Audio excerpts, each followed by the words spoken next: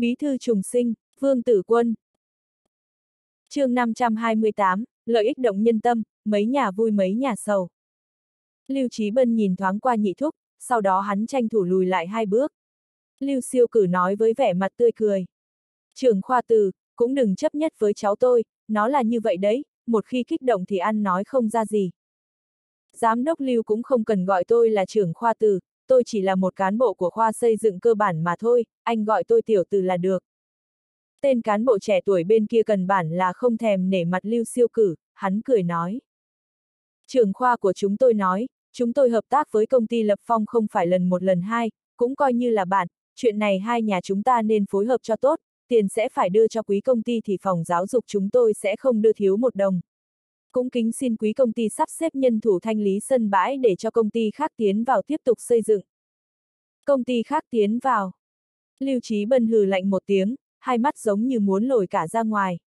Lần này hắn có biểu hiện như vậy nhưng tên cán bộ thanh niên kia không thèm nhìn, hắn chỉ nhìn qua Lưu Siêu Cử ở phía đối diện mà thôi. Trên mặt Lưu Siêu Cử vẫn nở nụ cười nhạt, hắn lấy ra một điếu thuốc rồi thản nhiên nói. Trưởng khoa từ, trưởng khoa của các cậu đã coi tôi như bạn, tôi cũng không làm khó bạn mình. Anh nói cho trưởng khoa của mình biết, trong vòng 3 ngày lưu siêu cử tôi sẽ dọn sạch và nhường lại công trường, đồng thời cũng có một câu muốn chuyển lại cho trưởng khoa của các anh. Được, giám đốc lưu cứ nói, tôi sẽ nhất định truyền đạt lại cho lãnh đạo. Tiểu tử biết rõ đám giám đốc công ty xây dựng này đều là kẻ mánh khóe thông thiên, bản thân cũng có vài phần bản lĩnh, vì vậy hắn rất khách khí với người này, vẫn giữ thái độ rất ôn hòa nhã nhặn. Tôi cũng cảm ơn trưởng khoa từ, sau khi quay về mong nói với trưởng phòng của anh biết, lần này là bắn tên không quay đầu, hủy hợp đồng và bắt công ty lập phong chúng tôi rời đi cũng không là vấn đề, nhưng sau đó muốn chúng tôi quay lại thì hầu như là không dễ dàng như vậy. Tiểu từ ngơ dựa vào lời nói để biết Lưu Siêu Cử đang nổi giận, nhưng hắn chỉ cúi đầu cười nhạt một tiếng, trong lòng cũng không có gì sợ hãi. Dù sao khi đến đây thì trưởng khoa đã dặn dò rõ ràng rồi, chính mình chỉ nói theo như vậy là được. Tiểu từ chợt lóe lên một ý nghĩ, hắn dùng giọng không kiêu ngạo không su nịnh nói. Giám đốc Lưu, tôi là người nhỏ lời nhẹ, chúng ta cũng không có gì đụng chạm, mong ngài hiểu cho. Điều này tôi hiểu, trưởng khoa từ, sau này nếu anh có gì cần lưu siêu cử này hỗ trợ thì cứ mở miệng, chỉ cần công ty lập phong có thể làm được, tuyệt đối sẽ cực kỳ nghiêm túc, sẽ toàn tâm toàn lực giúp đỡ. Lưu siêu cử đứng lên khỏi ghế rồi cười ha hả nói với tiểu tư. Lưu Trí Bân nhìn tiểu tử rời khỏi phòng mà đấm mạnh lên mặt bàn. Nhị thúc, chú quá khách khí với tên kia, con bà nó, chỉ là một thằng nhãi danh mà dám chạy đến đây ăn nói như vậy. Lưu siêu cử nói với vẻ mặt lạnh lẽo. Khó trách có câu, người lao động trí óc thống trị người khác, người lao động tay chân sẽ bị người khác thống trị, cậu thật sự quá ngu dốt. Tiểu tử đắc tội với cậu ở điểm nào? Người ta đến nói với chúng ta một tiếng, đó là chức trách, nào đắc tội với cậu. Tôi đề tỉnh cậu một câu, nếu như trưởng khoa tử có vấn đề gì xảy ra, chú ý tôi không khách khí với cậu. Nhị thúc, chú nói gì vậy chứ, tiểu tử kia chỉ nói chuyện có chút khó nghe, chỉ cần chú nói một câu là cháu sẽ không chấp nhất hắn ta làm gì. Nhưng chú này, bây giờ họ vương kia không hợp tác với chúng ta, chú xem. Lưu Trí Bân cũng là thành phần lãnh đạo cao tầng của công ty Lập Phong, tất nhiên hắn hiểu rõ hậu quả khi cắt đứt hợp đồng lao động. Bỏ dở giữa chừng, tôi thấy đó là một tòa nhà xây dựng giang dở, có ai dám tiếp nhận. Lưu siêu cử nói rồi nhìn thoáng qua Lưu Trí Bân. Nếu bọn họ đã bỏ qua hợp tác với chúng ta, như vậy cũng không có mấy nhà may mắn thoát được. Thế này đi, chúng ta liên lạc với bọn họ, đến tối cùng tụ họp. Audio điện tử võ tấn bền. Vâng, nhị thúc, đến lúc đó chúng ta sẽ xem xét lại, cũng sẽ cho tên họ vương kia biết cái gì gọi là nước đổ khó hốt. Lưu Trí Bân hiểu ý của Lưu Siêu Cử, hắn cười hì hì nói. Cái gì là nước đổ khó hốt, tiểu tử cậu cũng đừng nói loạn, đỡ để người ta chê cười. Lưu Siêu Cử dùng ánh mắt căm tức nhìn Lưu Trí Bân, bộ dạng thật sự rất phiền muộn. Lưu Siêu Cử cũng không sợ Vương Tử Quân cắt đứt hợp đồng với mình, nói thật, hắn thật sự đang rất lo lắng. Sau ngày hắn làm căng với Vương Tử Quân, hắn đã luôn chuẩn bị tư tưởng này. Để cho công ty lập phong ra đi cũng tốt, dù sao thì những người khác cũng phải đi cùng, dù cho vương tử quân có bản lĩnh bằng trời cũng không thể nào tiếp nhận tất cả công trình được. Cốc cốc cốc, tiếng gõ cửa vang lên, sau đó một người phụ nữ hơn 40 tuổi đi vào. Người phụ nữ này có bộ dạng bình thường, hơn nữa năm tháng còn lưu lại dấu vết trên vẻ mặt, có thể nói là không có bất kỳ điểm nào động lòng người. Nhưng trước nay Lưu Siêu Cử thật sự rất tôn trọng người phụ nữ này. Kế toán Trần, mời chị ngồi.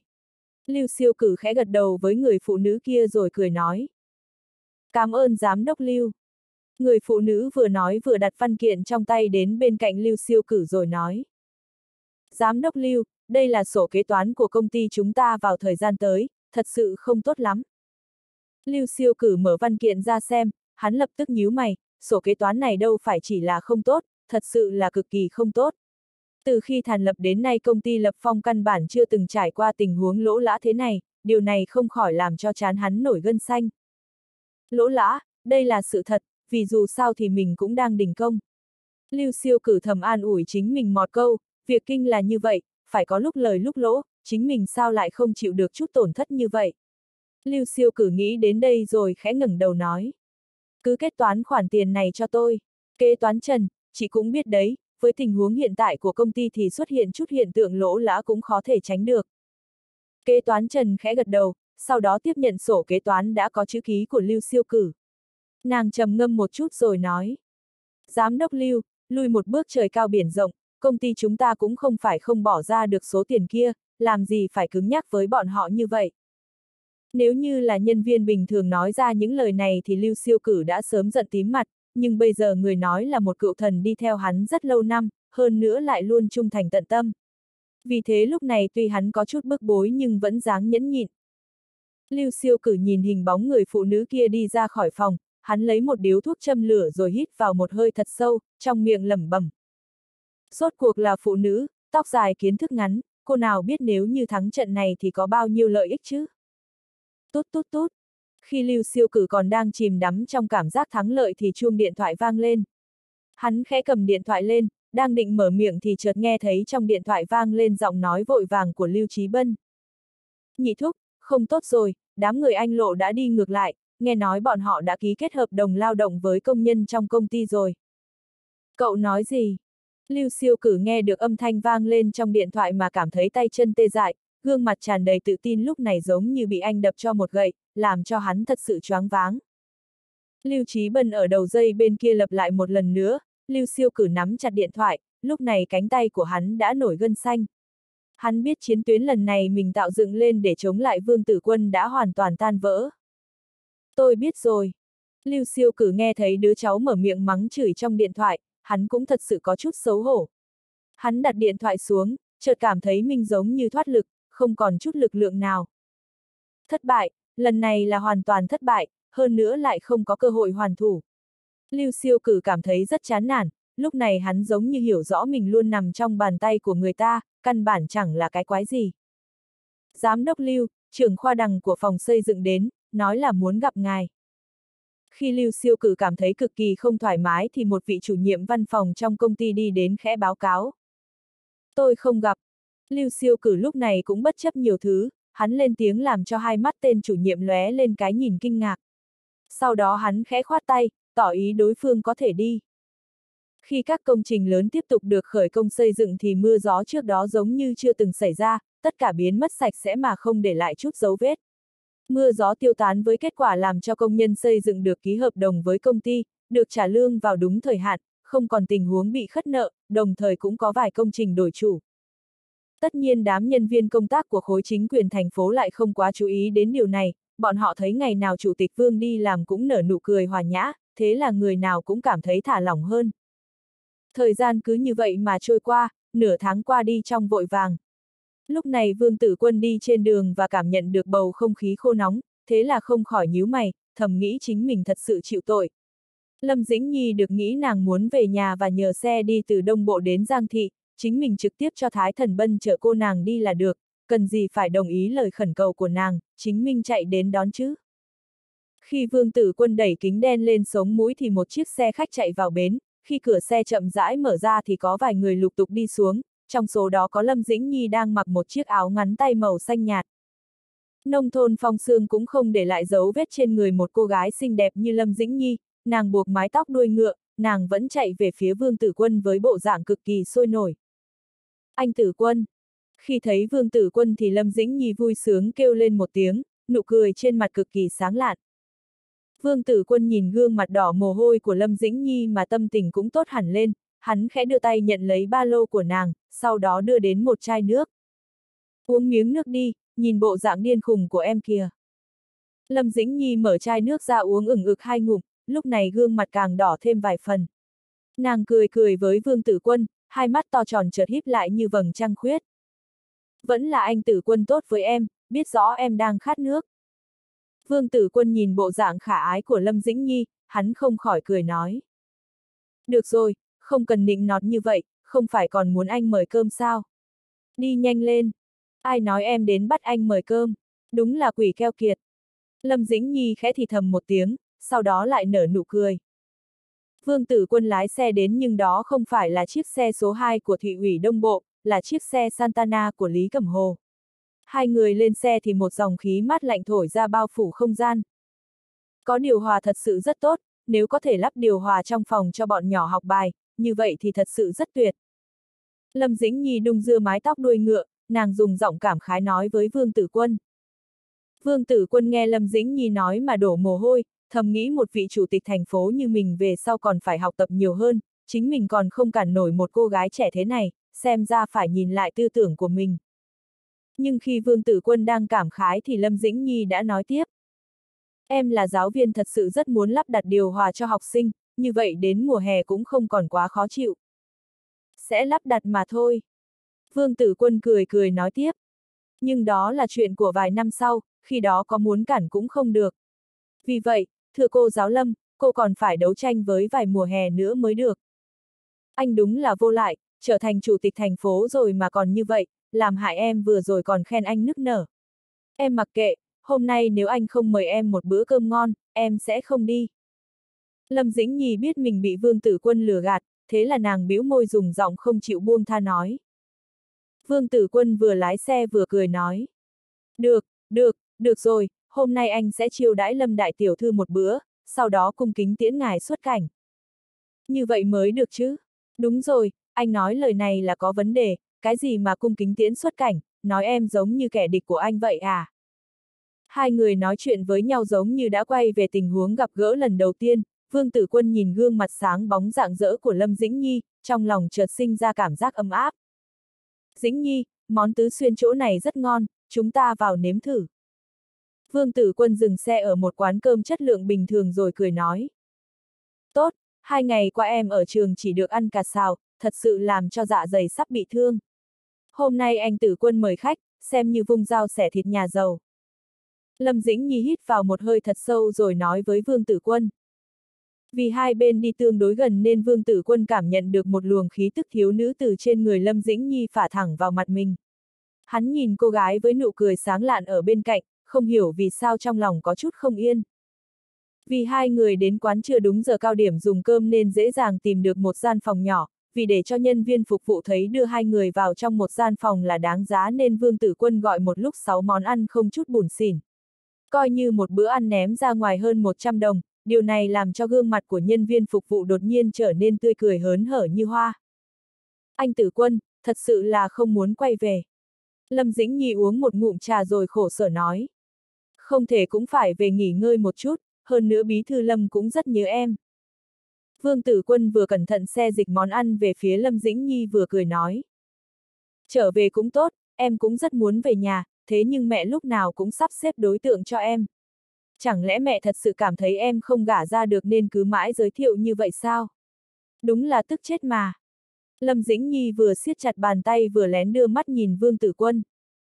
Lâm Dĩnh Nhi phải ra mắt, Vương Tử Quân chợt ngạc nhiên, nhưng sau đó hắn cũng hiểu, bây giờ nàng đã tốt nghiệp đại học được một năm rồi, lúc này mẹ của nàng cũng nên đặt tâm tư lên chuyện chồng con cho con gái là vừa. Lâm Dĩnh Nhi nhìn biểu hiện ung dung bình tĩnh của Vương Tử Quân thì trong lòng thật sự rất uất ức. Tên khốn kiếp đáng giận này chẳng lẽ không có chút cảm giác nào với mình sao? Thậm chí nghe thấy mình về phải ra mắt còn có thể cười được nữa. Nhân viên, cho hai chai bia. Khi Vương Tử Quân nghĩ nên ứng phó với chuyện Lâm Dĩnh Nhi về nhà ra mắt như thế nào, đột nhiên Lâm Dĩnh Nhi nói với nhân viên phục vụ đi đến đưa thức ăn. Vâng. Khách muốn gọi thức uống thì tất nhiên nhân viên phục vụ sẽ không từ chối, đối với bọn họ thì khách càng gọi nhiều càng tốt, dù sao thì bọn họ cũng có được trích phần trăm khi khách uống bia rượu.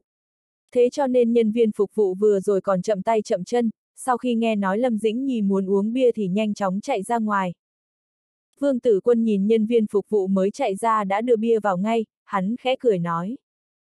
Dĩnh Nhi, em đi dạy dưới thôn một năm cũng không uổng phí, cũng biết quan tâm đến anh. Nhưng uống bia là không được, em nên uống nước trái cây, nếu không cũng không tốt. Không cần uống nước trái cây, em muốn uống bia với anh. Lâm Dĩnh Nhi nói rồi khui hai chai bia rót vào ly, sau đó cầm lấy một ly nói. Anh tử quân, chúng ta cũng ly. Em học được từ ai vậy? Không được, em mau đặt ly bia xuống, nếu bí thư lâm biết anh để em uống rượu, sợ rằng sẽ chặt đứt chân anh. Vương tử quân lên tiếng, sau đó hắn chuẩn bị đưa tay cướp chiếc ly trong tay Lâm Dĩnh Nhi. Nhưng Lâm Dĩnh Nhi giống như thật sự có quyết tâm uống bia, thế cho nên nàng đã đề phòng được chiêu thức của Vương Tử Quân. Hắn còn chưa cướp được chiếc ly trong tay thì nàng đã ngửa cổ uống cạn. Có câu uống bia rượu được hay không cũng chẳng liên quan đến tướng mạo, khi Vương Tử Quân uống một chai bia và cảm thấy chóng mặt mơ hồ thì điều làm hắn ngạc nhiên lại xảy ra. Lâm Dĩnh Nhi ngồi bên cạnh căn bản không có vấn đề, hai mắt to lại giống như càng thêm sáng ngời. Lâm Dĩnh Nhi cũng không ngờ mình uống bia vào lại tỉnh như vậy. Vương Tử Quân nhìn cặp mắt to tròn nhìn mình bằng ánh mắt khiêu khích của Lâm Dĩnh Nhi, hắn không thể không thừa nhận trên đời này có người trời sinh uống được bia rượu. Dĩnh Nhi, nếu không chúng ta tìm một chỗ nghỉ ngơi rồi ngày mai hãy về. Vương Tử Quân lắc lắc đầu, hắn khẽ nói với Lâm Dĩnh Nhi. Không cần, anh Tử Quân, hôm nay xe chạy từ thành phố Đông Bộ sang Giang Thị chỉ hơn nửa giờ mà thôi, em cũng không muốn để đến ngày mai. Lâm Dĩnh Nhi lắc đầu, nàng dùng giọng kiên định nói với Vương Tử Quân. Sáng mai anh sẽ để thần bân đưa em đi. Vương Tử Quân nhìn Lâm Dĩnh Nhi rồi khẽ đề nghị. Dù sao anh cũng là chủ tịch thành phố, thật sự rất bận rộn, chẳng qua em cũng không thích bị người ta đưa đi, em còn muốn ngồi xe đường dài.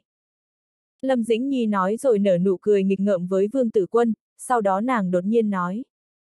Anh Tử Quân, nói với anh một chuyện. Chuyện gì? Vương Tử Quân nhìn về phía Lâm Dĩnh Nhi đang đi đến gần rồi khẽ hỏi. Anh Tử Quân, cũng đừng nên cau mày nhiều giống như có ai thiếu nợ tiền chưa trả cho anh vậy, anh phải cười nhiều lên, cười nhiều mới tốt cho anh. Lâm Dĩnh Nhi nói, sau đó nàng giống như hóa thành một con chim yến nhanh chóng đi ra khỏi quán ăn. Vương Tử Quân nghe lời đề nghị của Lâm Dĩnh Nhi mà sinh ra cảm giác dở khóc dở cười, hắn quay mặt nhìn vào tấm cửa kính, cũng phải thừa nhận câu nói của Lâm Dĩnh Nhi. Sau khi dùng nước mát rửa mặt, Vương Tử Quân chuẩn bị lái xe đưa Lâm Dĩnh Nhi đến bến xe, nhưng khi hắn kéo cửa xe lại bị Lâm Dĩnh Nhi ngăn cản. Anh Tử Quân, bây giờ anh lái xe thì rõ ràng là say rượu lái xe, anh là một chủ tịch thành phố thì cũng phải làm gương tốt. Vương Tử Quân nở nụ cười bất đắc dĩ, hắn dù biết chính mình bây giờ lái xe không có vấn đề, nhưng Lâm Dĩnh Nhi nói cũng đúng, hắn lập tức nói. Được, coi như em nói đúng, vậy chúng ta bắt xe đi. Em nói đúng thì có nên ban thưởng gì không? Lâm Dĩnh Nhi nhìn Vương Tử Quân, ánh mắt chớp chớp. Có ban thưởng, tất nhiên là có ban thưởng, nói đi, em muốn ban hưởng cái gì? Vương Tử Quân nhìn về phía Lâm Dĩnh Nhi rồi khẽ cười nói. Dù sao thì bến xe cũng không cách quá xa chỗ này, đến đó sớm thì chúng ta cũng phải chờ, hay là đi bộ đến bến xe nhé. Lâm Dĩnh Nhi ngửa đầu nhìn về phía bến xe, sau đó nàng dùng giọng có chút chờ mong nói với Vương Tử Quân. Đi bộ đến bến xe. Vương Tử Quân đưa mắt nhìn mặt trời nóng bỏng, lại nhìn vẻ mặt chờ mong của Lâm Dĩnh Nhi, cuối cùng hắn cũng gật đầu nói. Được, vậy chúng ta đi. Ra khỏi quán ăn, Vương Tử Quân và Lâm Dĩnh Nhi sóng vai đi trên đường cái thành phố Đông Bộ, ánh nắng mặt trời chiếu xuống đất nóng bỏng, Vương Tử Quân đi trên đường một lát đã vã đầy mồ hôi. Nhưng Lâm Dĩnh Nhi thì lại khác hẳn, lúc này nàng có vẻ rất vui, rất sinh động, bước tiến nhẹ nhàng giống như một con nai con đang đùa nghịch trên bãi cỏ, liên tục nhảy cẫng lên. Dĩnh Nhi, hay là chúng ta bắt xe thôi, ánh nắng mặt trời quá gay gắt, anh thì không sao nhưng nếu em đi dưới nắng mà cháy đen, như vậy anh cũng đau lòng. Vương Tử Quân tuy không muốn làm Lâm Dĩnh Nhi mất vui, nhưng hắn càng lúc càng thấy nóng, hắn thật sự sắp sinh ra cảm giác không thể chống đỡ được nữa. Lâm Dĩnh Nhi nhìn về phía Vương Tử Quân rồi cười khúc khích nói. Em dám đen thì anh sẽ thật sự đau lòng sao? Vương Tử Quân vốn chỉ tìm một lý do để thoái thác, bây giờ Lâm Dĩnh Nhi chợt hỏi như vậy, trong lòng còn chưa kịp phát giác ra vấn đề. Tất nhiên là thật. Lâm Dĩnh Nhi khẽ cắn môi, ngay sau đó nàng lại nở nụ cười sáng ngời. Khi chủ tịch vương còn cho rằng sắp bắt taxi và mình sắp rời khỏi bể khổ, nhưng lại nghe thấy một tiếng bột vang lên, trong tay Lâm Dĩnh Nhi chợt xuất hiện một cây dù. Nàng đặt dây dù lên vai rồi nói.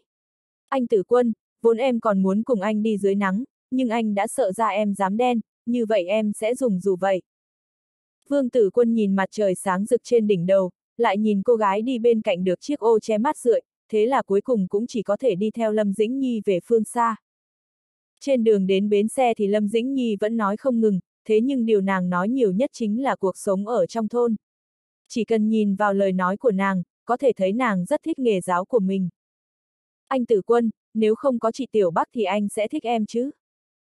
Khi Vương Tử Quân cảm thấy mình xem như hoàn thành nhiệm vụ tiễn chân Lâm Dĩnh Nhi, khi nàng sắp lên xe, nàng chợt quay đầu lại ghé sát tai hắn khẽ hỏi một câu như vậy.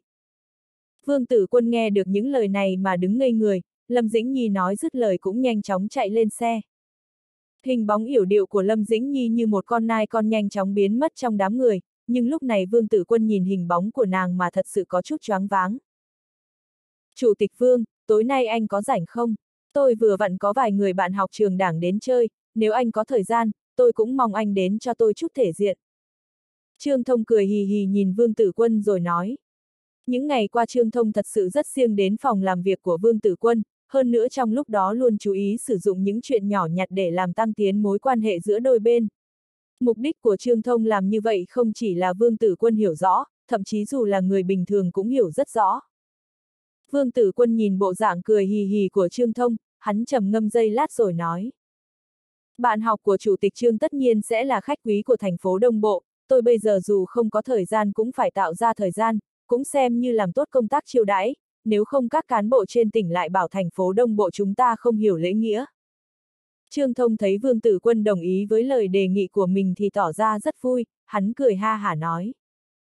Chủ tịch Vương, những người bạn học của tôi chủ yếu đến vì hướng về phía ngài.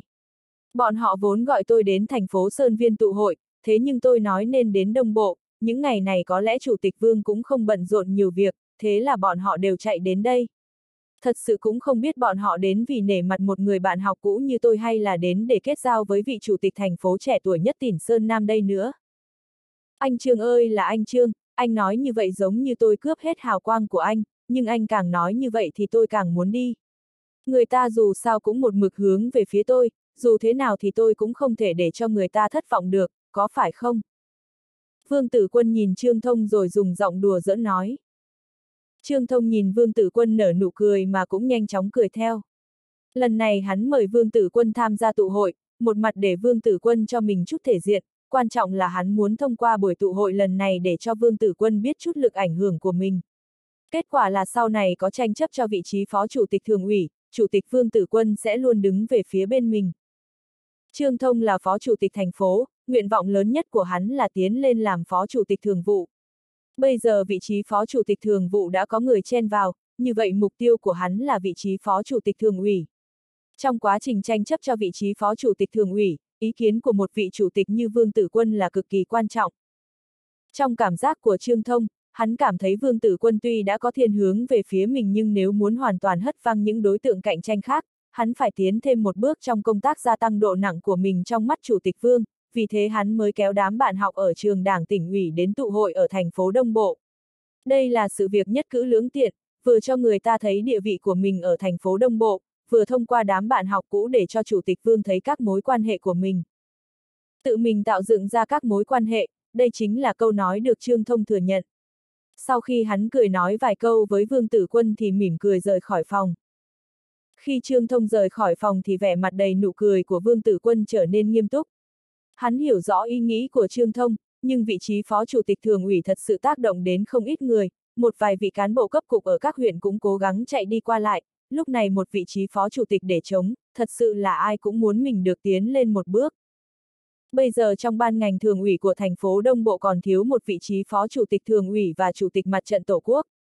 Phía tỉnh ủy có truyền đến tin đồn, chính là tỉnh ủy thật sự thông qua phương thức để bạt cán bộ tại chỗ, vì vậy mà bầu không khí thành phố Đông Bộ vốn vì sự kiện tiết diệu tiến bị điều đi mà trở nên trầm thấp, bây giờ sĩ khí lại tăng lên rất cao.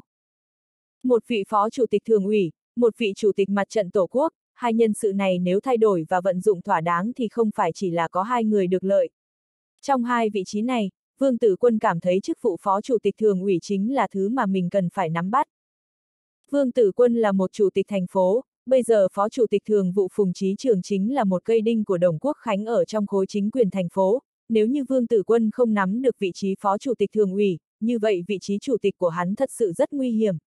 Vì thế những ngày qua hắn chú tâm đến công tác tìm quyền lợi cho công nhân lao động, vừa chú ý đến phương diện đề cử vị trí phó chủ tịch thường ủy. Chủ tịch Vương. Tiếng gõ cửa vang lên, sau đó Thái Nguyên Thương đi vào phòng, hắn đặt một phần văn kiện lên bàn của Vương Tử Quân rồi khẽ nói.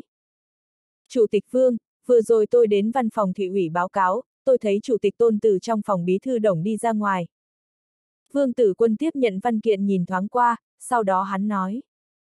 Chủ tịch Tôn đến báo cáo công tác với bí thư đồng là một chuyện rất bình thường. Thái Nguyên Thương cũng không nói thêm điều gì, mục đích của hắn chính là đến báo cáo chuyện này cho Vương Tử Quân. Hắn cười một tiếng, sau đó nói tiếp. Hôm nay tôi nghe đám nhân viên nghị luận với nhau, nói là Chủ tịch Tôn có niên hạn nhận chức Phó Chủ tịch lâu năm hơn cả Chủ tịch Trương, vì thế tiến lên vị trí Phó Chủ tịch Thường ủy phải là Chủ tịch Tôn. Tốt tốt tốt. Khi Vương Tử Quân chuẩn bị lên tiếng thì chuông điện thoại vang lên, Thái Nguyên Thương nhìn dãy số gọi đến, hắn cũng không lập tức cầm lên như trước kia mà trầm giọng nói với Vương Tử Quân. Là bí thư đồng. Vương Tử Quân khoát tay áo với Thái Nguyên Thương, hắn khẽ nhấc điện thoại lên, sau đó alo một tiếng. Đầu dây bên kia chợt truyền đến một giọng nói cởi mở.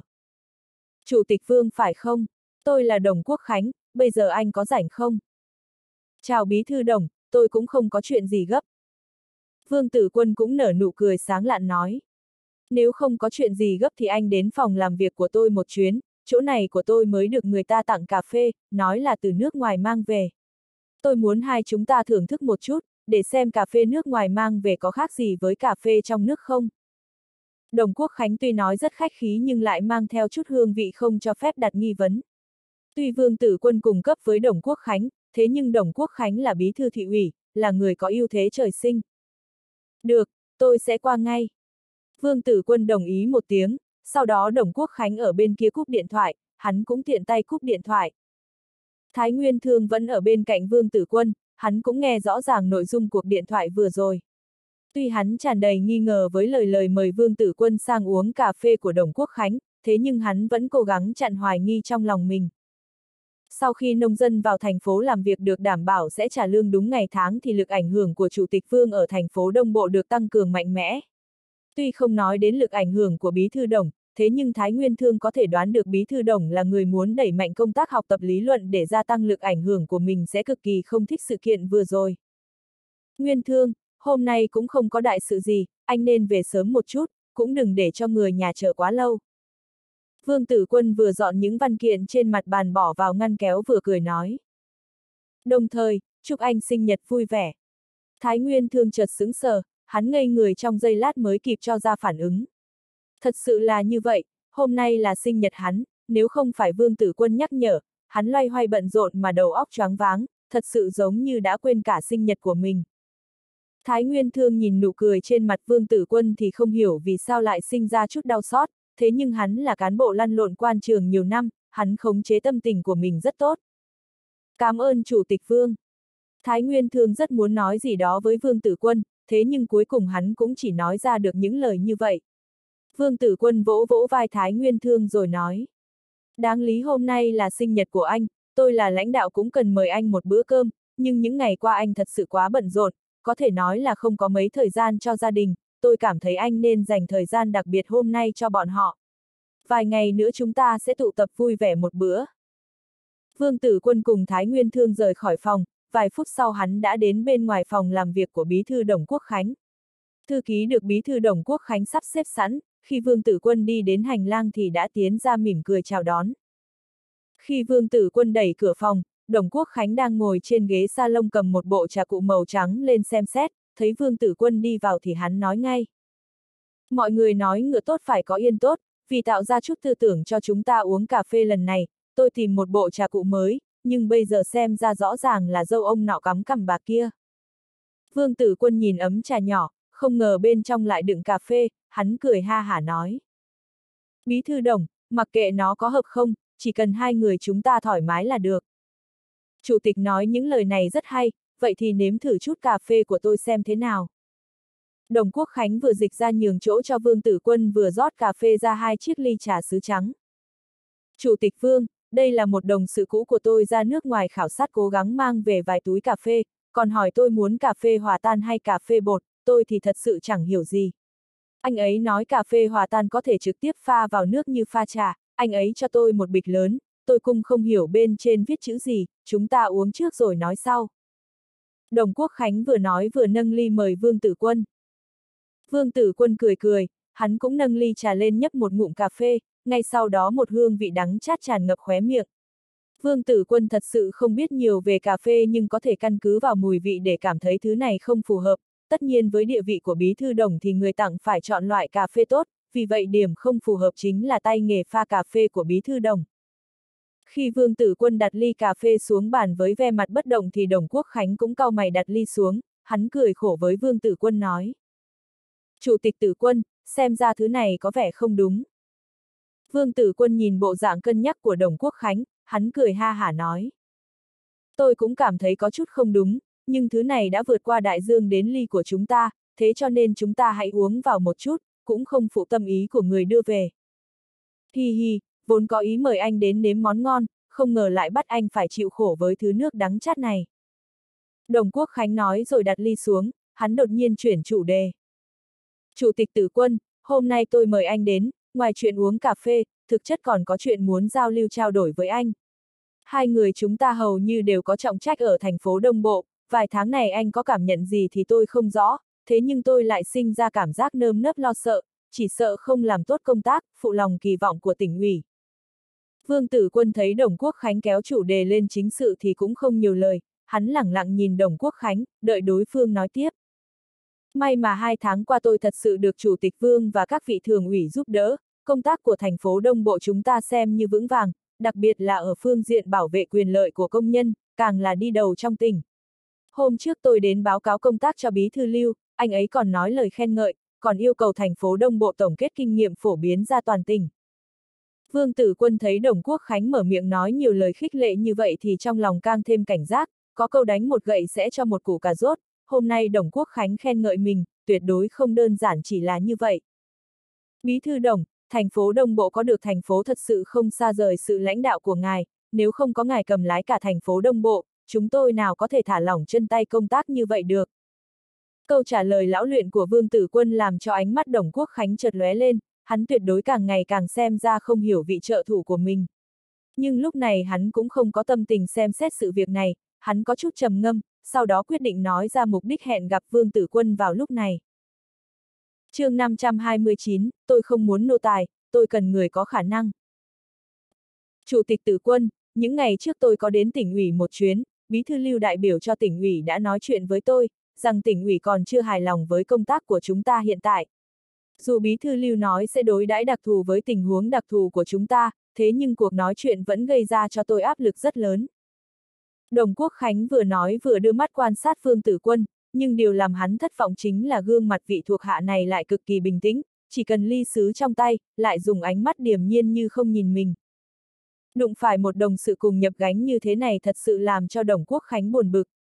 Có đôi khi hắn cảm thấy Vương Tử Quân thật sự khó chịu hơn nhiều so với một tiết diệu tiến quen thói bá đạo cường thế, dù tiết diệu tiến cực kỳ khí phách nhưng ít nhất cũng có lúc biểu hiện trên vẻ mặt, nếu hai người mất hứng thì sẽ xịch ra và có vài hành động đối phó. Nhưng người này thì lại khác, dù có mất hứng hay không thì gương mặt giống như cương thi căn bản không có gì thay đổi, căn bản nhìn không rõ cảm xúc, thế cho nên làm người ta khó thể ra tay cho đúng. Đồng Quốc Khánh có đôi khi nổi giận nhưng cũng chỉ là mắc nghẹn nơi cuống họng mà thôi. Nhưng lãnh đạo tỉnh ủy dù sao cũng là đứng cao thấy xa, sau khi cho ra kỳ vọng thì bí thư lưu còn truyền đạt chỉ thị của bí thư nhiếp, đó chính là thành phố chúng ta còn thiếu hai vị trí phó chủ tịch thường ủy và chủ tịch mặt trận tổ quốc, trên nguyên tắc sẽ dùng người của thành phố Đông Bộ. Lãnh đạo tỉnh ủy sắp xếp như vậy rõ ràng là một sự khẳng định rất lớn cho ban ngành thành phố, vừa thể hiện sự coi trọng và giúp đỡ, đồng thời cũng cho chúng ta thúc giục rất lớn. Nếu có sự giúp đỡ to lớn của lãnh đạo tỉnh ủy, nếu chúng ta còn không đẩy mạnh thành phố Đông Bộ phát triển kinh tế, như vậy thì xem như phải xin lỗi sự tín nhiệm của tổ chức với chúng ta. Đồng Quốc Khánh vừa cảm khái lên tiếng vừa ném ánh mắt về phía gương mặt Vương Tử Quân. Vương Tử Quân hiểu lần này Đồng Quốc Khánh tìm mình đến không phải chỉ đơn giản là cảm khái một phen như thế này, mục đích cuối cùng của đối phương chắc chắn sẽ liên quan đến hai vị trí Phó Chủ tịch Thường ủy và Chủ tịch Mặt trận Tổ quốc. Có một vài vấn đề Vương Tử Quân sẽ nhường nhịn, thế nhưng hắn đã hạ quyết tâm ở phương diện nhân sự, hắn phải giữ vững ý kiến của mình, căn bản không bao giờ lui về phía sau. Bí thư đồng, kinh tế thành phố phát triển không được nhanh, đây là trách nhiệm của tôi. Sau này trong lúc công tác sẽ nhất định nắm bắt trọng tâm phát triển kinh tế, cố gắng đẩy kinh tế thành phố Đông Bộ phát triển lên bậc thang mới trong thời gian 3 tháng tiếp theo. Vương Tử Quân căn bản rất có kiến thức với các phương diện công tác kinh tế của thành phố Đông Bộ, hắn cũng có tính toán và kế hoạch của mình, cũng có lòng tin rất lớn. Nếu như chỉ nói về phương diện phát triển kinh tế thì Bí Thư Đồng thật sự rất thỏa mãn về Vương Tử Quân, nhưng công tác kinh tế chẳng qua chỉ là cái cớ mà thôi, cái Đồng Quốc Khánh cần chính là vấn đề nhân sự. Hắn hiểu rất rõ, bây giờ Vương Tử Quân ngậm miệng không nói về vấn đề nhân sự, thái độ như vậy rõ ràng không phải đang làm ra nhượng bộ ở vấn đề nhân sự, chính là lấy tính chế động, chờ mình tỏ thái độ. Đồng Quốc Khánh thấy mình có thể nắm bắt bổ nhiệm cả hai vị trí phó chủ tịch thường ủy và chủ tịch mặt trận tổ quốc thì sẽ là tốt nhất, hơn nữa hắn rất muốn tự mình lựa chọn, nhưng quan trọng là có Vương Tử Quân, hắn căn bản không thể tự mình làm gì thì làm. Sự kiện đưa Phùng Trí Trường đến vị trí phó chủ tịch thường vụ đã cho hắn một bài học rất đau, hắn còn chưa sắp xếp tốt cho Phùng Trí Trường thì Vương Tử Quân đã đưa Trúc Phu Bình đến làm phó bí thư nắm công tác tổ chức. Tuy những ngày qua Trúc Phu Bình luôn tỏ ra tôn kính với hắn, ở vài phương diện nhân sự luôn đảm bảo thực hiện ý đồ của hắn, nhưng hắn biết rõ ngăn cách giữa hai bên sẽ vĩnh viễn không bao giờ lấp đi được, Trúc Phu Bình sẽ mãi không bao giờ là người của hắn, vĩnh viễn không đáng tin. Lúc này Vương Tử Quân sẽ không buông tha cho vị trí phó chủ tịch thường ủy, nếu như trước đó Đồng Quốc Khánh không liên hệ cho tốt, tương lai đối phương sẽ mở miệng phản pháo ở hội nghị thường ủy, sợ rằng kẻ mất mặt chỉ là bí thư thị ủy như mình.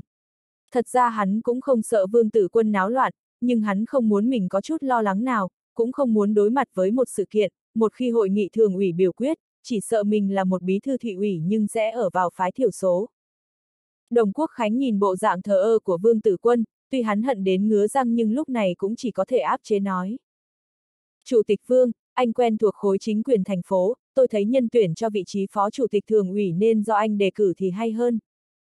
À, giải quyết ưu phiền cho bí thư chính là chức trách của tôi. Vương Tử Quân cũng không khiêm tốn, hắn dùng giọng cực kỳ sảng khoái để đảm nhận trách nhiệm. Đồng Quốc Khánh thật sự rất bực bội, còn bà nó, mình vừa ném cho đối phương một cái gối, thế là đối phương đã nhắm mắt nằm ngủ ngay lập tức, thật sự là người cực kỳ biết giả vờ. Nhưng mặc kệ hắn tức giận thế nào cũng không thể nổi giận cho được, dù sao thì hắn cũng có tính toán của mình. Bây giờ hắn chủ động nhường vị trí phó chủ tịch thường ủy thành phố, như vậy Vương Tử Quân cũng phải đưa ra vị trí chủ tịch mặt trận Tổ quốc, xem như bánh ít đi bánh quy lại. Lúc này Đồng Quốc Khánh thật sự không phản bác được, hắn đành phải nâng ly cà phê lên nhấp một ngụm. Một cảm giác đắng chát chợt tràn lan trong vòng miệng, làm lãnh đạo đứng đầu thật sự quá uất ức. Đồng Quốc Khánh thầm nghĩ như vậy, trong lòng càng bức bối.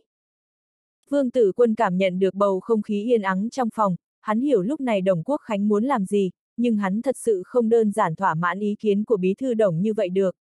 Nói một câu thông tục thì anh đã muốn làm kỹ nữ cũng đừng ép người ta phải lập bàn thờ. Sau một lúc trầm mặc, Đồng Quốc Khánh chỉ có thể chủ động mở miệng. Chủ tịch tử quân, tôi cảm thấy vị trí chủ tịch mặt trận tổ quốc nên chọn từ trong hàng ngũ các vị lãnh đạo đứng đầu quận huyện bên dưới, như vậy cũng xem như có lợi cho công tác xúc tiến phát triển thành phố. Bí thư đồng nói rất hay.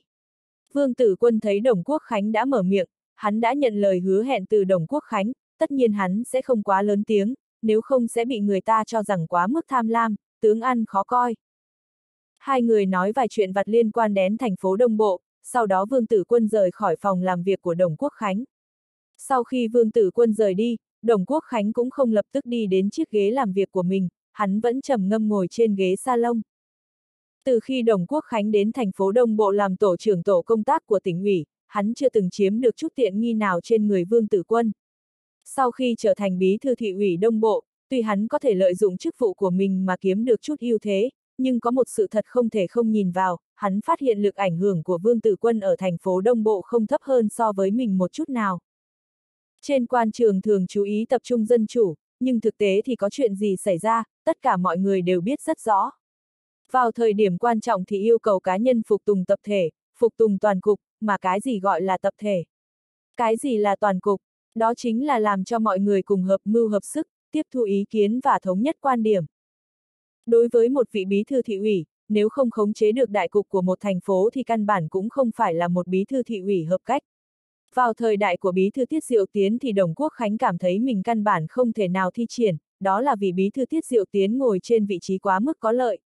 Nhưng bây giờ lại khác, Đồng Quốc Khánh là bí thư thị ủy Đông Bộ, quyền lực tập trung trong tay mình, nhưng tình cảnh này lại làm cho hắn cảm thấy rất thất lạc, đó chính là có vài cục diện mà hắn căn bản là khó thể khống chế. Đồng Quốc Khánh thật sự rất phiền lòng, hắn nâng ly lên uống cạn, một cảm giác đắng chát làm hắn muốn nhổ ra. Hắn nhìn gói cà phê với những dòng chữ nước ngoài, hắn thấy những dòng chữ kia giống như những con nòng nọc đang chen chúc về phía mắt mình. Hắn muốn nở nụ cười tự diễu, sau đó chỉ có thể nhếch miệng mà không thể cười. Hắn thầm nghĩ, mình mời Vương Tử Quân đến uống cà phê, thực chất ngay từ lúc bắt đầu đã là một hành vi tự chuốc lấy khổ cực cho mình. Khi Đồng Quốc Khánh cảm thấy chóng mặt thì đảng hằng gõ cửa đi vào, hắn nhìn cà phê bày trên bàn của Đồng Quốc Khánh, thế là hai mắt sáng ngời. Bí thư Đồng, anh có thứ tốt cũng không liên lạc với quần chúng, ôi, lúc này lại để tôi gặp phải. Đảng Hằng vừa nói vừa tìm một chiếc ly rót cà phê cho mình, nhưng sau khi hắn uống cà phê vào bụng thì vẻ mặt chợt trở nên cực kỳ khó coi. Cà phê nhập khẩu tốt như vậy không ngờ lại bị bí thư đồng pha chế cực kỳ khó uống như thế, bí thư đồng xem ra không phải là người phá hoại bình thường. Đảng Hằng thật sự sinh ra cảm khái, hắn lập tức cho ra quyết định, đó là tuyệt đối không nên để bí thư đồng tiếp tục như vậy. Hắn không nói hai lời mà kéo túi cà phê trên bàn về phía mình, lại dùng giọng không khách khí nói. Bí thư đồng, hai ngày nay tôi cố gắng công tác, thật sự sứt đầu mẻ chán, tôi thấy anh nên tặng cà phê để tôi nâng cao tinh thần. Cậu cứ lấy đi, trong tủ vẫn còn, cậu lấy hết đi. Ăn nên dùng cơm nhà, mặc nên mặc áo thô, thứ này của người nước ngoài thật sự sự không dễ uống. Đồng Quốc Khánh rất sủng ái với cấp dưới đảng hằng của mình, hắn vừa nói vừa chỉ về phía một chiếc tủ nhỏ, tỏ ý rằng đảng hằng có thể lấy tất cả đưa đi. Đảng hằng cũng không khách khí, hắn mở cửa tủ lấy ra thêm vài gói cà phê. Hắn vừa thu dọn vừa cười nói. Bí thư đồng, vừa rồi anh dùng cà phê chiêu đãi ai vậy? Ai có thủ oán lớn với ngài mà dùng cà phê khó uống thế này để tra tấn chứ? Sợ rằng ngài uống cà phê này vào thì hôm nay sẽ mất đi khẩu vị dùng cơm. Đảng Hằng nói một câu trêu chọc làm cho những nếp nhăn trên mặt đảng Hằng chợt giãn ra, tâm tình cũng trở nên tốt đẹp hơn rất nhiều. Hắn nghĩ đến gương mặt như cười như không của Vương Tử Quân, thế là không khỏi dùng giọng cảm thán nói. Không oán không cừu còn có thể như vậy, thật sự quá khó chơi. Ôi, ai mà để cho lãnh đạo nhớ thương như vậy? Đảng Hằng chợt có hứng thú, hắn ngồi xuống bên cạnh Đồng Quốc Khánh, sau đó cười tủm tỉm hỏi Đồng Quốc Khánh. Vừa rồi Chủ tịch Vương Tử Quân đến đây. Đồng Quốc Khánh nhìn Đảng Hằng rồi cười nói. Ôi! Đảng Hằng vừa nghe thấy Vương Tử Quân thì dừng lời, không tiếp tục lên tiếng. Hắn thấy Chủ tịch Vương Tử Quân đến đây uống thứ nước này, thật sự là quá bình thường.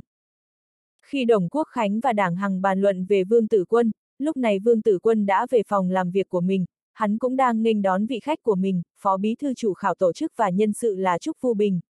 Hắn về phòng chưa được vài phút thì Phó Bí Thư Trúc đã đi đến. Trúc Phu Bình thật sự không ngờ mình từ vị trí Phó Chủ tịch Thường ủy tiến lên Phó Bí Thư Thị ủy nắm công tác tổ chức, nếu nhìn trên phương diện chức vụ, đây có thể nói là tăng vọt. Dù sự tăng vọt này không rung động như là tăng cấp từ Phó Giám đốc Sở lên Giám đốc Sở, nhưng địa vị rõ ràng đã thay đổi mạnh mẽ, dù là ai cũng có thể thấy rõ ràng.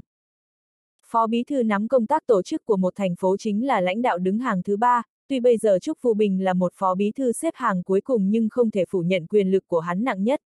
Chưa nói những thứ gì khác, chỉ nói riêng phương diện kiểm tra, dĩ vãng hắn xuống tuyến huyện thì chỉ có Chủ tịch huyện tiến ra nghênh đón, mà bây giờ sẽ là Bí Thư và Chủ tịch huyện, đám cán bộ lãnh đạo khác càng theo sát tiến độ của Bí Thư Trúc, có ai không muốn mình được Bí Thư Trúc nhớ kỹ. Loại cảm giác này thật sự làm cho Trúc Phu Bình sinh ra cảm giác lâng lâng, nhưng hắn vẫn biết rõ một vấn đề, đó là ai đưa mình lên vị trí ngày hôm nay. Vào thời điểm mấu chốt thì Vương Tử Quân đứng ra ngăn cơn sóng giữ đẩy hắn lên trên, điều này vĩnh viễn là cảm giác khó thể phai nhòa trong lòng hắn. Vì vậy dù ở bất kỳ trường hợp hay địa phương nào, Trúc Phù Bình cũng tỏ ra cực kỳ tôn trọng Vương Tử Quân. Sau khi ngồi xuống đối diện với Vương Tử Quân, Trúc Phù Bình cười nhìn Triệu Quốc Lương đang thu dọn trong phòng rồi nói. Quốc Lương, pha cho tôi chút trà ngon, tôi là phó bí thư thì cậu cũng phải nịnh bợ một chút, nếu là trà thường thì cậu cẩn thận sau này sẽ bị tôi chèn ép đấy. Trong quan trường thường có nhiều thứ rất kỳ quái, biểu hiện bình tĩnh thì bên trong thật sự giống như bão táp mưa xa, biểu hiện hòa hợp êm thấm thì sau lưng lai là khẩu Phật tâm xà, hận không thể cắn anh một cái chết tươi. Vì vậy rất nhiều lời nói của nhiều người không thể cho là thật, không thể nào tin tưởng được. Người nào muốn làm chuyện tốt với anh thì sẽ nói rõ ràng, nhưng nếu muốn chơi trò hạ độc thủ, như vậy bọn họ sẽ lợi dụng cơ hội lúc anh còn chưa sẵn sàng để tấn công thật mạnh. Triệu Quốc Lương hiểu rõ quan hệ giữa Bí Thư Trúc và Chủ tịch Vương, hắn biết lời nói của Bí Thư Trúc chỉ là chọc mình cho vui mà thôi, cũng không phải là thật. Hắn cũng biết rõ càng ẩn nhẫn sẽ càng có thể tạo dựng sự nghiệp lớn, thế cho nên hắn đồng ý một tiếng, sau đó bắt đầu đi pha trà cho Trúc Phu Bình, còn những lời nói vừa rồi của Trúc Phu Bình, hắn cũng không quá chú trọng. Quốc lương rất tốt, tiếp tục đi theo công tác với Chủ tịch Vương 2 năm, sau đó xuống tuyến huyện làm phó bí thư cũng xem như dư giả. Trúc Phu Bình cười cười với Vương Tử Quân rồi khẽ nói. Trúc Phu Bình nói những lời này cũng thật sự có ngôn ngữ nghệ thuật, có đôi khi khích lệ thư ký chẳng khác nào khích lệ lãnh đạo. Vương Tử Quân hiểu những lời nói của Trúc Phu Bình có chút khoa trương nhưng trong lòng lại thầm chấp nhận. Hắn đưa mắt nhìn Triệu Quốc Lương, sau đó lên tiếng. Quốc Lương đã nghe thấy rõ ràng chưa? Bí thư Trúc muốn dùng danh lợi mua chuộc lòng người, cậu còn không mau nhanh tay lên, nếu bí thư Trúc mà đổi ý thì bỏ lỡ cơ hội ngàn năm một thuở. Triệu Quốc Lương cười hì hì, hắn lấy ra một hộp trà, sau đó pha trà vào ấm sứ trắng, cuối cùng vừa châm trà cho Trúc Phu Bình vừa cười nói. Bí thư Trúc, đây chính là cực phẩm đại hồng bào của Chủ tịch Vương, nếu không có sự phân phó của Chủ tịch Vương thì tôi cũng không dám lấy ra. Hôm nay tôi xem như trái kỷ luật dùng nó mời ngài, ngài cũng không được quên những lời vừa rồi, đã nói rồi cũng không nên chẳng quan tâm đấy nhé. Trúc Phu Bình nhìn nước trà giống như biến thành màu đỏ, lại cảm nhận được mùi hương trà nồng đậm, thế là biết đây không phải chỉ là trà cực phẩm bình thường. Hắn tham lam hít vào vài hơi thật sâu, sau đó cười nói. Tiểu tử cứ yên tâm là được, tôi sẽ tuyệt đối không quên. Trúc Phu Bình vừa nói vừa đưa mắt nhìn thoáng qua Vương Tử Quân. Chủ tịch Vương, nhìn loại trà này, không phải là loại mà người ta hay nói. Đúng vậy, thật sự anh đã đoán đúng. Vương Tử Quân hiểu ý của Trúc Phu Bình, hắn cười hì hì nói. Với cấp bậc uống trà của Vương Tử Quân thì căn bản cũng không cảm nhận được loại trà kia tốt ở chỗ nào, thế nhưng hắn lại cưới một cô vợ ăn cây táo rào cây sung, khi biết Vương Tử Quân thích uống trà thì Mạc Tiểu Bắc đã lấy của Mạc Lão gia tử không ít trà ngon, sau đó đưa đến cho Vương Tử Quân. Vương Tử Quân nhìn ly trà bốc khói nghi ngút mà không khỏi nghĩ đến tình huống Mạc Tiểu Bắc đưa trà cho mình, chính mình lúc đó cũng không nên chọc nàng mới đúng. Khi Chủ tịch Vương Tử Quân ý thức được sai lầm của mình thì Triệu Quốc Lương đã đi ra khỏi phòng, lúc đi ra cũng thuận tiện đóng cửa phòng lại. Chủ tịch Vương, ngày hôm qua Quốc lĩnh đến tìm tôi. Sau khi nói hai câu với Vương Tử Quân, Trúc Phù Bình khẽ lên tiếng. Trúc Phù Bình cũng không nói mục đích tôn quốc lĩnh đến tìm mình làm gì, nhưng Vương Tử Quân vẫn có thể suy đoán được rõ ràng. Hắn cũng không nói gì, chỉ nâng ly trà mà Triệu Quốc Lương rót cho mình lên uống một ngụm, sau đó chờ Trúc Phù Bình nói tiếp. Trúc Phù Bình lúc này cũng có chút khó xử, đứng từ góc độ của hắn thì sự việc này thật sự rất khó nói ra. Hắn và Tôn Quốc Lĩnh có quan hệ rất tốt, bây giờ Tôn Quốc Lĩnh có việc cầu đến hắn, nếu như hắn không mở miệng thì giống như thật sự có lỗi với Tôn Quốc Lĩnh. Sau giây lát trầm ngâm thì Trúc Phu Bình tiếp tục nói. Chủ tịch Vương, Chủ tịch Quốc Lĩnh công tác rất có khả năng, cũng có ý nghĩ, nếu như vận dụng thỏa đáng thì sẽ là một trợ giúp không tệ. Điều này tôi biết rõ, tôi đã công tác với Chủ tịch Quốc Lĩnh được một năm, anh ấy là người thế nào thì tôi hiểu rõ. Vương Tử Quân trầm ngâm một chút rồi mở miệng nói. Vị trí phó chủ tịch thường ủy thật sự rất quan trọng đối với tôi. Trúc Phu Bình hiểu ý của Vương Tử Quân, bây giờ trong khối chính quyền thành phố có Phùng Trí Trường là phó chủ tịch thường vụ, Vương Tử Quân sẽ tuyệt đối không để cho trong ban ngành khối chính quyền còn óc một vị phó chủ tịch thường ủy không nghe theo chính kiến của mình. Nếu thật sự là như vậy thì Vương Tử Quân sẽ cực kỳ bị động. Chủ tịch Vương, tôi cảm thấy đồng chí quốc lĩnh có thể phân biệt được nặng nhẹ. Trúc Phu Bình trầm ngâm giây lát, sau đó lại lên tiếng nói với Vương Tử Quân. Vương Tử Quân gật đầu nói. Tôi tin tưởng điều này, nhưng bây giờ tôi không cần một vị phó chủ tịch như thế. Bí thư Trúc, anh bây giờ là phó bí thư nắm công tác tổ chức của thành phố Đông Bộ, anh nói xem, bây giờ tôi nên tìm một vị trợ thủ như thế nào. Trúc Phu Bình nhìn gương mặt như cười như không của Vương Tử Quân, trong lòng hắn cực kỳ cảm khái, trong lòng thầm nghĩ xem ra chủ tịch vương đã có quyết định rồi, xem ra lần này tôn quốc lĩnh căn bản không còn hy vọng. Dù nhìn vào phương diện lý lịch thì tôn quốc lĩnh mạnh hơn Trương Thông, thế nhưng nói về năng lực công tác thì Trương Thông lại không kém tôn quốc lĩnh. Khốn nổi tôn quốc lĩnh lại quá kiêu ngạo, hơn nữa làm việc có chủ kiến của mình, nếu như tôn quốc lĩnh trở thành phó chủ tịch thường ủy, Vương Tử Quân muốn khống chế đại cục sẽ khó hơn tình huống Trương Thông tiến lên làm phó chủ tịch thường ủy rất nhiều. Chủ tịch Vương, tôi hiểu điều này, nhưng nếu là như vậy thì có chút không công bình với chủ tịch quốc lĩnh, có thể ảnh hưởng đến tính tích cực công tác hay không? Trúc Phu Bình trầm ngâm một lát rồi khẽ hỏi. Vương Tử Quân mỉm cười nhìn Trúc Phu Bình, hắn cũng không mở miệng, nhưng hắn không mở miệng đã xem như nói rõ ý nghĩ của mình. Giữa hai người Tôn Quốc Lĩnh và Trương Thông thì thật ra Vương Tử Quân căn bản rất tán thưởng Tôn Quốc Lĩnh, nhưng Tôn Quốc Lĩnh quá kiêu ngạo, thế cho nên tạo nên làn khói ở khối chính quyền thành phố. Nếu có bất kỳ một âm thanh khác biệt nào ở khối chính quyền thành phố vào lúc này sẽ là thứ mà Vương Tử Quân căn bản không thể nào tiếp nhận được, vì thế trong quá trình lựa chọn phó chủ tịch thường ủy, Vương Tử Quân có thiên hướng chọn Trương Thông. Có đôi khi phải bỏ mặc người có tài, có đôi khi dùng người không khách quan, Vương Tử Quân suy nghĩ về những điều này mà trong lòng sinh ra cảm giác khổ sở nói không nên lời. Trúc Phu Bình trầm ngâm dây lát rồi nói. Chủ tịch Vương, tuy chủ tịch quốc lĩnh không nói nhưng tôi có thể thấy những ngày qua bên kia rất nhiệt tình với anh ấy. Vương Tử Quân biết rõ bên kia trong miệng Trúc Phu Bình là ai, hắn khẽ cười nói. Càng là như vậy thì tôi cũng không thể tự mình đánh bạc được. Trúc Phu Bình cũng không nói gì thêm, hắn lúc này xem như đã hiểu sự việc lần này không có đường sống vẹn toàn. Đối với Vương Tử Quân thì Trương Thông cũng giống như mình, là những người kiên định đứng về một phía. Tôn Quốc Lĩnh lại là một người tràn đầy vấn đề với Vương Tử Quân, Chủ tịch Vương sẽ không vì một người như vậy mà vứt bỏ một người biết nghe lời và có khả năng như Trương Thông. Bí thư Trúc, còn một sự kiện anh cần chú ý, Bí thư Đồng chuẩn bị đẩy một vị lãnh đạo quận huyện bên dưới lên làm chủ tịch mặt trận Tổ quốc. Vương Tử Quân uống một ngụm trà rồi thay đổi chủ đề. Chọn ra một vị bí thư huyện ủy làm chủ tịch mặt trận Tổ quốc. Vẻ mặt Trúc Phu Bình chợt biến đổi, sau đó hắn khẽ nói. Chủ tịch Vương, ý của anh là... Không phải, chúng ta nên ra sức giúp đỡ những sắp xếp của bí thư đồng. Vương Tử Quân không đợi Trúc Phu Bình nói xong, hắn khẽ khoát tay nói. Ý của tôi là nếu bí thư huyện ủy đã tiến lên, như vậy chúng ta cũng nên có điều chỉnh thích hợp cho ban ngành huyện ủy. Đồng thời lưu lại một vị trí cho đồng chí Cẩm Hồ, anh ấy cũng nên xuống làm chủ tịch huyện, làm chủ một phương, để thuận tiện rèn luyện. Vương Tử Quân cười cười nhìn Trúc Phu Bình rồi khẽ nói.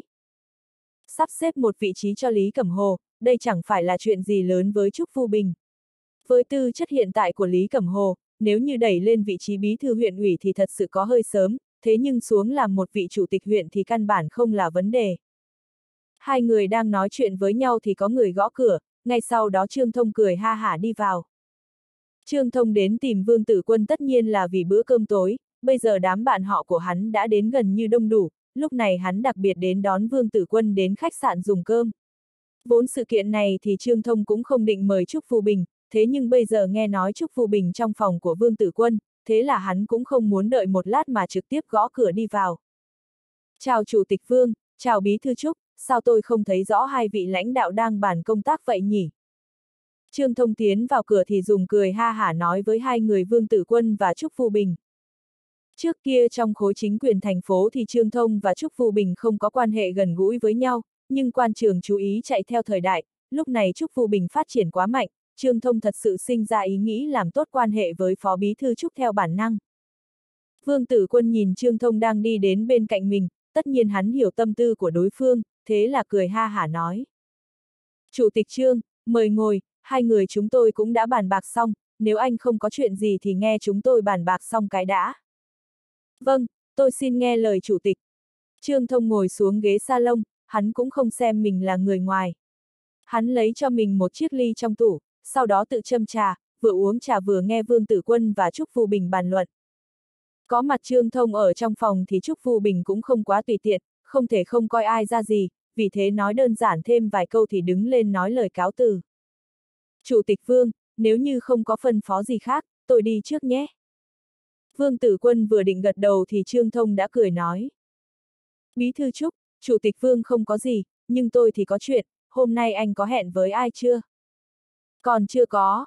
Trúc Phu Bình vừa nói ra những lời này thì thật sự có chút hối hận, hắn vừa nói ra khỏi miệng thì biết ngay ý nghĩ của Trương Thông là gì, chính mình không có việc gì thì sợ rằng sẽ phải tham gia góp vui với người ta mà thôi. Nhưng lời ra khỏi miệng là nước đổ khó hốt, dù thế nào thì hối hận cũng không còn kịp nữa. Vậy thì tốt quá, có câu gặp lại không bằng gặp mặt ngẫu nhiên. Bí thư Trúc, tôi có vài người bạn học cũ ở trường đảng đến thành phố Đông Bộ chơi, thế nên tôi mời Chủ tịch Vương đến chung vui, nếu anh đã không có chuyện gì, như vậy nể mặt tôi đến uống vài ly. Trương Thông rõ ràng là một người cực kỳ giỏi bò lên khi đã có cơ hội, hắn cũng không cho Trúc Phu Bình cơ hội kiếm cớ, nhanh chóng mở miệng nói. Trúc Phu Bình biết rõ lần này mình căn bản không thể từ chối. Dù mình và Trương Thông không có quan hệ thân thiết, nhưng hắn cũng không muốn tăng thêm cho mình một kẻ địch. Hơn nữa bây giờ Trương Thông được Vương Tử Quân coi trọng, cho nên cũng khó chối từ, thế là hắn sảng khoái đồng ý. Lần này Trương Thông chiêu đãi bạn học không phải ở khách sạn Đông Bộ, hắn sắp xếp ở một quán cơm sân vườn nằm cách trung tâm thành phố 5 km. Quán cơm này không những có hoàn cảnh khá đẹp, đến lúc trời tối lại cực kỳ mát mẻ, hơn nữa vài gian phòng thu dọn như mới, cực kỳ sạch sẽ. Khi xe của đám người đi vào quán thì bên trong đã dừng lại 4 năm chiếc xe, nhìn biển số thì thấy đều là thành phố Sơn Viên, cũng có hai chiếc đến từ thành phố lân cận, nhưng ít nhất cũng đều là những con số hàng đầu. Lúc này Vương Tử Quân cũng khó thể căn cứ vào biển số để biết đó là thành phố nào. Chào Chủ tịch Vương, Bí thư Trúc, Chủ tịch Trương. Sau khi xe của bọn họ dừng lại, thư ký của Trương Thông đã sớm đứng chờ nơi đây nhanh chóng tiến lên đón chào. Trương Thông khẽ gật đầu với tên thư ký, sau đó khẽ nói. Đến đông đủ rồi chứ? Ngoài trưởng phòng lý 10 phút sau mới có thể đến, những vị khách quý khác đều đã đến đông đủ. Thư ký thư ký là một người nhanh nhẹn giỏi giang, hắn nghe được câu hỏi của Trương Thông thì nhanh chóng trả lời. Trương Thông nghe nói trưởng phòng lý còn chưa đến thì có hơi nhíu mày, nhưng hắn vẫn cười nói với Vương Tử Quân. Chủ tịch Vương, Bí Thư Trúc, chúng ta vào bên trong ngồi thôi. Vương Tử Quân và Trúc Phu Bình cũng nghe được đoạn đối thoại giữa Trương Thông và Thư Ký, nhưng hai người cũng không nói gì. Khi bọn họ đi vào đại sảnh thấy bên trong có vài người đang ngồi đánh bài, trong đó có một người đàn ông trung niên cao lớn đang cười ha hả nói. Em Triệu, lần này anh đây sẽ không thương hoa tiếc ngọc, xin lỗi xem nhé, anh phải chặt hẻo đây. Vương tử quân nghe thấy đối phương nói như vậy, hắn cảm thấy đối phương giống như đang cố ý bĩu môi chiếm tiện nghi của người khác. Hai chữ em Triệu được đối phương nói ra lại giống như đang muốn tìm gái vậy. Nhưng người đàn ông trung niên kia cũng không đắc ý được bao lâu, em Triệu trong lời người này đã đánh bài xuống, Vương Tử Quân đưa mắt nhìn sang, là một tứ quý, còn lớn hơn tứ quý của tên kia. Trưởng phòng tiếu, sau này anh nên tính bài kỹ một chút, nếu không sau này sẽ phải hối hận. Người phụ nữ kia cắt tóc ngắn mặc một bộ trang phục công sở, nàng ngồi đó nhìn có vẻ cực kỳ gọn gàng. Nàng nhìn qua thì thấy giống như mới hơn 30, chỉ cần nghe những lời vừa rồi thì biết nàng cũng không phải hạng người dễ bị trêu chọc. Khi đám người bên kia đang tiếp tục hò hét thì Trương Thông đã cười lớn đi đến. Chào các vị, chúng ta dừng lại thôi. Chủ tịch vương của thành phố Đông Bộ chúng tôi nghe nói các vị đến, anh ấy rất vui thế nên đặc biệt đến an ủi mọi người. Đám người kia không hẹn mà cùng nhau đặt bài xuống, càng có người đứng lên chào hỏi Vương Tử Quân. Lúc này Vương Tử Quân đưa mắt nhìn đám người phía bên kia, sau đó khẽ cười nói. Chào các vị, tôi dùng trái tim chân thành chào đón các vị đến thành phố Đông Bộ. Vừa rồi Chủ tịch Trương nói rất hay, nhưng có một điều Chủ tịch Trương nói chưa đúng, đó là không phải tôi đến an ủi mọi người, mà tôi đến góp vui, quyết định ăn một bữa tiệc miễn phí của Chủ tịch Trương. Vương Tử Quân nói không khỏi làm cho mọi người nở nụ cười, bầu không khí trong đại sảnh cũng hài hòa hơn. Sau khi Triệu Trung Trạch giới thiệu một lượt, Vương Tử Quân xem như đã có được chút thông tin về các vị bạn học của Chủ tịch Trương. Trương Thông thật sự chưa tính là tốt nhất trong số các bạn học nhưng cũng không tính là xấu nhất. Trong đám bạn học của Chủ tịch Trương thì người phát triển tốt nhất đã là Phó phòng Tài chính tỉnh cấp giám đốc sở, người phát triển thấp nhất cũng là cấp chính cục.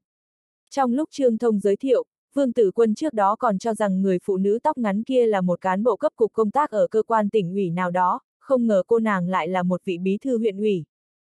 Một người phụ nữ làm phó chủ tịch thành phố hay làm một cán bộ có thực quyền của đơn vị cấp tỉnh, đây là chuyện cực kỳ bình thường. Nhưng nếu một người phụ nữ làm bí thư huyện ủy thì thật sự hiếm gặp, càng là như vậy chứng tỏ người phụ nữ triệu hát giai này là không tầm thường. Vị trưởng phòng tiếu vừa rồi đánh bài lên tiếng với triệu hát giai chính là một vị trưởng ban một ban cực kỳ quan trọng của phòng lao động thương binh xã hội tỉnh, tuy vị trí không cao nhưng đầy quyền lực. Sau khi giới thiệu một phen thì mọi người cùng ngồi xuống bàn, Vương Tử Quân là chủ tịch thành phố, tất nhiên sẽ được đề cử vào vị trí đầu não. Dù khi sắp xếp vị trí thì Vương Tử Quân luôn tỏ ra khiêm tốn, thế nhưng ai cũng hiểu quy củ quan trường, thế cho nên cứng nhắc đẩy Vương Tử Quân lên đúng vị trí. Các vị, tôi đến chậm, tạm thời có một vị chiến hữu gọi điện thoại, nói chuyện một lúc thì phát hiện mình có hơi lố giờ, thế cho nên mong các vị thông cảm cho. Khi mọi người vừa ngồi xuống thì một người đàn ông cất bước đi đến, người này vừa nói chuyện vừa chắp tay với mọi người. Anh Lý, anh không tính là đến muộn, chúng tôi chỉ vừa ngồi xuống mà thôi. Tôi giới thiệu với anh, đây là chủ tịch vương của thành phố Đông Bộ chúng tôi. Trương Thông đứng lên nhìn thoáng qua người đàn ông bên kia, sau đó chỉ về phía vương tử quân cười ha hả nói. Vương tử quân đứng lên khẽ gật đầu thăm hỏi đối phương, sau đó Trương Thông vừa cười vừa nói với vương tử quân. Chủ tịch Vương, đây là trưởng phòng lý của phòng tài chính tỉnh Sơn Nam chúng ta, khi còn đi học ở trường đảng thì chúng tôi cũng không ít lần căn chùa của trưởng phòng lý. Trương Thông nói một câu hai nghĩa, điều này làm cho người ta liên tục cười lớn. Trưởng phòng lý vừa vươn tay nói may mắn được gặp mặt với Vương Tử Quân, vừa quay sang mắng Trương Thông. Anh đúng là há miệng không quản lý gì giáo. Chủ tịch Vương, hôm nay có mặt anh là lãnh đạo của anh ấy, tôi cho anh một lời đề nghị, chính là quản thật chặt cái miệng của Trương Thông, không nên cho anh ta tùy ý nói hưu nói vượn. Vương Tử Quân bắt tay trưởng phòng lý rồi nói. Tôi nhất định sẽ chăm chú chứng thực chỉ thị của trưởng phòng lý, sau này kính mong trưởng phòng lý giúp đỡ công tác của thành phố Đông Bộ chúng tôi nhiều hơn, các đồng chí thành phố Đông Bộ thật sự rất bức thiết nhận được sự quan tâm của lãnh đạo phòng tài chính tỉnh. Điều này xin Chủ tịch Vương cứ yên tâm, chỉ cần tôi có thể làm được sẽ tuyệt đối không chối từ. Trưởng phòng lý vừa vỗ vỗ đầu hói vừa cười ha hả nói với Vương Tử Quân. Vương Tử Quân cười cười, sau đó hắn đưa tay chỉ vị trí chủ vị nói. Trưởng phòng lý, chúng ta cũng đừng đứng nói chuyện, mời anh ngồi. Trong cảm giác của mọi người, Vương Tử Quân chỉ vào vị trí chủ vị chẳng qua chỉ là tỏ tôn trọng trưởng phòng lý, bình thường sẽ không ai tiến lên, chủ tịch Vương sẽ tiếp tục ngồi xuống vị trí của mình. Nhưng lúc này trưởng phòng lý lại cho ra một động tác làm cho gương mặt nhiều người biến đổi, đó là hắn cười ha hả hai câu, sau đó đi đến nói. Nếu chủ tịch vương đã khách khí như vậy, tôi cũng không khách khí. Khi trưởng phòng lý kia ngồi xuống vị trí trung tâm, vẻ mặt trương thông chợt biến đổi. Người kia dù luận về cấp bậc hay bất kỳ phương diện nào khác cũng kém hơn vương tử quân, mình mời bạn học đến chủ yếu là tìm chút thể diện, không phải muốn tăng thêm chút độ nặng trước mặt vương tử quân sao. Nhưng bây giờ trưởng phòng lý đã ngồi xuống, tất nhiên Trương Thông cũng không thể nói gì hơn. Hắn nhìn gương mặt với nụ cười không chút thay đổi của Vương Tử Quân, trong lòng thầm thở dài một tiếng, trong lòng thầm nghĩ, sau khi quay về nhất định phải cáo lỗi với Chủ tịch Vương. Tuy rất nhiều người cảm thấy trưởng phòng lý có hành vi không đúng, nhưng bọn họ một không có quan hệ lệ thuộc với Vương Tử Quân, hơn nữa bọn họ cũng có việc cần cầu cạnh trưởng phòng lý, thế cho nên cũng không tiếp tục quá quan tâm. Dưới sự chủ đạo của Trương Thông, bầu không khí bàn tiệc cũng khá hòa thuận vui vẻ, quán cơm làm thức ăn rất ngon, dù là bất kỳ món nào cũng cực kỳ thuận miệng. Sau khi bàn luận về những chuyện ngoài lề, nhóm người bắt đầu rời chủ đề sang phương diện quan trường, lúc này bí thư triệu hắc giai nâng ly rượu lên nói. Chủ tịch Vương, tôi mời ngài một ly, hy vọng sau này ngài quan tâm nhiều hơn. Triệu hắc giai là người phụ nữ duy nhất trong đám người, nàng mời rượu thì Vương tử quân căn bản sẽ không từ chối, hắn nâng ly rượu lên cùng với nàng rồi cười nói. Bí thư triệu, đáng lý là tôi phải mời chị, khách quy đến từ phương xa lại mời rượu chủ nhà, thật sự cũng không đúng. Triệu Hắc Giai cũng không thuận theo.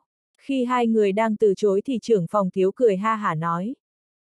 Tôi thấy hai anh cũng đừng nên mời đi mời lại như vậy, một người là lãnh đạo, một người là khách quý, dứt khoát uống một lượt cho thoải mái. Vào bất kỳ tình huống nào, chỉ cần thoải mái uống rượu thì sẽ bộc lộ nguyên hình, tất cả những ngụy trang thường ngày sẽ bị ném bỏ. Nhóm bạn học của Trương Thông cũng là cán bộ trong quan trường, bình thường là những người cực kỳ uy nghiêm, thế nhưng lúc này ai cũng uống rất thoải mái. Khi trưởng phòng thiếu lên tiếng thì có nhiều người ồn ào nói. Đúng vậy, uống cho thoải mái. Chủ tịch Vương, Bí thư Triệu là hoa khôi của ban chúng tôi, còn chưa từng uống với chúng tôi như vậy, hôm nay anh cũng không thể chối từ. Trưởng phòng thiếu cười ha hả, sau đó nói với Vương Tử Quân. Đúng, Chủ tịch Vương đại biểu cho thành phố Đông Bộ, Hắc Giai đại biểu cho chúng tôi uống một ly dao bôi, bày tỏ lòng chân thành tay cầm tay tâm liền tâm với lãnh đạo thành phố Đông Bộ. Trong tiếng ồn ào của mọi người, Vương Tử Quân cảm thấy mình có hơi đỏ mà tầm cho đến bây giờ mọi người uống rượu đều cố kỵ thân phận địa vị của hắn, chưa từng có sự việc đùa giỡn thế này xảy ra. Uống rượu giao bôi thì hoàn toàn có thể, nhưng chỉ sợ chủ tịch Vương người ta không muốn.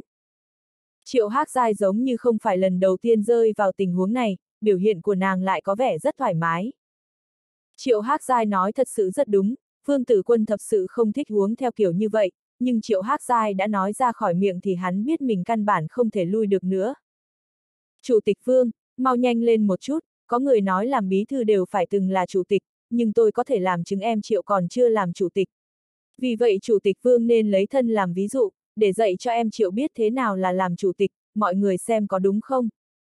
Trưởng phòng tiếu rõ ràng chỉ sợ thiên hạ không loạn, hắn nở nụ cười rồi dùng giọng mập mờ vô hạn nói. Vấn đề liên quan đến phụ nữ luôn là ngọn nguồn khoái hoạt cho đàn ông, trưởng phòng tiếu vừa lên tiếng thì đám đàn ông hiểu ngay, thế nên cả bàn tiệc đều tỏ ra cộng minh, bầu không khí cực kỳ náo nhiệt. Trúc Phu Bình làm chủ cũng uống không ít rượu nhưng tử lượng khá tốt nên vẫn căn bản không có vấn đề. Không biết có phải vì hắn là bí thư chủ khảo tổ chức hay không, hắn phát hiện ra một căn bệnh nghề nghiệp của mình, giống như một thám tử, thích quan sát người ta.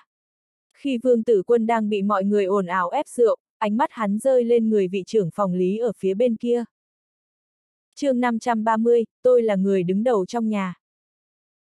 Trên bàn rượu bình thường có 3 giai đoạn, giai đoạn thứ nhất là nói những lời đường mật, thứ hai là hùng hồn, thứ ba thì nói loạn cả lên. Sau vài vòng rượu thì bầu không khí tiến vào giai đoạn thứ hai. Lúc này trưởng phòng lý tuy vẫn tươi cười nhưng nhìn từ góc độ của Trúc Phu Bình thì rõ ràng là đang mất hứng. Bí thư Trúc thấy trong mắt trưởng phòng lý thi thoảng hiện lên chút ghen ghét, thế là thầm hiểu, trưởng phòng lý này ngày thường dùng cơm thường được người ta coi là nhân vật chính, bây giờ tuy ngồi cùng ghế chủ vị với vương tử quân thế nhưng lại căn bản không còn tình huống sao vây quanh trăng, vậy nên trong lòng sinh ra cảm giác không thoải mái. Phó phòng tài chính tỉnh thật sự là thần tài mà nhiều nơi phải cung phục thế nhưng anh cũng nên xem tình thế, cũng không suy nghĩ xem anh là ai, chủ tịch vương là ai. Khi Trúc Phu Bình đang thẩm định giá thì bên kia đã uống xong ly rượu. Triệu Hắc Giai sau khi uống rượu giao bôi với Vương Tử Quân thì chẳng những không chút xấu hổ, thậm chí còn nâng ly lên nói với trưởng phòng lý. Trưởng phòng lý, ban thủ lĩnh, em gái mời anh một ly, hy vọng sau này anh có thể bật đèn xanh cho các hạng mục của huyện, chuyển tiền xuống nhanh nhanh một chút, xem như cứu vớt một huyện nghèo rất mồng tơi. Trưởng phòng lý cười khẽ, hắn nâng ly lên nói. Bí thư triệu, em hát dai, đừng gọi tôi là trưởng phòng, anh chỉ là phó phòng mà thôi, hơn nữa còn là một trong số những phó phòng của phòng tài chính. Không phải là anh không nể mặt em, nhưng tiền thì càng nhiều càng ít, hơn nữa bên trên quản lý rất nghiêm, dù anh có cố tình muốn giúp em thì cũng không đủ lực. Ban thủ lĩnh, những lời của anh có thể nói với những người khác, nhưng anh nào có lừa được chúng em. Người nào không biết anh là tam phúc của chủ tịch trương.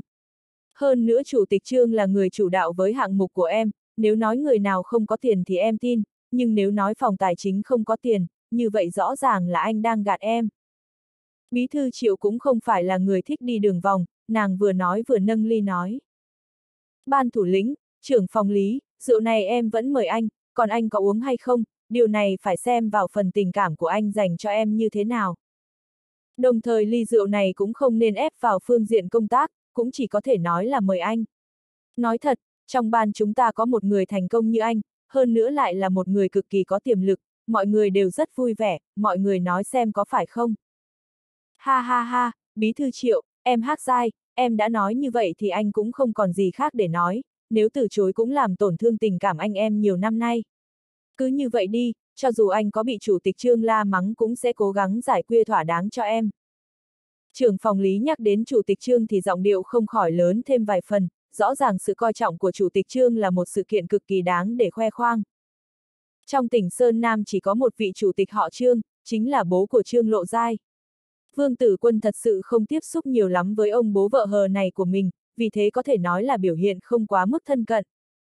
Ban thủ lĩnh, xem anh nói kìa, có ai không biết anh có quan hệ tốt với chủ tịch Trương. Hơn nữa hát giai là ai, chính là bạch cốt tinh của ban chúng ta, lúc này xem như ngài là anh hùng cứu mỹ nhân, vì bí thư hát giai mà hiến thân một lần là vừa.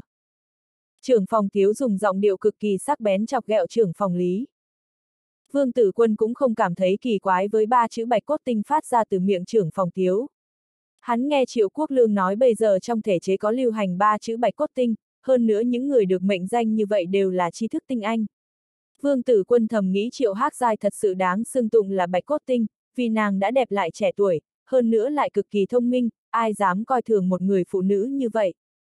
Chỉ là vị trưởng phòng tiếu kia lại tận dụng mọi cơ hội để trêu chọc mà không quan tâm đến bầu không khí và tình huống, thế cho nên Vương Tử Quân hiểu rõ vì sao đối phương vẫn chỉ là trưởng khoa mà thôi. Mọi người lên tiếng, trưởng phòng lý chợt nâng ly hướng về phía Vương Tử Quân. Chủ tịch Vương, hai ngày nữa tôi còn có việc cần đi lại trên địa bàn của ngài, kính xin Chủ tịch Vương quan tâm giúp đỡ nhiều hơn. Trưởng phòng lý quá khách khí rồi, khi nào đến thì anh cứ báo một tiếng, tôi sẽ sắp hàng nghênh đón. Vương Tử Quân cùng cùng ly với trưởng phòng lý rồi cười ha hả nói. Cảm ơn Chủ tịch Vương, có lẽ ngài cũng nhận được thông báo của Lưu Lão Nhị, đó là người nổi tiếng nhất thành phố Đông Bộ và là lão chiến hữu của tôi hai ngày nữa sẽ về nhà thăm mẹ, lúc đó chúng ta cùng nhau uống vài ly cho vui. Trưởng phòng lý vừa nói vừa nâng ly lên. Lưu Triều Phong về nhà thăm mẹ. Chuyện này Vương Tử Quân thật sự không biết, vì trước đó hắn đã ra tay cực kỳ quyết đoán với em trai của Lưu Siêu Phong là Lưu Siêu Cử, thế nên cũng không trông mong Lưu Siêu Cử sẽ mời mình tham gia buổi tụ hội của Lưu gia. Khi Vương Tử Quân đang trầm ngâm thì Trương Thông đã cười ha hả nói. Ban thủ lĩnh, chờ anh đến thành phố Đông Bộ, chúng tôi sẽ hoan nghênh nhiệt liệt. Trương Thông vừa nói vừa nâng ly lên cụng ly với trưởng phòng lý. Trưởng phòng lý cũng đã uống khá nhiều, hơn nữa hắn cũng chỉ thuận miệng nói như vậy mà thôi, cũng không đặt sự việc này vào trong lòng. Hơn nữa hắn thấy Lưu Lão Nhị mời cả đám bí thư và chủ tịch huyện, tất nhiên sẽ không thể không mời Vương Tử Quân, vì vậy sau khi cạn ly với Trương Thông cũng không tiếp tục nhắc lại đề tài này. Gần 10 giờ tối thì bữa tiệc kết thúc, ngoài vài người phải quay về thì phần lớn được Trương Thông sắp xếp ở lại khách sạn Đông Bộ. Sau khi sắp xếp xong cho những người kia thì Vương Tử Quân mới leo lên xe chạy như bay về nhà. Chủ tịch Vương, ngày hôm qua Lưu Lão Nhị có đưa thiệp mời cho tôi, nói là anh của anh ta về thăm nhà, mời tôi đến dùng cơm, nhưng tôi từ chối. Trương Thông ngồi trên xe với Vương Tử Quân, hắn đưa mắt nhìn Vương Tử Quân rồi cẩn thận nói. Vương Tử Quân cười cười nói. Anh sợ người ta mời khách là có chuyện sao? Cũng không có gì, chỉ là không muốn qua mà thôi. Trương Thông rõ ràng là nghĩ một đằng nói một nẻo, hắn thật sự nghĩ rằng quen biết thêm một người sẽ có thêm đường đi, hơn nữa con đường của Lưu Chiêu Phong rất rộng rãi. Nhưng Lưu Siêu Cử có mâu thuẫn với Vương Tử Quân, điều này không khỏi làm cho Trương Thông phải thận trọng suy xét.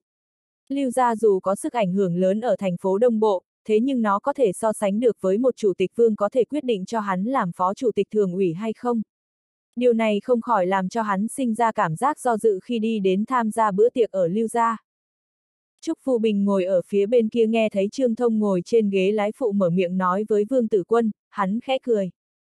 Chủ tịch Vương, tôi cũng không đi, Lưu Lão Nhị lần này mời chúng tôi, cũng chính là muốn tìm thể diện cho Lưu gia.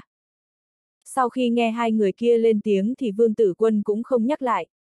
Sau vài phút trầm mặc thì mọi người bắt đầu nói về một vài việc vặt ở thành phố Đông Bộ, 20 phút sau xe dừng lại ở khu nhà thị ủy. Vì ba người đều có nhà thuộc khu thị ủy, chẳng qua có hơi khác về khu vực mà thôi, thế cho nên cũng không cần làm phiền lái xe đưa về. Vị trí nhà của Trương Thông là gần nhất, thế nhưng hắn lại kiên trì cùng với Vương Tử Quân đưa Trúc Phu Bình đến nhà, sau đó đưa Vương Tử Quân đến cổng biệt thự. Khi Vương Tử Quân xuống xe thì hắn khẽ nói. Chủ tịch Vương, đám bạn học của tôi có tố chất không đều, tốt xấu lẫn lộn, kính mong Chủ tịch Đại Nhân Đại Lượng bỏ quá cho, không chấp nhất với bọn họ. Vương Tử Quân khẽ gật đầu cười cười, hắn hiểu Trương Thông muốn nói gì. Hắn tiến lên khẽ vỗ vai Trương Thông rồi nói. Ở xa đến đều là khách, tôi cũng hiểu rõ điều này. Chủ tịch Trương, cố gắng tiếp đãi bạn học của mình cho tốt, nếu không người ta sẽ nói thành phố Đông Bộ chúng ta không hiểu lễ nghĩa. Cảm ơn Chủ tịch Vương đã hiểu cho. Trương Thông có thể nói là tràn đầy oán trách với trưởng phòng lý. Hắn vốn kéo trưởng phòng lý đến để cho mình có thể diện, nhưng không ngờ đối phương chẳng những không cho mình thể diện, còn làm cho mình mất mặt. Nếu hắn sớm biết như vậy sẽ không cho mời đối phương. Vương Tử Quân nói chuyện vài ba câu với Trương Thông rồi đi về phía nhà mình. Hắn tử lượng không tốt, dù hôm nay uống không quá nhiều nhưng thật sự cũng rất chóng mặt. Sau khi vào nhà thì nhanh chóng đi rửa mặt, sau đó nằm xuống giường ngủ ngay. Vương Tử Quân cũng không quá quan tâm đến sự kiện Lưu Chiêu Phong về quê thăm người thân, nhưng những người hữu tâm vẫn truyền tin khắp thành phố Đông Bộ. Rất nhiều người thích náo nhiệt đều tham gia bàn luận về những tin đồn thất thiệt, thế là tin tức càng truyền đi mạnh mẽ, kiểu gì cũng có. Trong số người tham gia bàn luận, có người đứng về phía Vương Tử Quân, cũng có người không đứng về phía Vương Tử Quân, mà lại có rất nhiều phiên bản khác nhau. Ngay từ đầu Vương Tử Quân cũng không biết tin tức này, khi Thái Nguyên Thương nói cho hắn biết, hắn cũng chỉ xem là chuyện cười nói cho vui mà thôi. Lưu Lão Nhị tự trách mình lấy đi hạng mục, muốn thông qua sự kiện lần này để tìm về chút thể diện, điều này là bình thường, Vương Tử Quân cũng không quan tâm.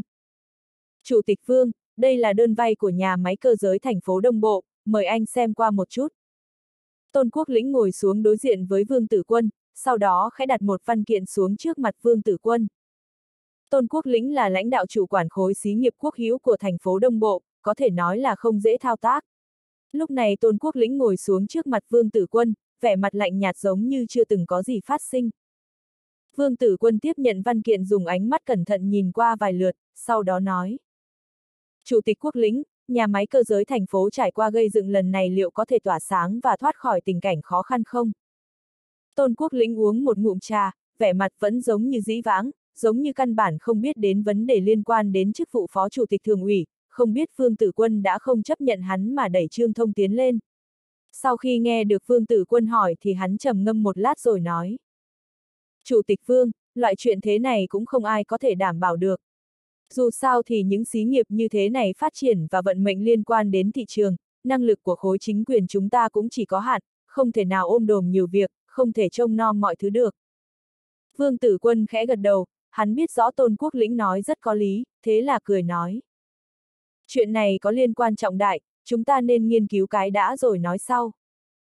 Tôn Quốc Lĩnh cũng không trông mong Vương Tử Quân sẽ lập tức có quyết định về sự kiện này, hắn thấy Vương Tử Quân nói như vậy thì cười nói.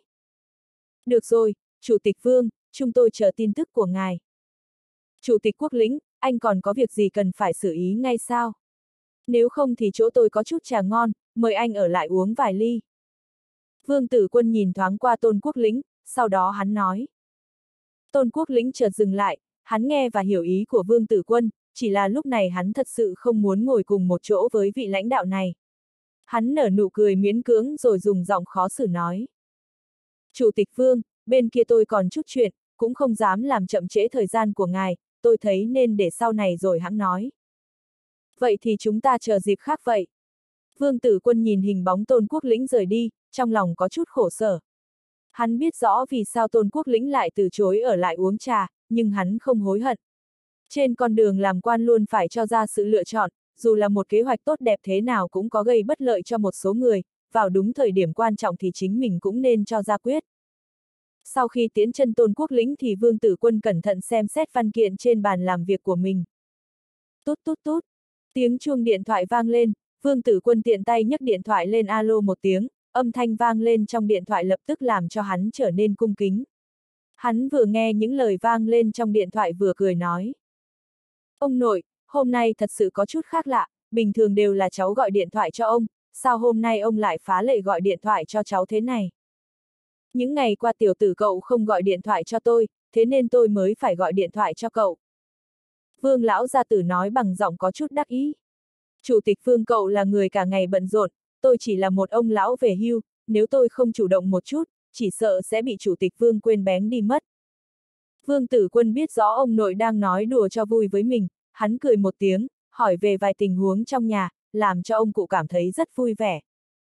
Tử Quân, tôi gọi điện thoại cho cậu lần này, chủ yếu muốn nói chuyện với cậu. Vương lão gia tử có chút do dự, sau đó khẽ nói. Ông nội, ngài có việc gì cần phân phó sao? Dù là kiếp trước hay kiếp này thì Vương Tử Quân chưa từng nghe ông nội phân phó mình làm gì, lúc này nghe thấy ông muốn mình làm việc, thế là cảm thấy trong lòng có chút lửa nóng. Là thế này, ông nói chuyện với vài vị chiến hữu, tất cả đều cảm thấy vài chục năm rồi chưa gặp anh Đỗ, vì vậy mà mọi người muốn đến thăm anh ấy. Đây là chuyện tốt. Sức khỏe của vương lão gia tử là không tệ, bây giờ vương tử quân tình nguyện để cho ông cụ lợi dụng lúc còn khỏe để đi lại nhiều nơi một chút, như vậy thì lúc mất cũng không có gì tiếc nuối. Ông nội, ngài xem thế này có được không? Mọi người đến thành phố Đông Bộ, cháu sẽ đưa ông Đỗ đến thành phố chào đón nhé. Tôi còn muốn đến thôn Đỗ ra khẩu xem thế nào, dù sao cũng vài chục năm rồi chưa đến đó. Vương lão gia tử nói rồi dùng giọng có chút do dự nói. Bố của cậu thì không có vấn đề gì với quyết định của tôi, nhưng nhị thúc của cậu lại kiên quyết từ chối, thế nên nhờ cậu nói với chú của cậu, cũng đừng cản ông lão tôi nữa. Vương Tử Quân lập tức hiểu ông nội gọi điện thoại cũng không phải vì mình là tiền chạm, rõ ràng muốn mình nói giúp vài lời. Hắn thầm gật đầu, lại nói. Ông nội cứ yên tâm, cháu sẽ hoàn thành nhiệm vụ. Sau khi nghe Vương Tử Quân lên tiếng đồng ý thì Vương Lão Gia Tử mới cúp điện thoại. Khi địa vị của Vương Tử Quân liên tục tăng tiến, địa vị trong nhà càng thêm quan trọng, nhiều khi ý kiến của hắn cũng được Vương Lão Gia Tử coi trọng. Cho ông nội hoạt động một chút cũng tốt, coi như làm hoạt động dưỡng sinh, thế là Vương Tử Quân gọi điện thoại cho nhị thúc Vương Giải Phóng. Vương Giải Phóng vừa nghe thấy người gọi đến là Vương Tử Quân thì có chút vui sướng, nhưng khi nghe nói Vương Tử Quân gọi điện thoại đến vì chuyện ông cụ đến thành phố Đông Bộ, lão mới dùng giọng nghiêm túc nói.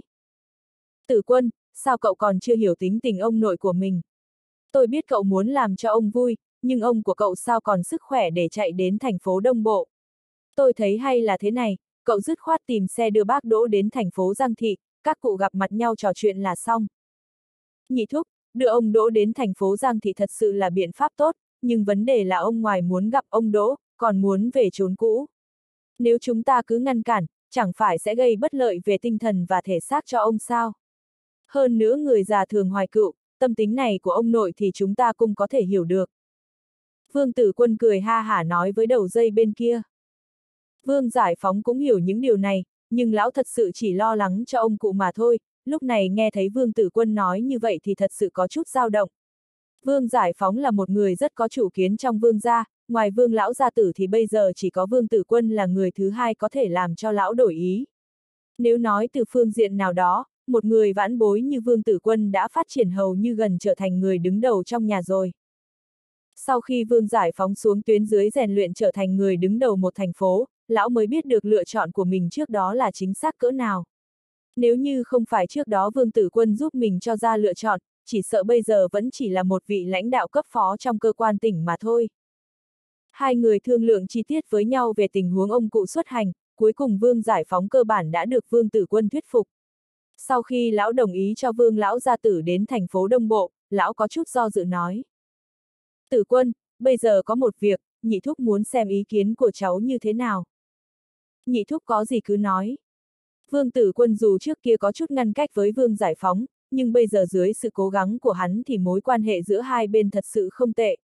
Lúc này nghe nói Vương Giải Phóng có chuyện, hắn tất nhiên sẽ không chối từ.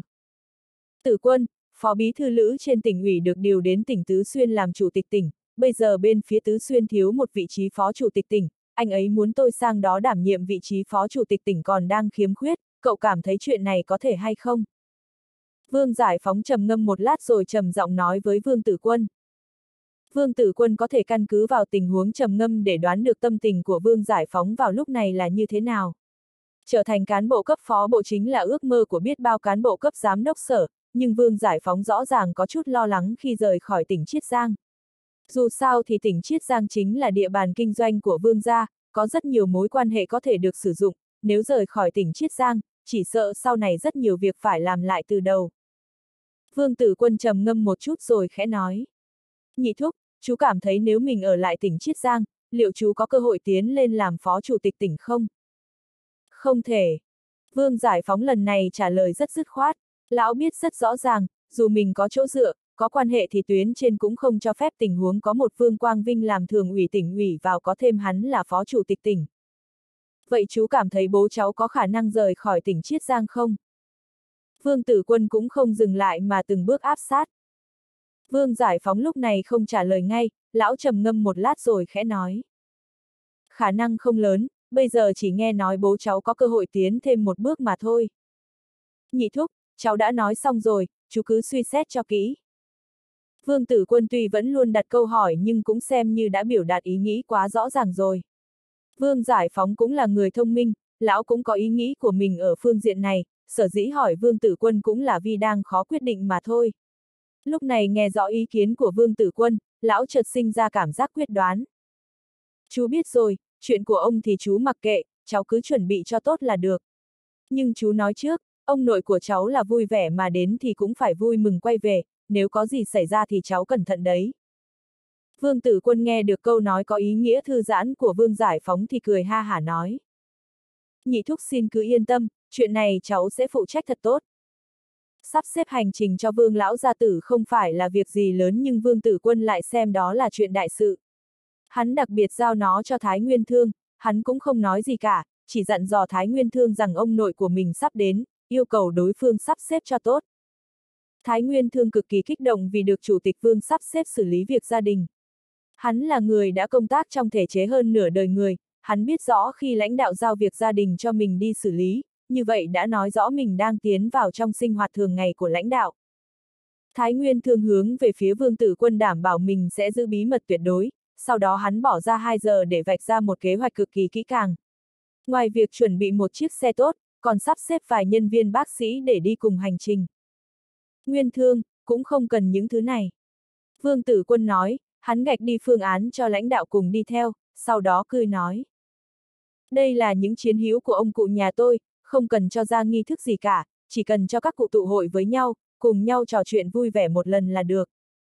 Thái Nguyên Thương vội vàng gật đầu xưng vâng, dù hắn thật sự rất đồng ý với ý kiến của Vương Tử Quân, thế nhưng dù sao hắn cũng là thư ký trưởng nhiều năm, hắn vẫn cho thêm chương trình kia vào. Tuy Vương Tử Quân là một vị chủ tịch thành phố cực kỳ dễ hầu hạ, thế nhưng hắn lại không muốn mình mất điểm trước mặt chủ tịch Vương chỉ vì những chuyện nhỏ nhặt. Khi Vương Tử Quân đã sắp xếp tốt hành trình cho ông nội của mình, lúc này ông nội còn chưa đến nhưng Mạc Tiểu Bắc lại có được vài ngày nghỉ và chạy đến thành phố Đông Bộ. Vương Tử Quân nghe thấy giọng điệu khó thể khống chế của Mạc Tiểu Bắc, hắn chợt nhớ không biết bao nhiêu ngày rồi mình chưa thân mật với vợ mình. Thời gian hai người vừa kết hôn thì Vương Tử Quân căn bản cảm thấy Mạc Tiểu Bắc không có tình cảm quá mức nồng đậm với mình, giống như tính cách của nàng là như vậy, chỉ là nhạt và nhạt, giống như ngoài sự nghiệp thì cũng không có thứ gì khác làm tâm tư nàng sống động hơn. Hơn nữa hai người chung đụng thì ít mà xa cách lại nhiều, dù là vương tử quân có tính nhẫn nại hơn người cũng khẽ cau mày. Khốn nổi mỗi lần gần nhau thì nàng thường không mấy nhúc nhích, làm cho hắn sinh ra cảm giác như mình đang giày vò một đóa hoa, trong lòng đầy cảm giác chịu tội, thế nên sau vài lần cũng xem như mất hứng. Hắn hoài nghi tính nết lãnh đạm của nàng, vì dù hắn cố gắng thế nào thì nàng cũng không có phản ứng gì đặc biệt.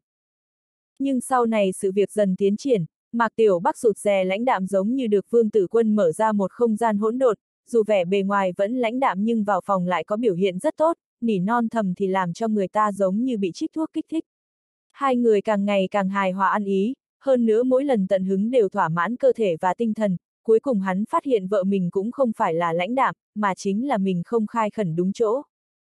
Theo lời kể của Mạc Tiểu Bắc, khi nàng nhìn thấy Vương Tử Quân thì giống như trên người hắn có thứ gì đó làm mình yêu thích, có chút gì đó nhiệt tình mà chính nàng cũng không rõ ràng.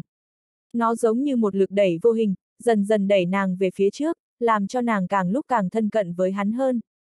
Khi nàng nói những lời như vậy thì ánh mắt nhìn chằm chằm vào Vương Tử Quân, điều này làm cho Vương Tử Quân cực kỳ vui sướng. Vì vậy mỗi lần Mạc Tiểu Bắc đến thăm thì hắn luôn tỏ ra rất hưng phấn, tất cả buồn phiền cũng tan biến.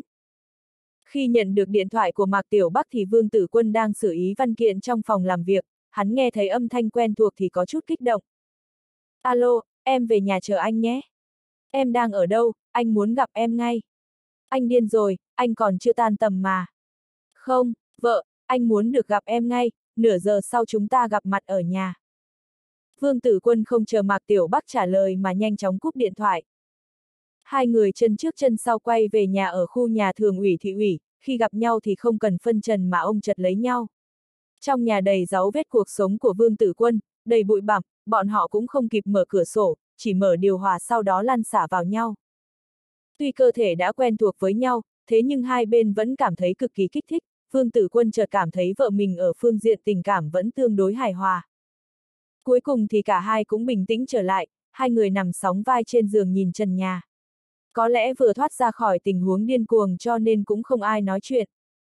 Bầu trời tháng 7 rất bao la nhưng cũng nóng giống như lò hơi, tuy biệt thự cũng có khoảng sân rộng nhưng Mạc Tiểu Bắc sau khi làm vài món đơn giản và ăn xong thì vẫn không cùng Vương Tử Quân ở nhà, cả hai cùng ra ngoài dạo phố. Những con gió khẽ thổi bay mái tóc của Mạc Tiểu Bắc những sợi tóc lại giống như một bàn tay nhỏ khẽ quét lên mặt rồi luồn vào trong tim Vương Tử Quân, hắn thấy gương mặt Mạc Tiểu Bắc thật sự trắng nõn và sinh động dưới ánh mặt trời buổi chiều, lại bùng ra những luồng sáng rung động lòng người. Vương Tử Quân nhìn bầu trời đã dần tối, hắn kéo Mạc Tiểu Bắc lúc này đã mặc một bộ váy đi về phía công viên cách đó không xa. Trong công viên khắp nơi đều là người đi hóng mát, năm xưa khi xây dựng công viên này cũng là vì muốn suy xét đến vấn đề hóng mát của nhân dân thành phố ở chung quanh, vị trí của nó là từ Nam kéo xuống Bắc, thế cho nên gió có thể thổi luồn qua công viên, rất mát mẻ. Vương Tử Quân khẽ nắm bàn tay nhỏ của Mạc Tiểu Bắc rồi cất bước trong đám người. Ánh đèn nê ông lấp lánh, đám người tới lui khắp nơi căn bản cũng không chú ý rằng người thanh niên đi bên cạnh chính là Chủ tịch Vương mà bọn họ thường được nhìn thấy trên TV. Vương Tử Quân không nói gì, Mạc Tiểu Bắc cũng không nói gì nhưng gương mặt lại rất hồng hào, lại có vẻ rất hưởng thụ, nàng để hắn giữ chặt lấy tay của mình, cũng không nói lời nào. Chúng ta đến bên kia ngồi một chút. Vương Tử Quân nhìn thấy trung tâm công viên có rất nhiều người, hắn đưa tay chỉ về một góc, nơi đó có một hàng cây rất lớn, quan trọng là nơi đó có ghế dựa, nghỉ ngơi ở đó là không tệ. Mạc Tiểu Bắc khôn khéo gật đầu, hai người đi về phía chía ghế bên kia. Nhưng điều làm hai người thất vọng chính là nơi này thật sự có không ít ghế thế nhưng cũng không có ít người đến đây nói chuyện yêu thương, mỗi chiếc ghế hầu như đều có người. Nơi đây thậm chí có những cặp tình nhân còn không có ghế ngồi, Vương Tử Quân có chút thất vọng, thế là có ý nghĩ muốn đi nơi khác, dù sao thì hai người bọn họ cũng không thể đứng lại nơi đây được.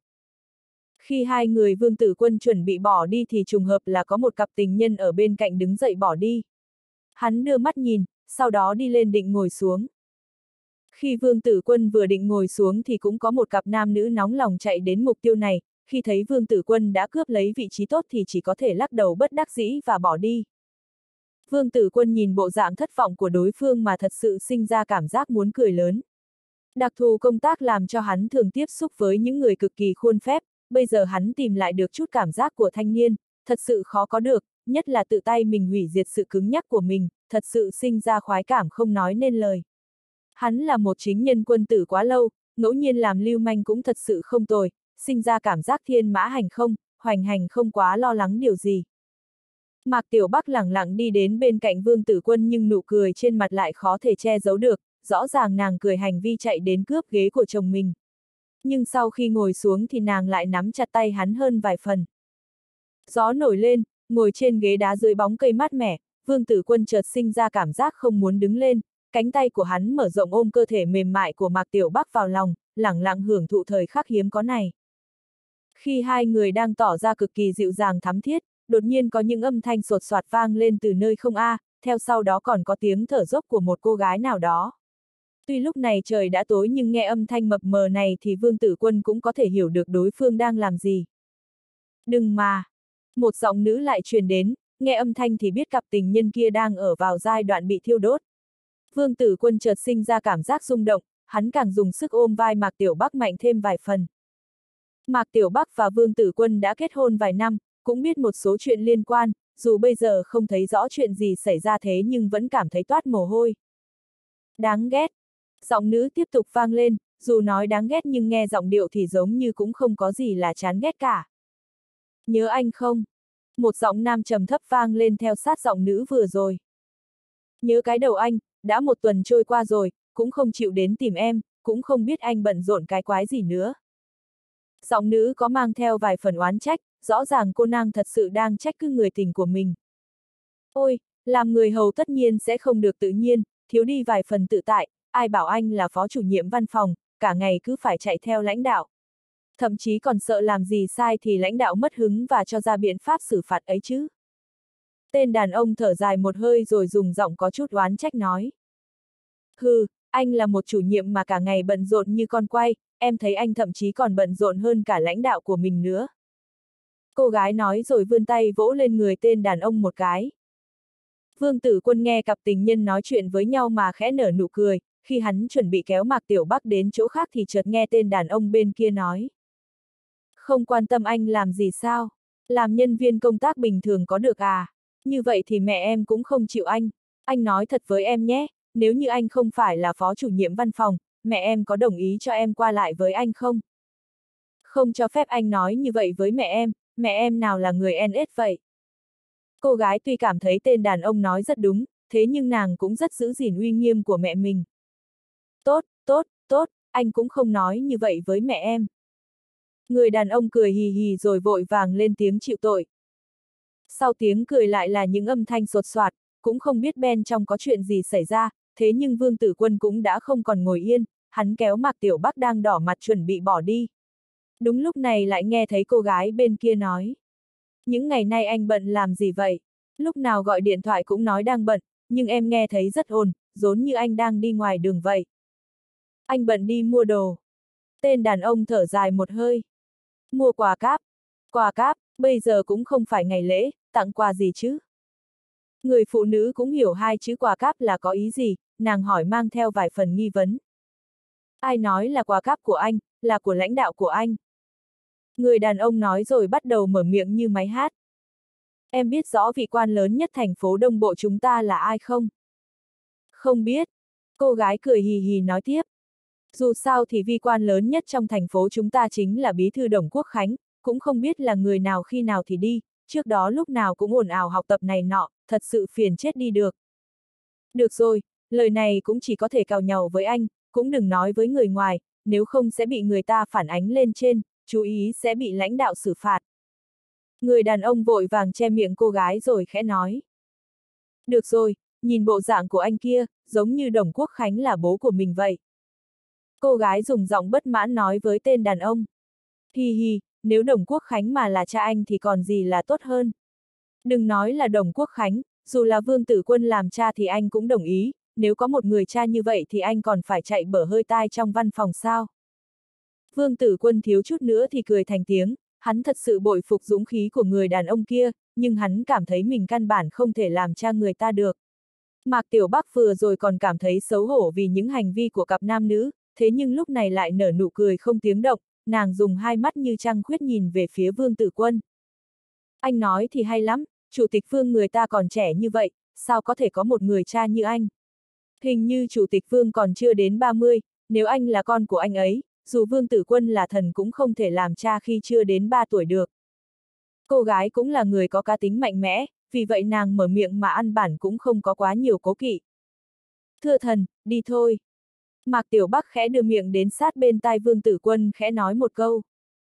Vương Tử Quân nhìn gương mặt quyến rũ của Mạc Tiểu Bắc, trong lòng hắn chợt bùng lên lửa nóng, hắn chăm chú ôm lấy cơ thể mềm mại của nàng, lại khẽ thì thầm. Vợ, hôm nay sẽ cho em biết thế nào là sự lợi hại của thần, không cho phép em nửa đường cầu xin tha thứ. Khi hai người vương tử quân đang tràn đầy tình cảm thì người đàn ông kia lại nói. Nói trắng ra thì lần này bận rộn như vậy cũng vì có chút liên quan đến chủ tịch vương, nếu không phải lưu lão nhị bị chủ tịch vương kích thích, cũng sẽ không rảnh rang như vậy. Lưu lão nhị là ai? Cô gái kiên nhẫn hỏi. Chính là lưu siêu cử, là ông chủ công ty bất động sản lập phong. Người đàn ông nói đến Lưu Siêu Cử thì giống như cũng không có chút tình cảm gì. Anh nghe trưởng phòng nói Lưu Siêu Cử lần này sở dĩ kéo anh mình về thăm người thân cũng là vì muốn tìm về chút thể diện. Em có biết không, trước đó vì chuyện ký hợp đồng lao động, Lưu Lão nhị tính quá vẹn toàn, kết quả bị Chủ tịch Vương căn bản không nói hai lời mà lấy lại công trình, nghe nói hắn vì sự kiện này mà tổn thất rất nhiều. Người đàn ông biết rõ khá nhiều, dù nói có chút khoa trương nhưng cơ bản cũng được 89 phần 10. Cái này em cũng biết, nhưng anh của hắn ta thì có liên quan gì đến chủ tịch vương chứ? Tại sao không? Đám người này cực kỳ coi trọng mặt mũi, thậm chí thể diện còn nặng hơn cả sinh mạng, anh cho tôi một đấm thì tôi phải cho anh một đá. Lưu lão nhị lần này mời không ít người nhưng lại không cho mời chủ tịch vương, chính là muốn gạt chủ tịch vương ra ngoài, để cho chủ tịch vương xấu hổ. Tên đàn ông kia nói, không biết bàn tay sờ vào chỗ nào mà lại bị cô gái kia nói vài lời hờn dỗi. Người kia nói thật sao? Mạc Tiểu Bắc lại tiếp tục dùng giọng thơm như hoa lan nói bên tai Vương Tử Quân. Vương Tử Quân cảm thấy tai có hơi ngứa, bị một cặp nam nữ kia làm trong lòng bùng lửa nóng, lúc này hắn thật sự không chịu nổi. Hắn giữa lấy tay Mạc Tiểu Bắc, bàn tay cũng không khỏi hoạt động. Anh nói chính sự một chút được không? Mạc Tiểu Bắc giả vờ nổi giận đánh vào bàn tay của Vương Tử Quân. Thật sự là như vậy, nhưng đó chỉ là chút chuyện nhỏ nhặt, không đáng quan tâm. Vương Tử Quân lúc này cũng căn bản không quan tâm đến Lưu Lão Nhị, bây giờ hắn chỉ muốn thân mật với vợ mình thôi. Lúc này âm thanh sột soạt của cặp nam nữ trong bóng tối càng thêm lớn, tiếng thở dốc truyền đến không khỏi làm cho một người từng trải phong phú như Vương Tử Quân cũng nóng lòng dạo dực.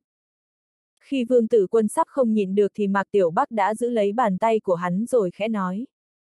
Về nhà rồi nói sau. chương 531, ngày mai sẽ rất tốt.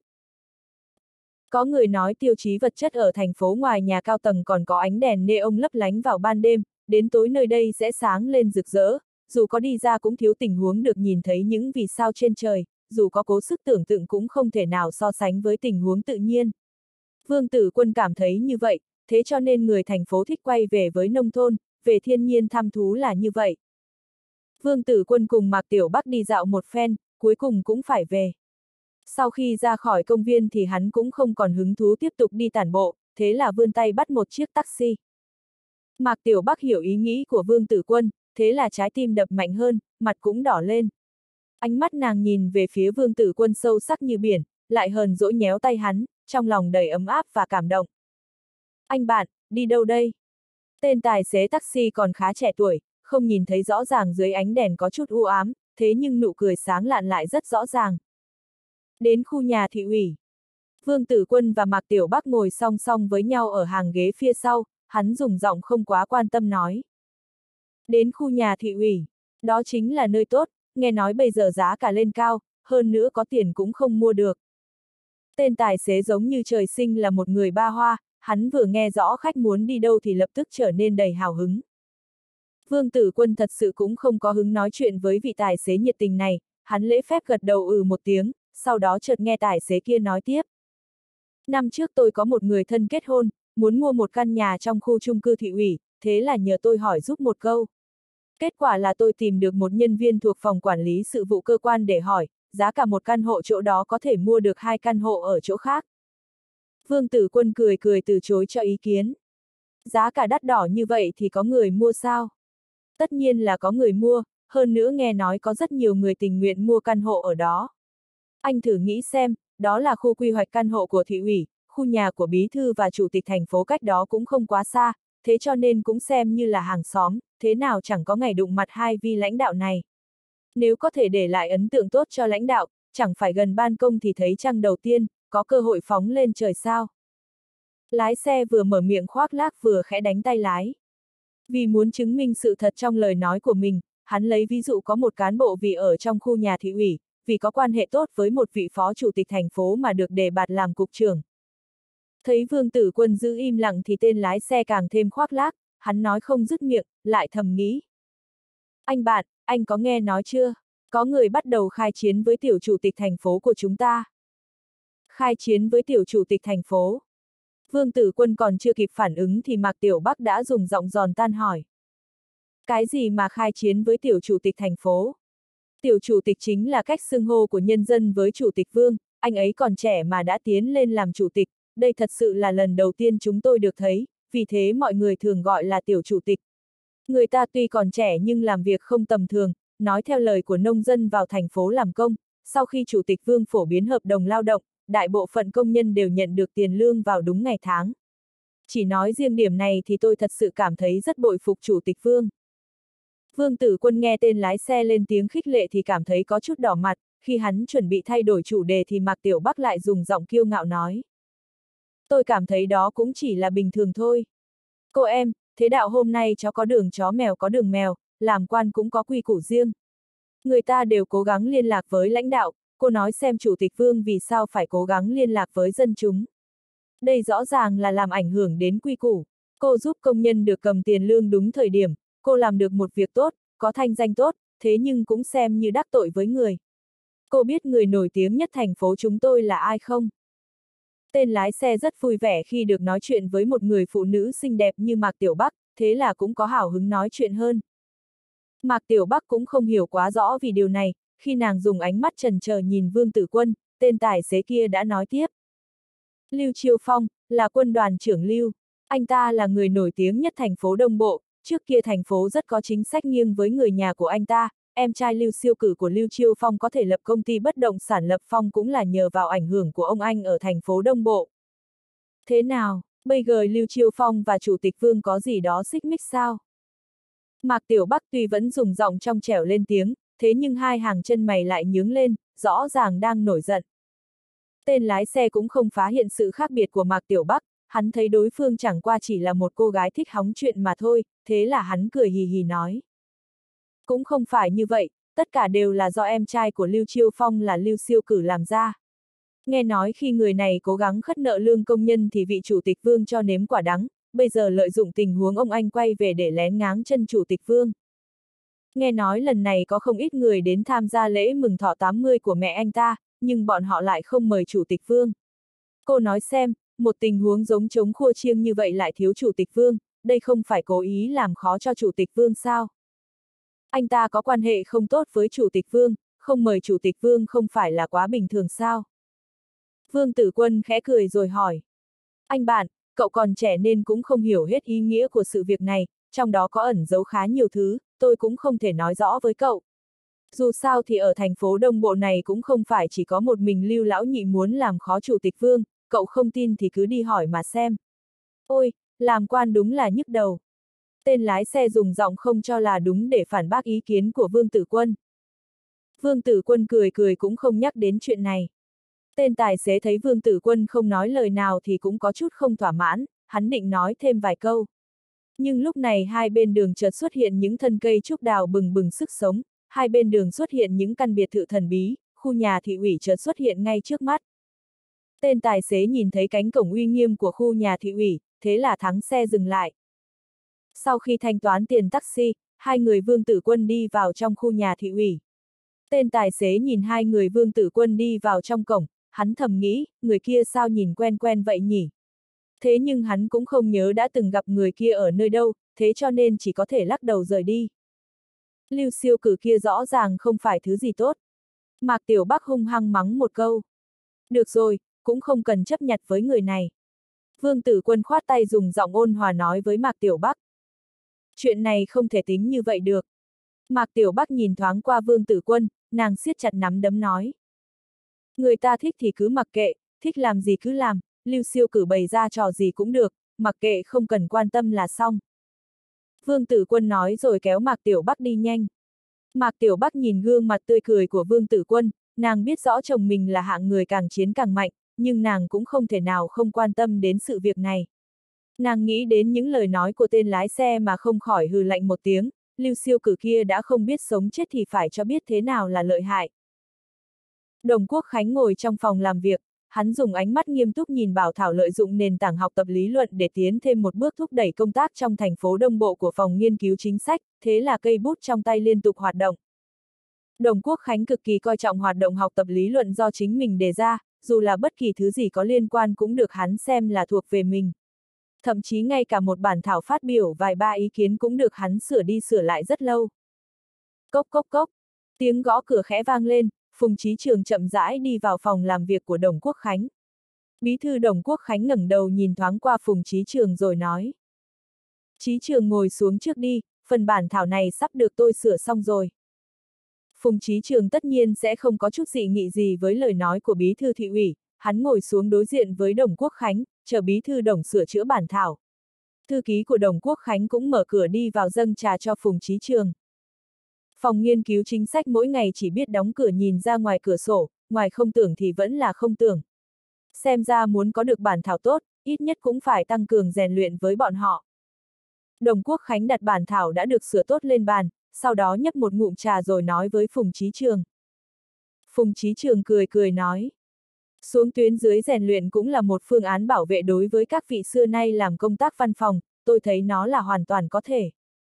Ừ, tôi sẽ nói với thư ký trưởng đảng một câu, để anh ấy đưa người đi rèn luyện vào thời gian phù hợp, vì có lý luận thực tế mới có sức chiến đấu. Đồng Quốc Khánh nói rồi dùng giọng không chút đếm xỉa hỏi. Chí trường, bên phía khối chính quyền thế nào rồi? Vẫn là như vậy.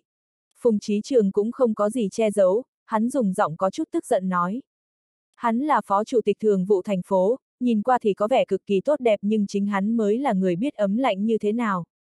Tuy hắn là một lão cán bộ công tác lâu năm ở thành phố Đông Bộ, có tư cách mạnh mẽ, nhưng hắn giống như cảm thấy mình và khối chính quyền không hợp nhau.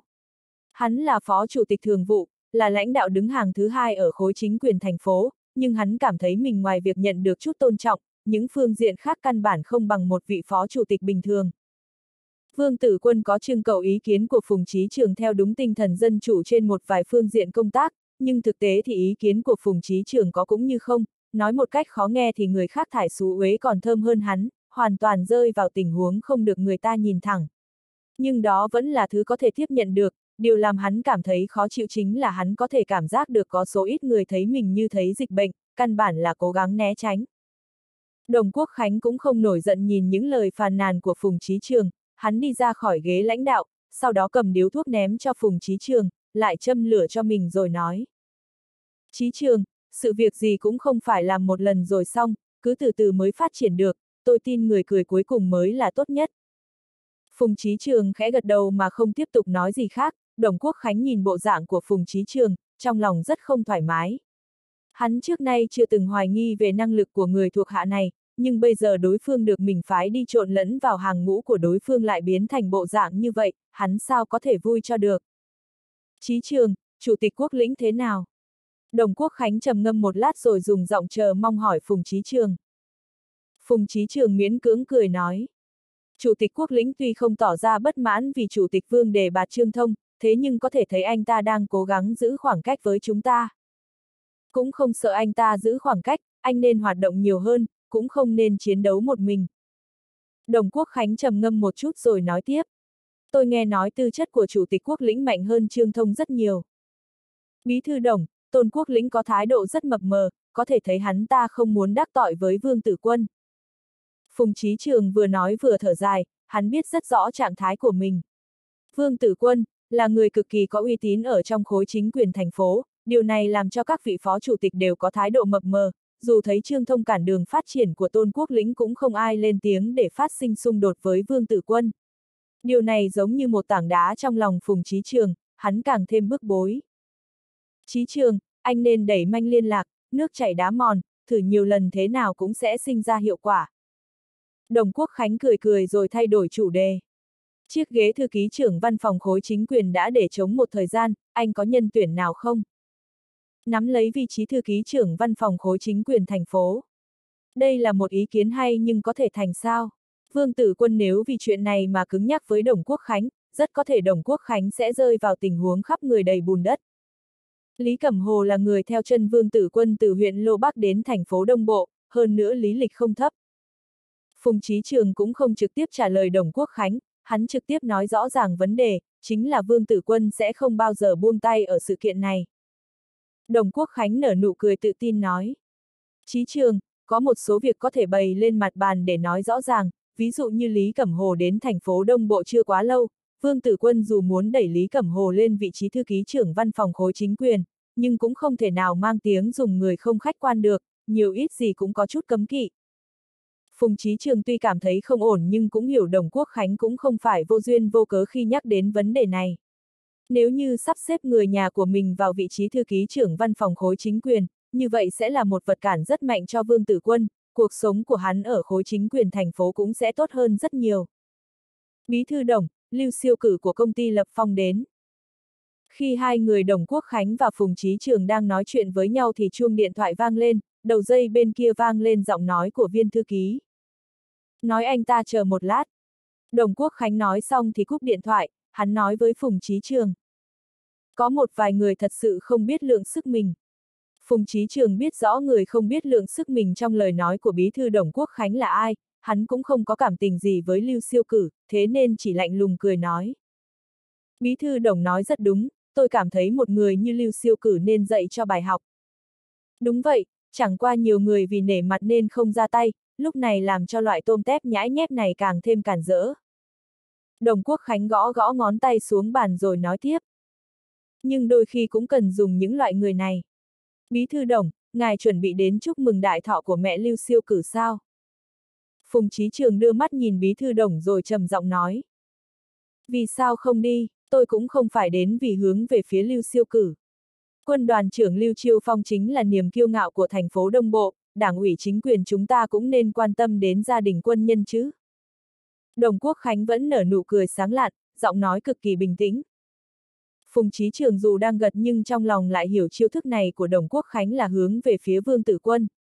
Nếu như nói Lưu Siêu Cử không mời Vương Tử Quân rõ ràng là hành vi châu chấu đá xe không biết tự lượng sức, như vậy hành vi Đồng Quốc Khánh đến trợ giúp thì lại làm cho người ta suy nghĩ sâu xa, sẽ đem đến tổn thương không nhỏ với uy vọng của Vương Tử Quân.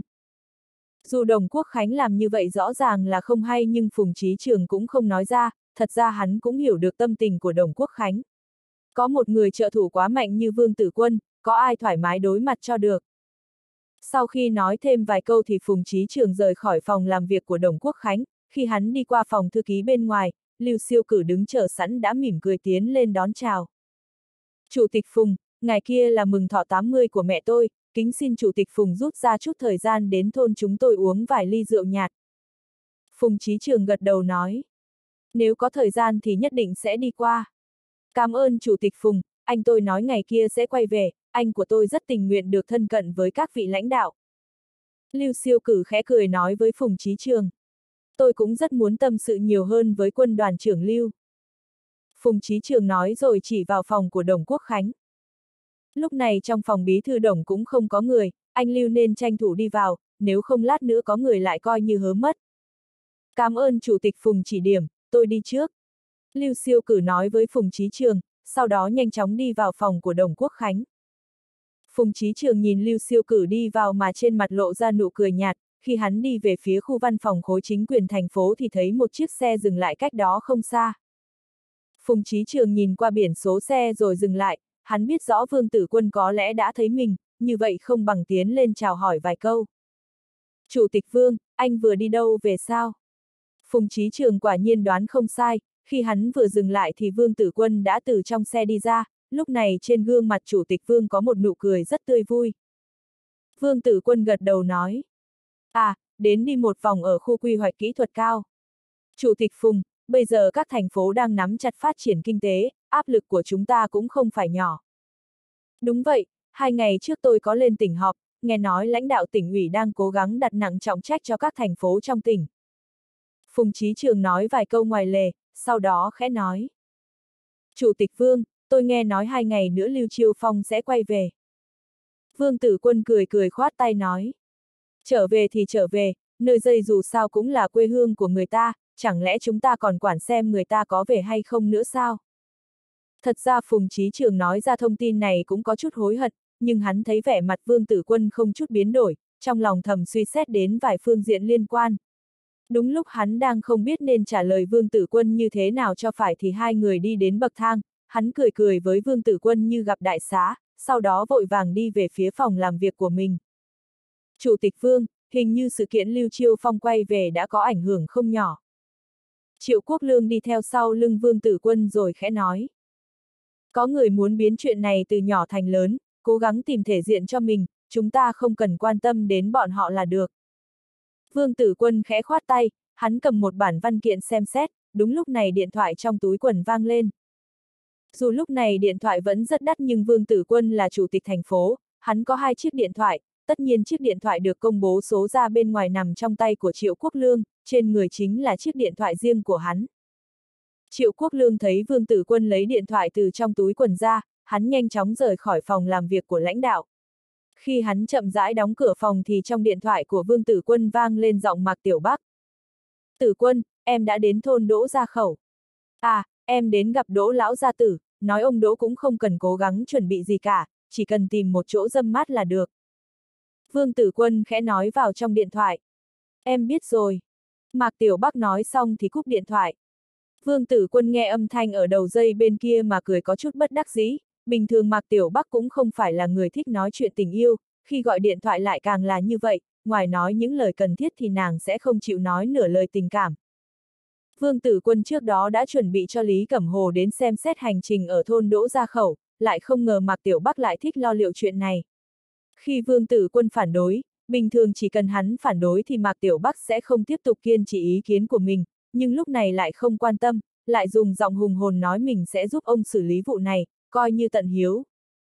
Vương Tử Quân nghe thấy Mạc Tiểu Bắc nói như vậy thì cũng không biết nói gì hơn, thế cho nên mới cho nàng đi xử lý sự việc. Hắn xem như đã trúng Mỹ nhân kế, sáng nay mới chợt nhớ mình không nên giao việc như vậy cho nàng, nhưng bây giờ cũng không kịp đổi ý, khi hắn thức dậy vào lúc sáng sớm thì chỉ thấy có một tờ giấy trên đầu giường mà thôi. Vương lão gia tử dạo này càng ngày càng nhàn rỗi, biệt thự ở khu nhà thường ủy tỉnh ủy đã biến thành một nông trường. Hơn nữa mỗi lần lão làm gì đều phải cực kỳ thực chất, làm sao cho tốt nhất, đàng hoàng nhất, thế nên lúc nào cũng chạy ra chăm sóc vườn rau dù không có quá nhiều việc để làm. Mỗi lần Mạc Tiểu Bắc về nhà thì ông cụ lại hào hứng cùng nàng lao động. Trước đó Vương Tử Quân thường ở bên cạnh quan sát Mạc Tiểu Bắc, hắn nhìn nàng mặc một bộ trang phục thể thao đứng nói chuyện với Vương Lão Gia Tử. Mạc Tiểu Bắc ngửi được mùi bùn đất trong không khí, lại quốc sới đất rất tự nhiên, căn bản không có chút luống cuống giống như an nhàn sung sướng từ nhỏ. Nàng nói chuyện với ông cụ cũng rất vui vẻ, tư duy nhanh nhẹn, tuy có vài lời bình nhưng lại rất lễ phép, cũng có thể khách khí nhưng lại rất kiên định với những quan điểm của chính mình. Điều này không khỏi làm cho vương lão gia tử phải nhìn nàng bằng ánh mắt khác, một già một trẻ nói chuyện phiếm với nhau, lại cùng chăm sới cho một luống cải trắng, khá hòa thuận vui vẻ. Nếu nhìn từ điểm này thì Mạc Tiểu Bắc đã dung nhập vào gia tộc họ Vương, hơn nữa vì được Vương lão gia tử sủng ái nên dần già cũng là một thế lực mới. Thôi thì để cho cô ấy xử lý, dù ông nội có không hài lòng thì cũng chỉ có thể nở nụ cười mà thôi. Vương tử quân nghĩ đến trạng thái sủng ái và dung túng của ông nội mình với Mạc Tiểu Bắc, hắn khẽ cười và lắc đầu. Khí trời nóng bức làm cho người ta cực kỳ bực bội, nhưng hai ngày qua vương tử quân lại rất thoải mái. Hắn có Mạc Tiểu Bắc ở bên cạnh, hắn cảm thấy rất an tâm, rất sảng khoái. Những ngày qua ngoài trường hợp phải đi dự họp, hắn đều tình nguyện về nhà dùng cơm. Hai ngày qua Mạc Tiểu Bắc cũng rất vui vẻ, tràn đầy sức sống, cực kỳ quyến rũ, điều này không khỏi làm cho hắn mỗi lần thấy nàng đều sinh ra ý nghĩ muốn dùng nghiêm hình bức cung, muốn dở trò quỷ. Nhưng mỗi lần nhìn thấy gương mặt mệt mỏi của nàng, hắn đều cố gắng áp chế cảm xúc bừng bừng của mình. Thời gian trôi qua khá nhanh, lại một ngày trôi ca, Lý Cẩm Hồ nhìn mặt trời xuống núi mà cảm khái, chợt nghe thấy có người nói. Thư ký trưởng Lý, lúc này đang là hoàng hôn, anh đang cảm khái gì vậy? Lý Cẩm Hồ quay đầu nhìn và phát hiện người đến là Trúc Phu Bình, thế là hắn nhanh chóng tiến lên nghênh đón. Bí thư Trúc, vừa rồi tôi viết vài bản thảo, cảm thấy bầu không khí quá trầm trọng, thế cho nên ra đây hít thở không khí. Trúc Phu Bình cười ha hả nói. Cẩm Hồ, anh rõ ràng là Ngọc Thụ Lâm Phong, thật sự giống như thi nhân trên TV, tôi còn tưởng rằng thư ký trưởng Lý chính là một nhà thơ ấy chứ. Anh nói vậy là quá khen ngợi tôi rồi, tôi có độ nặng thế nào thì tự hiểu lấy, nếu anh phân phó tôi viết bản thảo thì còn có thể, nhưng nếu anh bắt tôi ngâm thơ thì đúng là bất đắc dĩ, cực kỳ xấu hổ. Lý Cẩm Hồ cười tươi nói rồi tràn đầy tôn trọng Trúc Phu Bình. Trúc Phu Bình cười ha hả, hắn cười nói với Lý Cẩm Hồ về mong ước thời còn bé muốn làm thi nhân, xua đó cười nói. Thư ký trưởng Lý, tôi hỏi An một chuyện, anh phải trả lời thành thật đấy nhé. Tôi trước nay luôn trung thành với tổ chức, bí thư Trúc Anh có gì cứ hỏi. Lý Cẩm Hồ thấy vẻ mặt nghiêm túc của Trúc Phu Bình, hắn vội vàng trầm giọng đáp. Cẩm Hồ, ngày mai sẽ là đại thọ 80 tuổi của mẹ Lưu siêu cử, tôi cũng nhận được giấy mời, không hiểu Chủ tịch Vương có thái độ gì với chuyện này không? Trúc Phu Bình có chút trầm ngâm, sau đó nói. Nếu là người khác thì Lý Cẩm Hồ sẽ nói muốn tìm hiểu thái độ của Chủ tịch Vương, như vậy thì phải đờ hỏi Chủ tịch Vương, nhưng đối với Trúc Phu Bình thì hắn lại không thể như vậy. Tuy hắn là tâm phúc của Vương Tử Quân thế nhưng lại cực kỳ tôn trọng Phó Bí Thư Trúc Phu Bình, hơn nữa hắn cũng hiểu Bí Thư Trúc hỏi như vậy là có ý nghĩa gì. Trúc Phu Bình công tác ở thành phố Đông Bộ lâu năm, hẳn phải có liên lạc với Lưu Chiêu Phong. Tuy hắn cũng chướng mắt với Lưu Siêu Cử, thế nhưng cũng không đại biểu rằng hắn sẽ bỏ qua mối quan hệ với Lưu Chiêu Phong. Có câu thêm bạn sẽ có nhiều đường để đi, bây giờ Trúc Phu Bình thăm dò ý kiến của Trúc Phu Bình, điều này nói rõ là Bí Thư Trúc đang rất dơ dự bất định ở phương diện này.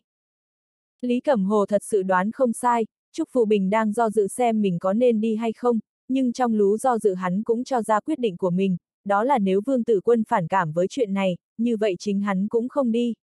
Tuy Lưu Chiêu Phong có sức ảnh hưởng ở một vài phương diện, nhưng ở thành phố Đông Bộ, dù sao thì hắn cũng không có cách nào so sánh với Vương Tử Quân.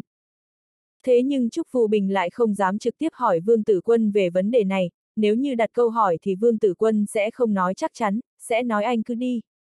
Vì thế lúc này hắn tìm đến gặp Lý Cẩm Hồ, hy vọng có thể biết rõ ý nghĩ của Vương Tử Quân từ trong miệng của Lý Cẩm Hồ.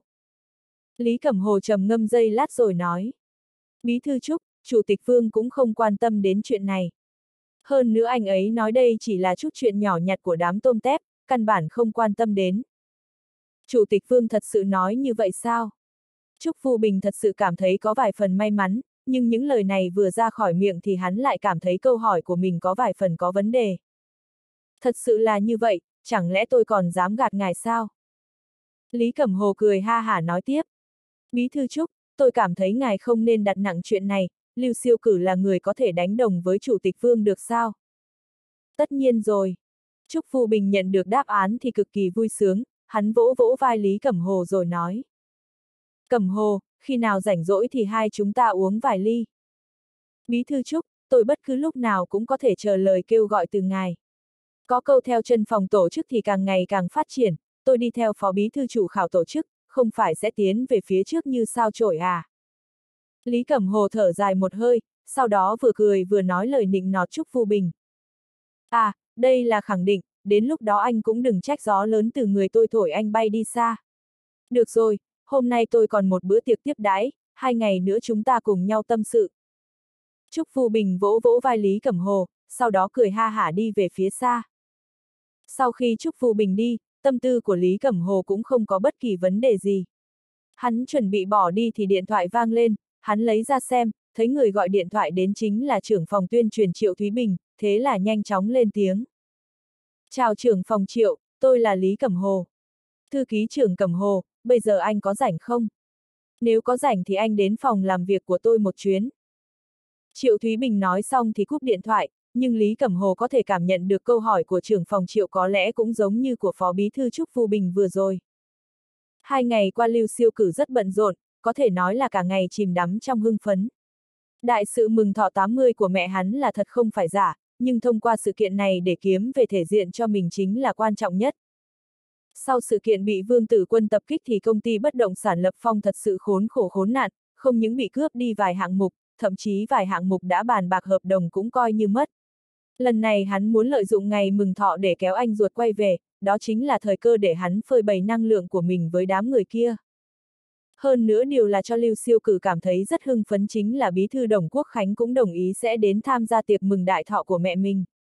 Tuy khi hắn cho ra quyết định này thì đã đoán chắc bí thư Đồng Quốc Khánh sẽ đến, thế nhưng khi Đồng Quốc Khánh cho ra lời hứa hẹn thì tâm tình của hắn cũng nhanh chóng giảm căng thẳng hơn một nửa. Dựa vào quan hệ của anh trai Lưu Siêu Cử, Đồng Quốc Khánh muốn đến thì Phạm Bằng Phi và La Kiến Cường cũng đến đến, còn những người khác thì Lưu Siêu Cử cũng đã tính là căn bản không đến nhiều.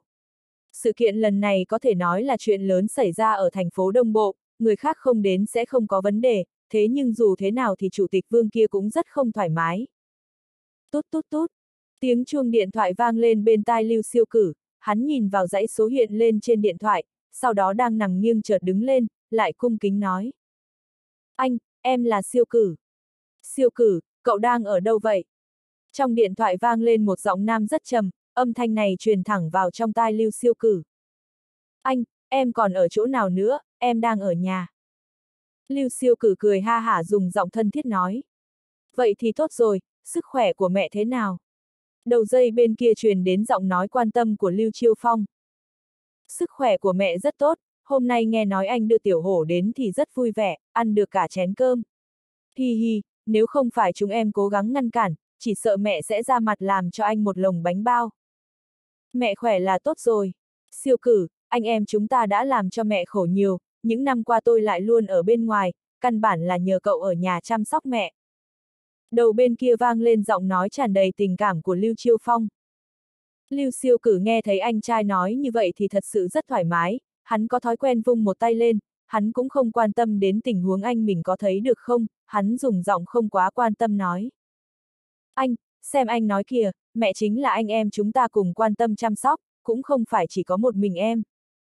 Đúng rồi, mai là ngày vui, chúng ta cần phải vui vẻ lên, anh về thì càng thêm vui hơn. Đúng vậy, mai là ngày vui. Đúng rồi siêu cử, ngày mai là đại thọ 80 của mẹ, ý của tôi là mời vài người bạn thân là được, cũng đừng làm gì khác quá rảnh rang, chung quy cũng chỉ là chuyện trong nhà mà thôi. Lưu Chiêu Phong nói cười trong điện thoại rồi trầm giọng dặn dò. Lưu siêu cử có thể nói đã chuẩn bị rất kỹ về vấn đề này, hắn lập tức bày ra bộ dạng vô tội nói. Anh, chuyện này không cần anh nói thì em cũng biết rất rõ, nhưng không biết là kẻ nào để lộ tin tức mừng thọ ra ngoài, kết quả không phải chỉ lãnh đạo huyện biết rõ, ngay cả bí thư đồng cũng gọi điện thoại đến, nói rằng sẽ đến chúc thọ mẹ. Em đây rất muốn từ chối khéo, nhưng đối phương rất quyết tâm, em cũng chịu thôi. Anh à, uy tín của anh đã bộc lộ quá rõ ràng và mạnh mẽ, nếu muốn yên tĩnh thì thật sự là hơi khó. Lưu Chiêu Phong chợt trầm ngâm, sau đó cũng không nói gì thêm. Lưu siêu cử vội vàng nói. Anh, chuyện này em cũng không biết nói gì hơn, cũng không biết bọn họ làm sao mà biết được. Siêu cử, việc này tôi cũng không trách cậu, trên hộ khẩu có ghi rõ ngày sinh, người ta muốn biết thì rất dễ dàng. Lưu Chiêu Phong khẽ cười giải thích với Lưu Siêu Cử.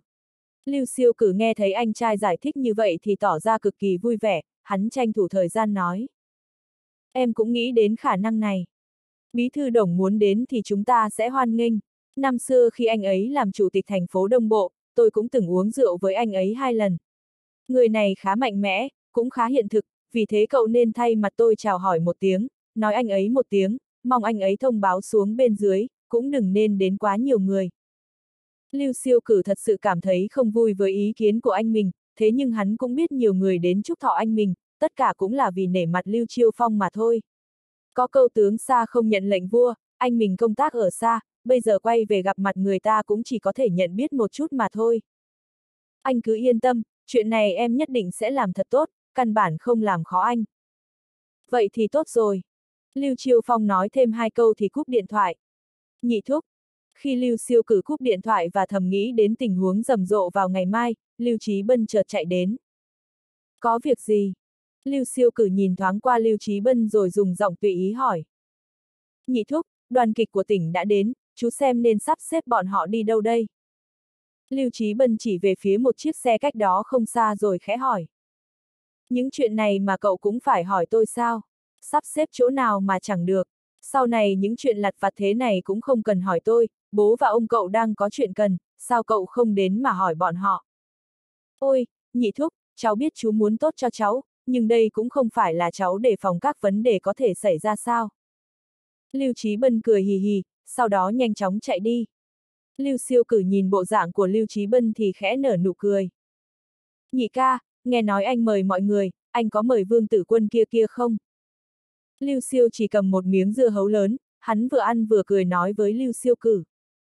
Lưu Siêu Cử thật sự không ưa đứa em cả ngày chỉ biết ăn chơi của mình, nhưng dù hắn có không ưa thì cũng không thể thay đổi được sự thật đây là em mình.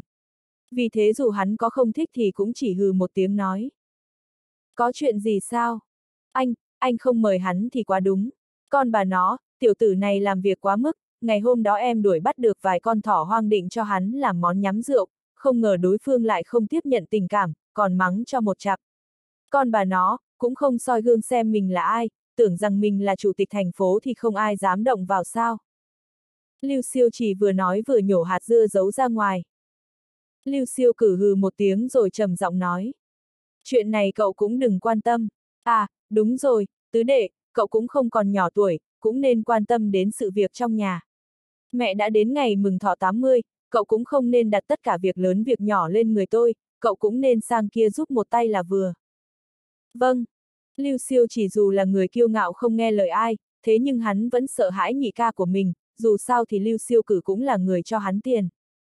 Có câu ăn thịt uống rượu của người thì miệng ngắn lại, Lưu siêu chỉ thường xuyên xin tiền của Lưu siêu cử, tất nhiên sẽ không nói được lời nào hay. Lưu siêu cử nhìn Lưu siêu chỉ bỏ đi mà ánh mắt nhìn về phía mặt trời chiều, nhìn hình bóng vàng rực mà tâm tình hắn chợt tốt hẳn lên. Người nghèo có cách sống của người nghèo, người giàu có phương pháp của người giàu, mai sẽ là ngày tốt lành, hắn thật sự rất chờ mong. chương 532, trong chiều có người làm quan, anh là thượng phương bảo kiếm của tôi. Vương tử quân nhìn mặt trời sáng sớm chậm rãi bay lên, hắn nhìn Mạc Tiểu Bắc mặc một bộ quần áo thể thao màu trắng, sau đó đi đến ôm lấy sau lưng nàng nói.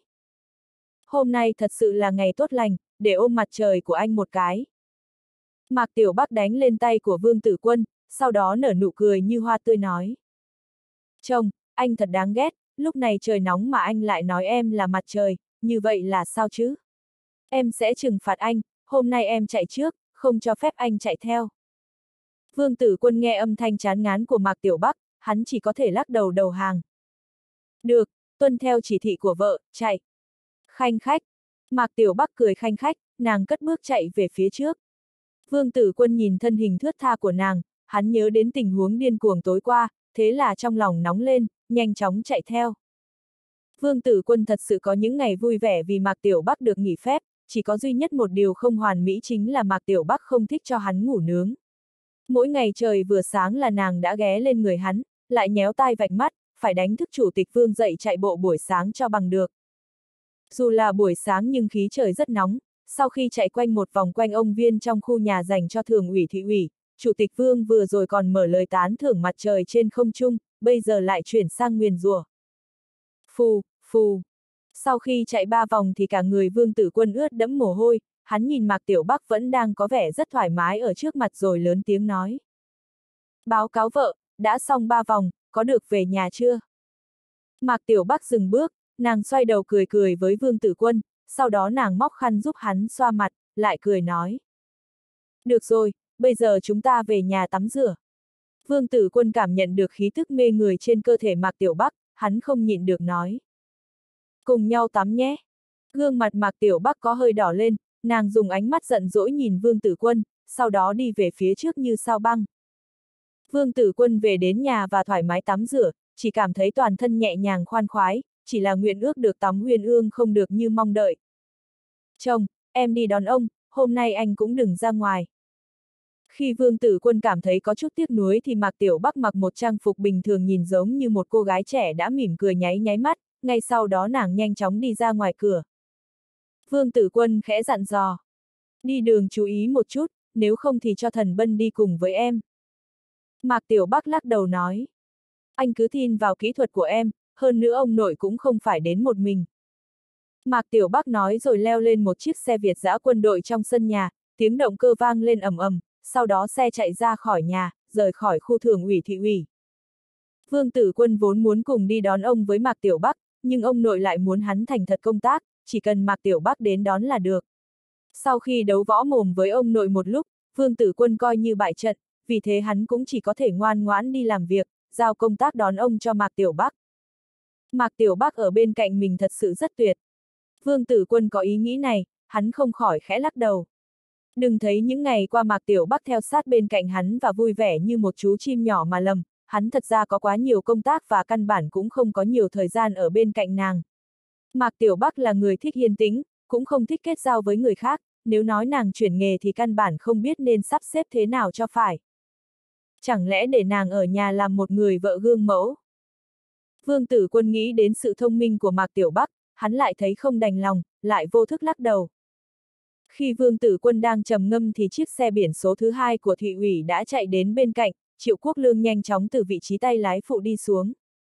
Triệu Quốc Lương nhận lấy cặp công văn trong tay vương tử quân, sau đó hắn mở cửa xe, đợi lãnh đạo lên xe thì đóng cửa và leo lên vị trí tay lái phụ. Sau khi xe rời khỏi khu nhà thường ủy thị ủy, hắn mới khẽ hỏi. Chủ tịch Vương, vừa rồi tôi gặp thư ký trưởng Vương của văn phòng thị ủy, anh ấy hình như đang đi đến huyện Nhạc Huy. Vương Tử Quân khẽ gật đầu mà không nói gì, hắn biết rõ thư ký trưởng Vương trong lời nói của Triệu Quốc Lương là ai, đó là một bộ hạ cũ của Đồng Quốc Khánh được điều đến từ Ủy ban Kế hoạch hóa gia đình thị ủy, là tâm phúc của Đồng Quốc Khánh. Lúc này thư ký trưởng Vương đi đến huyện Nhạc Huy, Vương Tử Quân không cần nghĩ cũng biết nó có ý nghĩa gì. Sau khi xe dừng lại vững vàng ở trước khu văn phòng khối chính quyền thành phố, đúng lúc Đồng Quốc Khánh cũng bước xuống xe, Vương Tử Quân và Đồng Quốc Khánh cũng không đi cách nhau quá xa, thế cho nên Vương Tử Quân nhanh chóng chui ra khỏi xe và nói. Chào buổi sáng, Bí Thư Đồng. Vương Tử Quân từ trong xe chui ra, gương mặt hớn hở, hai tay trống trơn, đi về phía trước như chớp. Theo sau chính là Triệu Quốc Lương, tay cầm cặp công văn của Chủ tịch Vương, còn mang theo cả ly trà. Triệu Quốc Lương là người không gầy, bộ dạng không quá khó coi, lại có thói quen hơi cúi đầu theo sát sau lưng Vương Tử Quân, vì thế mà nhìn qua càng thấy Vương Tử Quân cực kỳ khí khái, cực kỳ hiên ngang. Không phải trước kia Đồng Quốc Khánh chưa từng gặp tình huống thế này, bình thường khi thấy hai người Vương Tử Quân và Triệu Quốc Lương thì hắn đều nói một câu mỉm cười chào hỏi. Nhưng lần này hắn lại đi về phía Vương Tử Quân, dù lúc này trong lòng hắn rất không thoải mái. Vương Tử Quân vốn muốn đi lên lầu, thấy Đồng Quốc Khánh đi về phía mình thì cũng chỉ có thể tiến lên hai bước nghênh đón. Chủ tịch Tử Quân, gần đây thời tiết có hơi khô nóng, tôi nghe đảng hàng nói bây giờ hay có nhiều người bị cảm, anh cũng nên chú ý sức khỏe một chút, nếu bị cảm vào mùa hè thế này cũng không dễ chịu gì. Cảm ơn Bí Thư Đồng đã quan tâm, tôi nhất định sẽ chú ý. Vương Tử Quân hàn huyên vài câu với Đồng Quốc Khánh, sau đó chợt nghe Đồng Quốc Khánh nói. Chủ tịch Tử Quân, hôm nay anh nên chú tâm một chút, anh Nhan ở huyện Nhạc Huy đã mở lời mời tôi vài lần, vừa vặn hôm nay cũng không có việc gì không thoát thân được, thế cho nên tôi sẽ đến chỗ anh ấy một chuyến. Vương Tử Quân hiểu ý của Đồng Quốc Khánh, nhưng càng là như thế thì hắn càng tỏ ra điềm nhiên như không. Bí thư Đồng cứ yên tâm, ở nhà đã có tôi, nếu có chuyện gì không xử lý được tôi sẽ báo cáo cho anh ngay. À, vài ngày trước tôi cũng từng đến huyện Nhạc Huy, nơi đó có khá nhiều hồ nước mát mẻ, nếu bí thư đồng làm xong chuyện chính sự, thuận tiện đi đến đó giải nhiệt cũng không tồi. Đồng Quốc Khánh ngoài miệng liên tục ậm ừ, còn cố gắng nở nụ cười thể hiện bộ dạng cực kỳ vui vẻ. Có thể làm cho Chủ tịch Vương lên tiếng khen ngợi thì nơi đó nhất định cũng sẽ làm tôi hứng thú, nếu có thời gian thì tôi nhất định sẽ đến. Hai người nói vài câu chê cười, sau đó cũng tự nhiên tách ra, hai người đi về hai phía văn phòng khối chính quyền và thị ủy. Triệu Quốc Lương luôn đi theo sau lưng Vương Tử Quân khi hai vị lãnh đạo nói chuyện với nhau, hắn nghe thấy bí thư đồng nhắc đến huyện Nhạc Huy, trong lòng có chút tức giận. Đối với những người luôn đi theo bên cạnh Vương Tử Quân như Triệu Quốc Lương, bí thư đồng nói như vậy không khác gì đang chọc giận Vương Tử Quân, nhưng dù hắn có tức giận thì cũng không thể nào và cũng chẳng có cách nào phản bác được. Chủ tịch Vương, nếu không thì tôi gọi điện thoại cho bí thư Trúc, để bọn họ đến thành phố Sơn Viên chạy hạng mục nhé. Triệu Quốc Lương dù biết lúc này chính mình không nên mở miệng, thế nhưng hắn không nhịn được phải nói lời đề nghị với Vương Tử Quân. Vương Tử Quân nhìn Triệu Quốc Lương đang dựng mày lên nói. Quốc Lương, thôi khỏi đi, chút chuyện nhỏ như vậy không cần đặt trong lòng. Triệu Quốc Lương lúc này tuy cực kỳ không cam lòng, thế nhưng Vương Tử Quân đã nói như vậy thì hắn cũng không thể nào tùy tiện nghĩ kế. Hắn thầm thở dài, sau đó cùng Vương Tử Quân đi lên lầu, trong lòng có chút phàn nàn, có phải là lòng dạ của Chủ tịch Vương quá rộng hay không? Khi Vương Tử Quân lên lầu thì Trương Thông từ trên lầu bước xuống, khi thấy Vương Tử Quân đang đi lên lầu thì hắn có chút ngây người, sau đó trên mặt lại có chút mất tự nhiên. Chủ tịch Vương, vừa rồi trưởng phòng lý gọi điện thoại đến, nói là muốn đến thành phố Đông Bộ, tôi phải đi đón anh ấy. Trương Thông nói đến đây thì giống như nghĩ tới điều gì đó, hắn nói. Chủ tịch Vương cứ yên tâm, tôi sẽ không đến huyện Nhạc Huy, tôi đã sớm ném thư mời của Lưu Lão Nhị vào thùng rác rồi. Vương Tử Quân nhìn về phía Trương Thông rồi cười nói. Chủ tịch Trương, những chuyện nhỏ nhặt như vậy anh cũng đừng quá quan tâm, anh nên quan tâm đến những công tác của chính mình thì hơn. Trương Thông nhì phản ứng nhàn nhạt của Vương Tử Quân thì càng cảm thấy cảm xúc bất an, với kinh nghiệm trước nay liên hệ với Vương Tử Quân, vị chủ tịch Vương này cực kỳ cao tay và lại bình dị gần gũi, hòa ái thân thiện, nhưng nếu tiếp xúc sâu sẽ cảm thấy đây là một tổ ong vò vẽ cực kỳ hiếm có. Khi Vương Tử Quân đến thành phố Đông Bộ làm phó chủ tịch, rất nhiều người cảm thấy dễ ép người này, vì dù sao hắn cũng còn quá trẻ. Nhưng không ngờ hắn ngồi xuống đúng vị trí và nhanh chóng làm cho mọi người tin phục, có vài cựu chiến binh dù thế nào cũng không hiểu rõ vì sao Vương Tử Quân còn trẻ như vậy mà có uy tín cao như thế. Nhưng không bao lâu thì cả thành phố Đông Bộ đã biết, đừng xem thường chủ tịch Vương trẻ tuổi, nhưng vị chủ tịch này ra tay cực kỳ mạnh mẽ và lão luyện, kết quả luôn luôn làm người ta phải sợ hãi. Lý Khang Lộ thì thế nào, Nhâm Sương Bình thì thế nào? Không phải đám người này đã bị chủ tịch Vương thu thập sao? Phải nói là chủ tịch Vương tiến lên làm chủ tịch thành phố càng làm cho người ta lưu hành một câu, ức hiếp người già không ức hiếp trẻ nhỏ, ý nghĩa là đắc tội ai cũng được đừng đắc tội người còn trẻ. Ai có thể nói rõ tương lai của người còn trẻ, nếu gặp đúng thời cơ không phải sẽ phát triển như diều gặp gió sao. Vương Tử Quân còn trẻ như vậy đã là chủ tịch thành phố, đây là một sự thật có thể chứng minh câu nói trên. Khi quan viên thăng chức thì người ta thường dùng một chữ, bò, là một động từ miêu tả sinh động, nhưng nếu dùng nó trên người Vương Tử Quân sẽ không phù hợp, vì đối với hắn phải là chữ, bay. Hơn nữa đám người thành phố Đông Bộ cũng hiểu Vương Tử Quân còn có thể thừa thế mà bay lên rất cao rất xa, vị trí chủ tịch chỉ là một sân bay trên đường làm quan của hắn, chức vụ cao cấp hơn còn đang chờ hắn ở phía trước. Chính vì vậy mà đám chính khách ngày thường hoạt động giữa Bí thư Đồng Quốc Khánh và Chủ tịch Vương Tử Quân, trong lòng bọn họ cũng không quá sợ hãi với Đồng Quốc Khánh, lại cực kỳ kiêng kỵ Vương Tử Quân. Thậm chí có vài người thân cận với Đồng Quốc Khánh chỉ hận mình không thể biến thành thổ hành tôn để chui vào trong đất, thế nhưng khi thấy phòng làm việc của Chủ tịch Vương, cũng không khỏi sinh ra ý nghĩ muốn tiếp cận. Điều làm cho Trương Thông cảm thấy vui mừng chính là thông qua con đường liên tục cố gắng thì mình đã dung nhấp vào trong tầm mắt của Chủ tịch Vương. Chỉ là trên quan trường có rất nhiều chuyện xấu xảy ra, giống như chiến tranh chỉ thay đổi trong chớp má, vào đúng thời điểm mấu chốt nếu như mình làm cho Chủ tịch Vương mất hứng, như vậy rất có thể kiếm củi 3 năm đốt cháy trong một giờ, hủy hoại chỉ trong chốc lát. Chủ tịch Vương, lần này nếu không phải trưởng phòng lý gọi điện thoại nói còn có vài vị lãnh đạo ban ngành trên tỉnh đi theo, tôi cũng sẽ tuyệt đối không đi đón, lúc này tôi đi cũng chỉ là muốn giữ chút thể diện cho anh ấy mà thôi. Cũng có lãnh đạo ban ngành trên tỉnh xuống nữa sao? Vương Tử Quân thật sự không quan tâm đến lời giải thích của Trương Thông, hắn thật sự có chút nhíu mày. À, nghe nói đến đây khá nhiều, tôi còn nghe nói có một phó chủ tịch tỉnh đến Đông Bộ, nhưng đó là vị phó chủ tịch nào thì tôi căn bản không biết. Trương Thông thấy Vương Tử Quân hỏi thăm cẩn thận thì trong lòng có chút lo lắng. Triệu Quốc Lương khẽ nhíu mày, tuy hắn chỉ là thư ký nhưng là thư ký của Vương Tử Quân, tất nhiên mưa dầm thấm đất, hắn cũng hiểu rõ nhiều quy củ trên quan trường. Nếu thật sự giống như những lời của Trương Thông, nếu một vị phó chủ tịch tỉnh đến thành phố Đông Bộ mà không nói lời mời với Vương Tử Quân, như vậy chủ tịch Vương sẽ khá mất mặt. Trương Thông giống như cũng nghĩ đến điểm này, hắn nhìn về phía Vương Tử Quân bằng ánh mắt càng có thêm vài phần không yên. Khi hắn đang cực kỳ do dự thì Vương Tử Quân lại phất tay nói. Được, tôi biết rồi, anh tranh thủ thời gian đi thôi. Thôn đường Lưu chính là một thôn nhỏ trong huyện Nhạc Huy, nhưng từ sau khi Lưu Chiêu Phong phát triển như diều gặp gió thì thôn nhỏ này bắt đầu trở nên náo nhiệt. Theo giải thích thì thôn đường Lưu chính là họ đường và họ Lưu chiếm đa số, mà thực tế tình huống trong thôn cũng giải thích rõ điều này. Họ đường sở dĩ xếp trước họ Lưu, cũng vì người họ đường nhiều hơn họ Lưu. Năm xưa người của hai họ này thật sự rằng co với nhau rất mạnh mẽ vì các chức vụ trong thôn, nhưng đến bây giờ thì tất cả không cần bàn cãi, vì bây giờ dù là bí thư tri bộ hay trưởng thôn cũng là người họ lưu. Đối với tình huống này, dù là người họ lưu cực kỳ không thoải mái, thế nhưng cũng chỉ có thể đặt trong lòng, ai bảo họ lưu xuất hiện người thanh danh hiển hách, vinh danh tổ tiên như lưu chiêu phong. Mặt trời lặng lẽ bay lên cao, cuộc sống của thôn dân vẫn tái diễn như ngày thường. Nhưng lúc này ở một bãi đất trống đầu thôn, những người họ đường đang tụ tập ăn cơm lại dùng ánh mắt hâm mộ nhìn về đầu đông. Phía đông của thôn đường lưu chính là nơi mà người họ lưu ở dày đặc, tiếng nhạc rộn rã được loa công suất lớn phóng đại bao phủ khắp các địa điểm phía đông thôn đường lưu. Lưu lão nhị thật sự ra tay rầm rộ. Mọt thôn dân hơn 40 uống chén súp trước mặt rồi trong miệng dùng giọng ghen ghét nói. Những năm gần đây chỉ cần có tiền là có thể thuê người khóc cha mình, đừng nói là mở nhạc vui vẻ như vậy. Một tên đàn ông hơn 30 tuổi ngồi bên cạnh nhe răng cười với người đàn ông vừa mở miệng ghen ghét.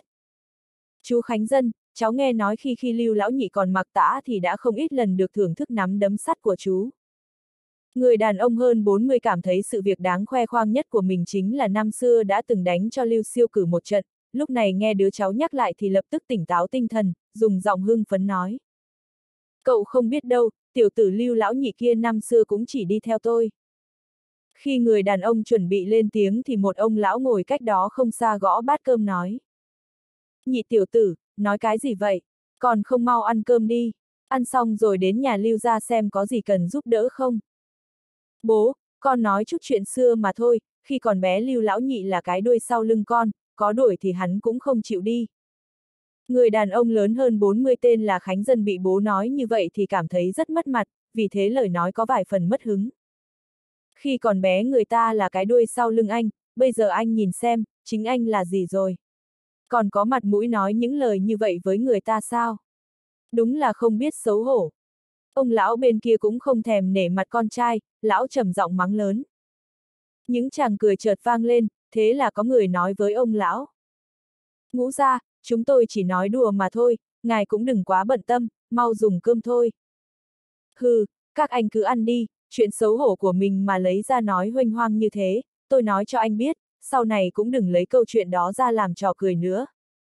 Ông lão tuy đã được người khác khuyên bảo và không còn nổi nóng, nhưng tính tình của lão là như vậy, vẫn trầm giọng lên tiếng dạy bảo con trai đường Khánh Dân.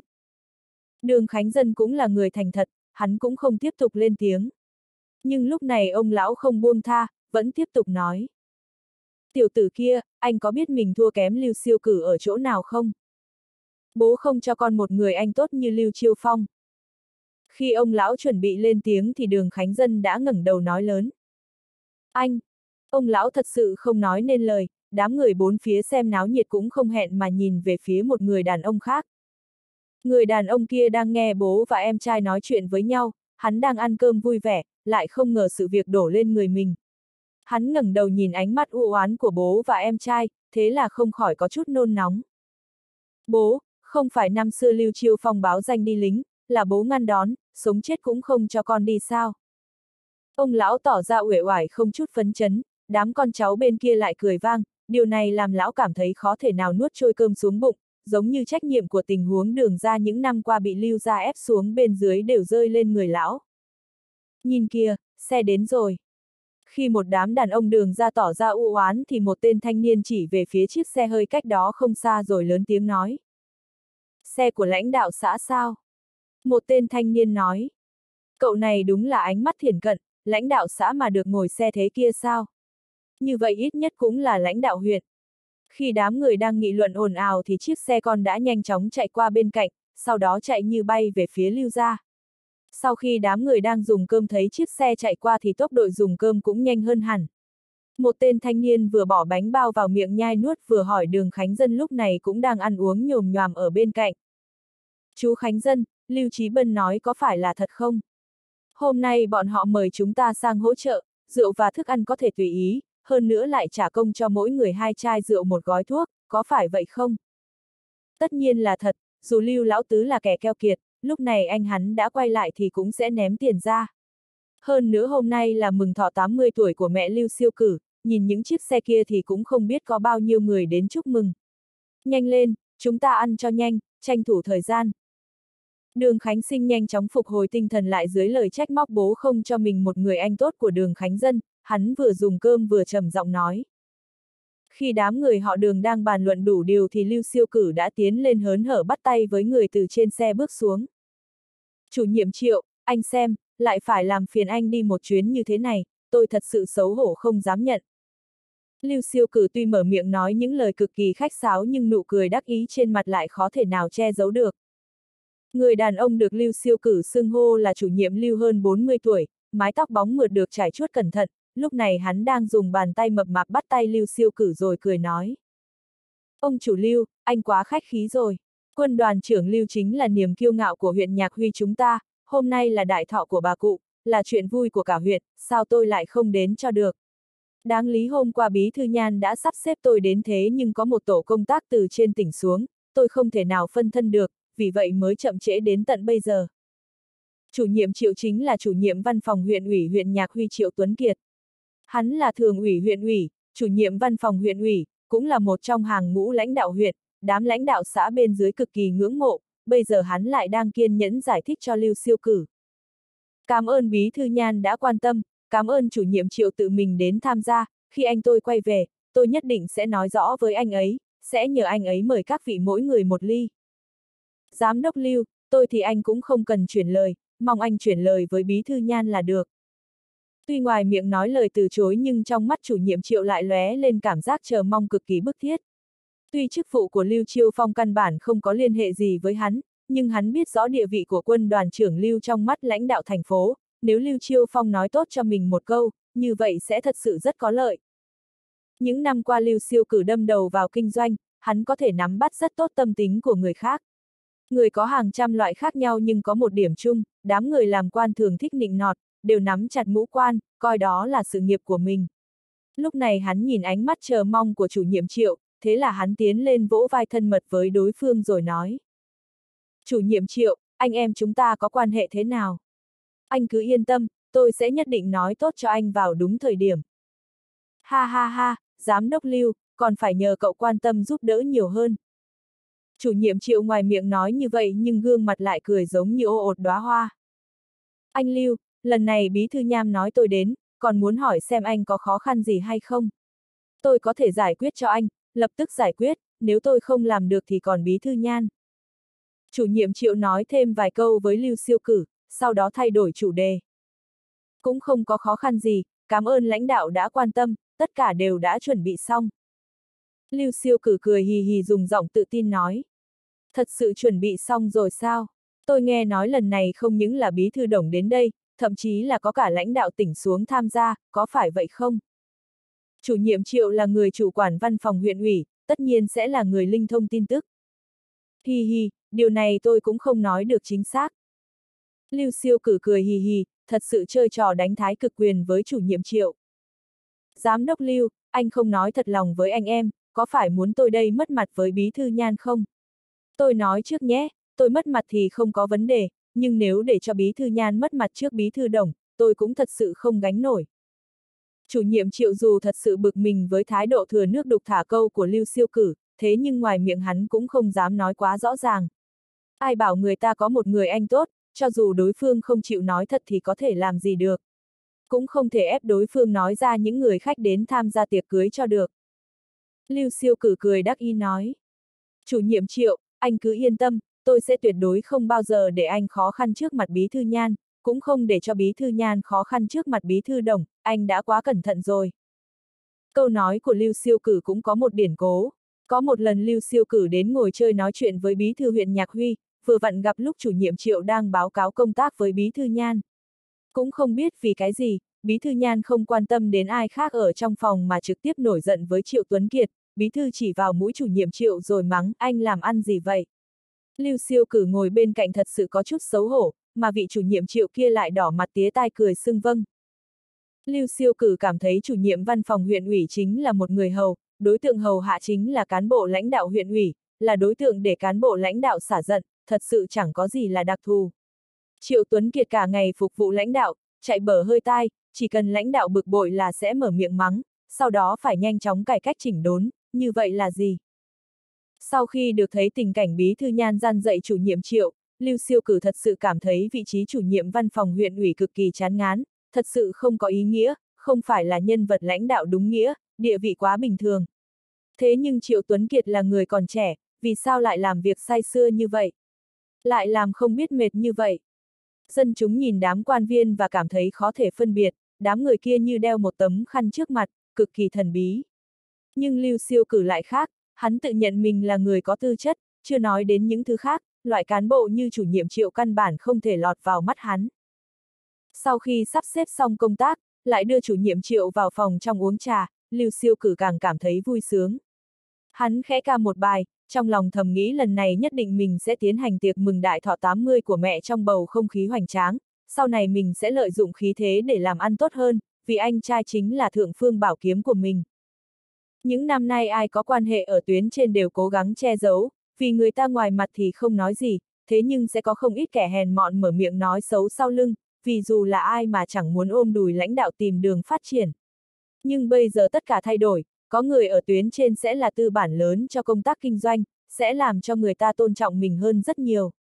Dù không ai làm công tác tư tưởng thì mọi người cũng hiểu rõ ràng, nếu có người làm quan trong triều đình, như vậy việc làm ăn buôn bán kinh doanh cũng cực kỳ dễ dàng. Các cậu đang làm gì vậy? Lưu siêu cử cảm thấy có hơi đóng bụng, thế là hắn đi về phía nhà bếp. Khi thấy một đám thanh niên đang tụ tập đánh bài, gương mặt hắn như phủ một tầng xương. Đám thanh niên đang đánh bài vui vẻ, bây giờ nghe thấy tiếng quát nhìn qua, thấy người lên tiếng là Lưu Siêu Cử, thế là đám người đến xem náo nhiệt nhanh chóng lui ra ngoài, đám thanh niên đánh bài lại luống cuống tay chân thu bài lại, dùng giọng sợ hãi nói.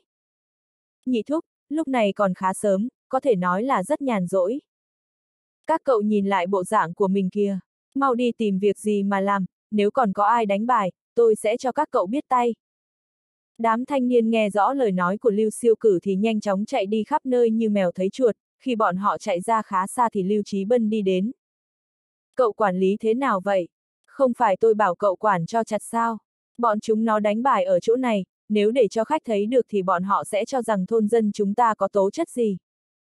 Lưu siêu cử cũng không chờ Lưu Trí Bân mở miệng mà dùng giọng hung hăng khiển trách. Nhị thúc, ngài nói rất đúng, cháu nhất định sẽ sửa lại. À, vừa rồi có chuyện thế này, chủ tịch Hào trong xã đến, hỏi có gì cần xã trợ giúp hay không, bây giờ cán bộ xã đều chờ ở ủy ban, nếu có gì cần sẽ đến ngay. Lưu Trí Bân vừa nói lời xin lỗi vừa nói rõ vấn đề. Lưu Siêu cử cười hì hì nói. Cậu nói cho anh Hào là không cần bận tâm gì cả, mà sau hôm nay tôi sẽ mời anh ấy uống rượu. Vâng. Lưu Trí Bân đồng ý một tiếng rồi nhanh chóng chạy đi, Lưu Siêu cử nhìn Lưu Trí Bân hấp tấp bỏ đi mà nở nụ cười. Sau khi Lưu Siêu cử ăn xong một tô mì bốc khói nghi ngút, hắn chợt nở nụ cười cực kỳ thoải mái. Lúc này đầu bếp cung kính dâng lên cho hắn một điếu thuốc, hắn vui vẻ tiếp nhận, châm lửa hút khói nhả xương. Bí thư đồng sắp đến, thường ủy thị ủy cũng đến khá nhiều, đám chiến hữu của anh mình trên tỉnh cũng sẽ xuống. Có những người này chống đỡ thì mình thật sự là rất có thể diệt, sự việc liên quan đến Chủ tịch Trương còn chưa quyết định rõ ràng, nếu Chủ tịch Trương đến đây, sự việc càng thêm viên mãn. Nhiều lãnh đạo như vậy đi xuống đây thật sự là một tình huống cực kỳ lớn ở thành phố Đông Bộ, như vậy tên họ Vương kia càng không có thể diệt đến lúc đó tên tuổi của Vương Tử Quân sẽ nổi tiếng khắp tỉnh. Tên khốn này dám làm cho mình mất tiền, lại tổn thất danh tiếng quá nặng, lần này xem ai là người chịu tổn thất. Lưu siêu cử nghĩ đến số tiền tổn thất khi bị chính quyền thành phố rút đi vài hạng mục quan trọng mà cảm thấy đau bụng. Còn bà nó, có ai chê ít tiền chứ? Tút tút tút. Tiếng chuông điện thoại vang lên, Lưu siêu cử nhìn thoáng qua dãy số, trên mặt hắn lộ ra nụ cười. Anh, anh đâu rồi? Một giờ nữa sẽ về đến nhà. Một âm thanh vui vẻ và có chút huệ oải chợt vang lên từ dầu dây bên kia. Vậy thì tốt rồi, anh, có cần em đi đón anh không? Lưu siêu cử dù biết lúc này mình không thể bỏ đi nhưng vẫn dùng giọng nóng hôi hổi nói. Không cần, tôi cũng biết đường về nhà, cậu không cần đón. Lưu Chiêu Phong hỏi vài câu chuẩn bị như thế nào, sau đó cúp điện thoại. Nghĩ đến tình huống Lưu Chiêu Phong muốn xử lý đơn giản mà Lưu Siêu cử thầm đổ mồ hôi hột, nếu không phải hắn thông báo 11 giờ mới mở tiệc, chỉ sợ lúc này người ta đã đứng chắn cả con đường trong thôn rồi. Có lẽ đến lúc đó đội cảnh sát giao thông huyện cũng được phái đến giúp đỡ các vị thần tiên mở đường. Không biết khi anh mình quay về, thấy tình cảnh khua chiêng gõ trống thế này, có mắng mình một chặp hay không? Ôi, anh mình, muốn mắng thì cũng chỉ là nước phù sa không chảy ruộng người ngoài, cũng không có gì quá hay. Thời gian chậm rãi trôi qua, một giờ sau, một chiếc xe Việt dã màu xanh chạy trên con đường thôn Dương Lưu. Lưu siêu cử đã sớm đứng chờ ven đường, khi thấy chiếc xe kia thì nhanh chóng nghênh đón. Anh, mừng anh quay về nhà. Sau khi một người đàn ông mặc thường phục đầy phong thái quân nhân bước xuống xe thì Lưu siêu cử nhanh chóng tiến lên nghênh đón. Hắn và người đàn ông kia có gương mặt khá giống nhau, nhưng người đàn ông kia lại làm cho người ta sinh ra cảm giác không tầm thường. Lúc này Lưu siêu cử có chút kích động, chỉ cảm thấy hai mắt có hơi ươn ướt. Người đàn ông kia thấy Lưu siêu cử cũng tỏ ra khá vui vẻ, hắn tiến lên vỗ vỗ vai Lưu siêu cử rồi nói. Nhị đệ, cậu mập ra khá nhiều. Khi hai người nói chuyện thì không ít người trong thôn đi ra đón chào, Lưu Chiêu Phong rất có kinh nghiệm đối phó với tình huống này. Hắn lấy thuốc từ trong xe ra, nói lái xe chạy vào trong thôn, chính mình thì đi bộ mời thuốc và chào hỏi mọi người. Tất nhiên hắn tỏ ra rất cung kính với các vị trưởng bối, hơn nữa còn liên tục mở miệng hỏi về tình hình sức khỏe và cuộc sống của mọi người. Lưu siêu cử thấy người trong thôn vây kín anh mình thì thật sự cảm thấy rất kiêu ngạo. Vinh quanh của Lưu Chiêu Phong chính là thứ mà Lưu siêu cử hắn dù có nhận được thêm bao nhiêu công trình, có thêm bao nhiêu tiền bạc cũng không thể tìm được. Hắn đi chậm lại một bước, sau đó lấy điện thoại ra, bên trong đã sớm có tin nhắc được soạn sẵn. Siêu cử, tôi không phải nói lần này thừa dịp mà về, chỉ là gặp mặt người trong thôn, cùng ăn một bữa cơm là được, không cần huy động nhân lực sao. Cậu làm vậy là ý gì? Lưu Chiêu Phong nhìn sân khấu trước nhà mình, không khỏi nhướng mày nói. Anh, vốn xử lý theo ý anh, nhưng các vị trưởng bối trong thôn nói, hôm nay là ngày vui của mẹ, hơn nữa anh lại quay về, thế cho nên vui vẻ một chú, đến làm đơn giản thì mọi người cũng không đồng ý. Lưu Siêu Cử giải thích với Lưu Chiêu Phong bằng giọng điệu khá uất ức. Lúc này những ông lão đi theo Lưu Chiêu Phong cũng lên tiếng theo đúng những gì là Lưu Siêu Cử sắp xếp. Chiêu Phong, mẹ cậu nuôi các con khôn lớn trưởng thành cũng không dễ dàng gì, khi còn trẻ chịu khổ đã nhiều, bây giờ già rồi, nếu các cậu có bản lĩnh thì cũng nên cho mẹ được hưởng phúc. Hôm nay là ngày mừng thọ 80 của mẹ cậu, là thời điểm mà chị dâu cực kỳ vui vẻ, các cậu còn chờ đến khi nào nữa. Đúng vậy, đúng vậy, là tôi nói với siêu cử, nếu nó dám lừa dối làm qua loa cho xong, tôi cũng không tha cho nó. Nhà thường mừng thọ 80 tuổi cũng làm vài mâm chúc mừng, huống hồ là nhà chúng ta. Triều Phong, việc này nếu không chúc mừng một chút cho đúng lẽ thường, cậu đừng hòng qua được cửa ải của chúng tôi. Lưu Chiêu Phong dù là một người cứng rắn trong quân, bây giờ đối diện với những ông lão trưởng bối trong nhà thì cũng chỉ có thể gật đầu xưng vâng. Hắn mỉm cười nói lời cảm tạ, sau đó nhanh chóng đi về nhà để gặp mặt mẹ mình. Lưu siêu cử thấy anh vào thăm mẹ thì thầm thở dài một hơi, hắn khẽ gật đầu với những ông lão ở bên kia, sau đó phân phó Lưu Trí Bân. Cậu đến đầu thôn đi, bí thư đồng sắp đến. Đúng rồi, chút nữa cậu liên lạc với kinh tế của Chủ tịch Trương, để xem hôm nay Chủ tịch Trương có rảnh rỗi không. Vâng, nhị thúc. Lưu Trí Bân đồng ý một tiếng rồi chạy ra đầu thôn, nhưng lúc này con đường vẫn trống rỗng. Hắn móc điện thoại ra, còn chưa kịp gọi đi thì thấy một dãy xe đang chạy về phía bên này. Bây giờ Lưu Trí Bân cũng không phải đám thanh niên không có tri thức trong thôn, hắn nhìn những chiếc xe kia và biết nó đại diện cho cái gì, hắn nhìn đoàn xe chạy đến mà trong lòng rất chờ mong. Vì đám khách kia đến mừng thọ bà mình 80 tuổi càng đông thì tên khốn vương tử quân sẽ càng mất mặt. Mày là chủ tịch thành phố thì thế nào? Chúng tao không mời mày, dù mày có như thế nào cũng đừng hòng đến đây. Lưu Trí Bân nhổ một bãi nước miếng xuống đất, sau đó chỉnh trang lại y phục, sau đó tiến lên nghênh đón. Cậu nói xem rốt cuộc là có chuyện gì xảy ra. Lưu Chiêu Phong nhìn đoàn xe dừng bên ngoài giống như một đội danh dự cần kiểm quyệt thì dùng giọng âm trầm hỏi Lưu Siêu Cử. Lưu Siêu Cử cúi đầu không nói lời nào, hắn giống như biến thành một học sinh tiểu học. Nhưng hắn không nói lời nào thì có người cho hắn chỗ dựa, Lưu Siêu chỉ chợt đứng lên dùng giọng bất mãn nói. Anh, sao anh lại hỏi nhị ca là chuyện gì xảy ra? Vấn đề này phải hỏi anh mới đúng, vì sao có nhiều người đến đây như vậy? Người ta đến là vì anh, anh hỏi nhị ca thì được gì? Tôi không phải nói làm tiệc mừng thọ 80 của mẹ nên an phận một chút sao? Lưu Chiêu Phong gần đây rất sủng ái Lưu Siêu Trì, lúc này thấy Lưu Siêu Trì lên tiếng thì giọng điệu cũng hòa ái vài phần. Nhị ca an phận, thế nhưng trong thôn có quá nhiều người, chẳng lẽ phải để anh ấy đi dán băng keo lên miệng từng người một. Hơn nữa đại ca, những năm qua anh ở bên ngoài công tác, ba anh em chúng tôi ở nhà chăm sóc mẹ, anh mới về đã gian dạy thế này giáo dục thế kia, anh làm quan là thật, nhưng trong nhà anh không phải là anh cả của chúng tôi sao? Lưu Lão Tứ tuy cả gan lên tiếng nhưng trong lòng rất lo lắng, dù sao thì quyền uy của Lưu Chiêu Phong trong Lưu gia cũng khó thể tùy tiện khiêu khích được. Nếu không phải nhị ca vừa cho hắn một chiếc xe thể thao, ước mơ lâu nay đã thành, chỉ sợ hắn cũng không mở miệng nói thay cho nhị ca. Vẻ mặt Lưu Chiêu Phong chợt biến đổi, hắn dùng ánh mắt hung hăng nhìn Lưu Siêu Cử, sau đó trầm giọng nói. Được rồi, nếu người đã đến thì không thể đuổi đi, nếu không người ta lại nói chúng ta không hiểu lễ. Nhưng có một vấn đề các cậu nghe cho rõ, chỉ cần lễ vật vượt quá 100 đồng sẽ không thu. Lưu siêu cử thật sự không quan tâm đến tiền mừng, lúc này thấy anh đã đổi thái độ thì lập tức vui vẻ. Nhưng hắn cũng không dám biểu hiện cảm xúc ra vẻ mặt, hắn thành thật nói. Anh, chúng em không thiếu tiền, em sẽ chú ý để không ảnh hưởng đến hình tượng của anh. Anh cứ yên tâm, em sẽ cố gắng cực kỳ đúng mực. chương 533, Đại thần không thể trêu vào. Khi bọn họ nói chuyện thì Lưu Trí Bân nhanh chóng đi đến nói. Đại thúc, nhị thúc, bí thư nhan và chủ tịch triệu của huyện Nhạc Huy đã đến. Lưu siêu cử lúc này cũng không nói lời nào, hắn đưa mắt nhìn về phía Lưu Chiêu Phong, lúc này Lưu Chiêu Phong gật đầu nói. Chúng ta đi ra nghênh đón. Nhóm Lưu Chiêu Phong còn chưa đi ra ngoài cửa thì Nhan Mạnh Lương và Triệu Cương Truyền đã đi vào. Nhan Mạnh Lương và Lưu Chiêu Phong từng có quan hệ, bây giờ gặp mặt Lưu Chiêu Phong thì Nhan Mạnh Lương cười nói. Quân đoàn trưởng Lưu, hoan nghênh anh về nhà, hôm nay là ngày mừng đại thọ của bác nhà, đám vãn bối chúng tôi đến uống ly rượu mừng, ngài không phải không cho đấy chứ.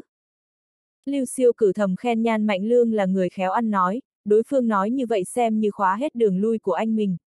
Lưu Chiêu Phong dù có chút mất hứng nhưng Nhan Mạnh Lương dù sao cũng là lãnh đạo quê nhà, mình tuy rời khỏi quê nhưng anh em vẫn còn ở lại, vì thế hắn rất khách khí với Nhan Mạnh Lương. Bí thư Nhan, nhìn anh nói kìa, anh đến thì chúng tôi hoan nghênh còn chưa kịp nữa là.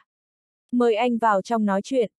Lưu Chiêu Phong có thể là quân đoàn trưởng thì tất nhiên cũng không phải là kẻ đầu đường xó chợ, hắn khẽ cười với Nhan Mạnh Lương, sau đó mời Nhan Mạnh Lương và Triệu Cương truyền đi về phía phòng khách.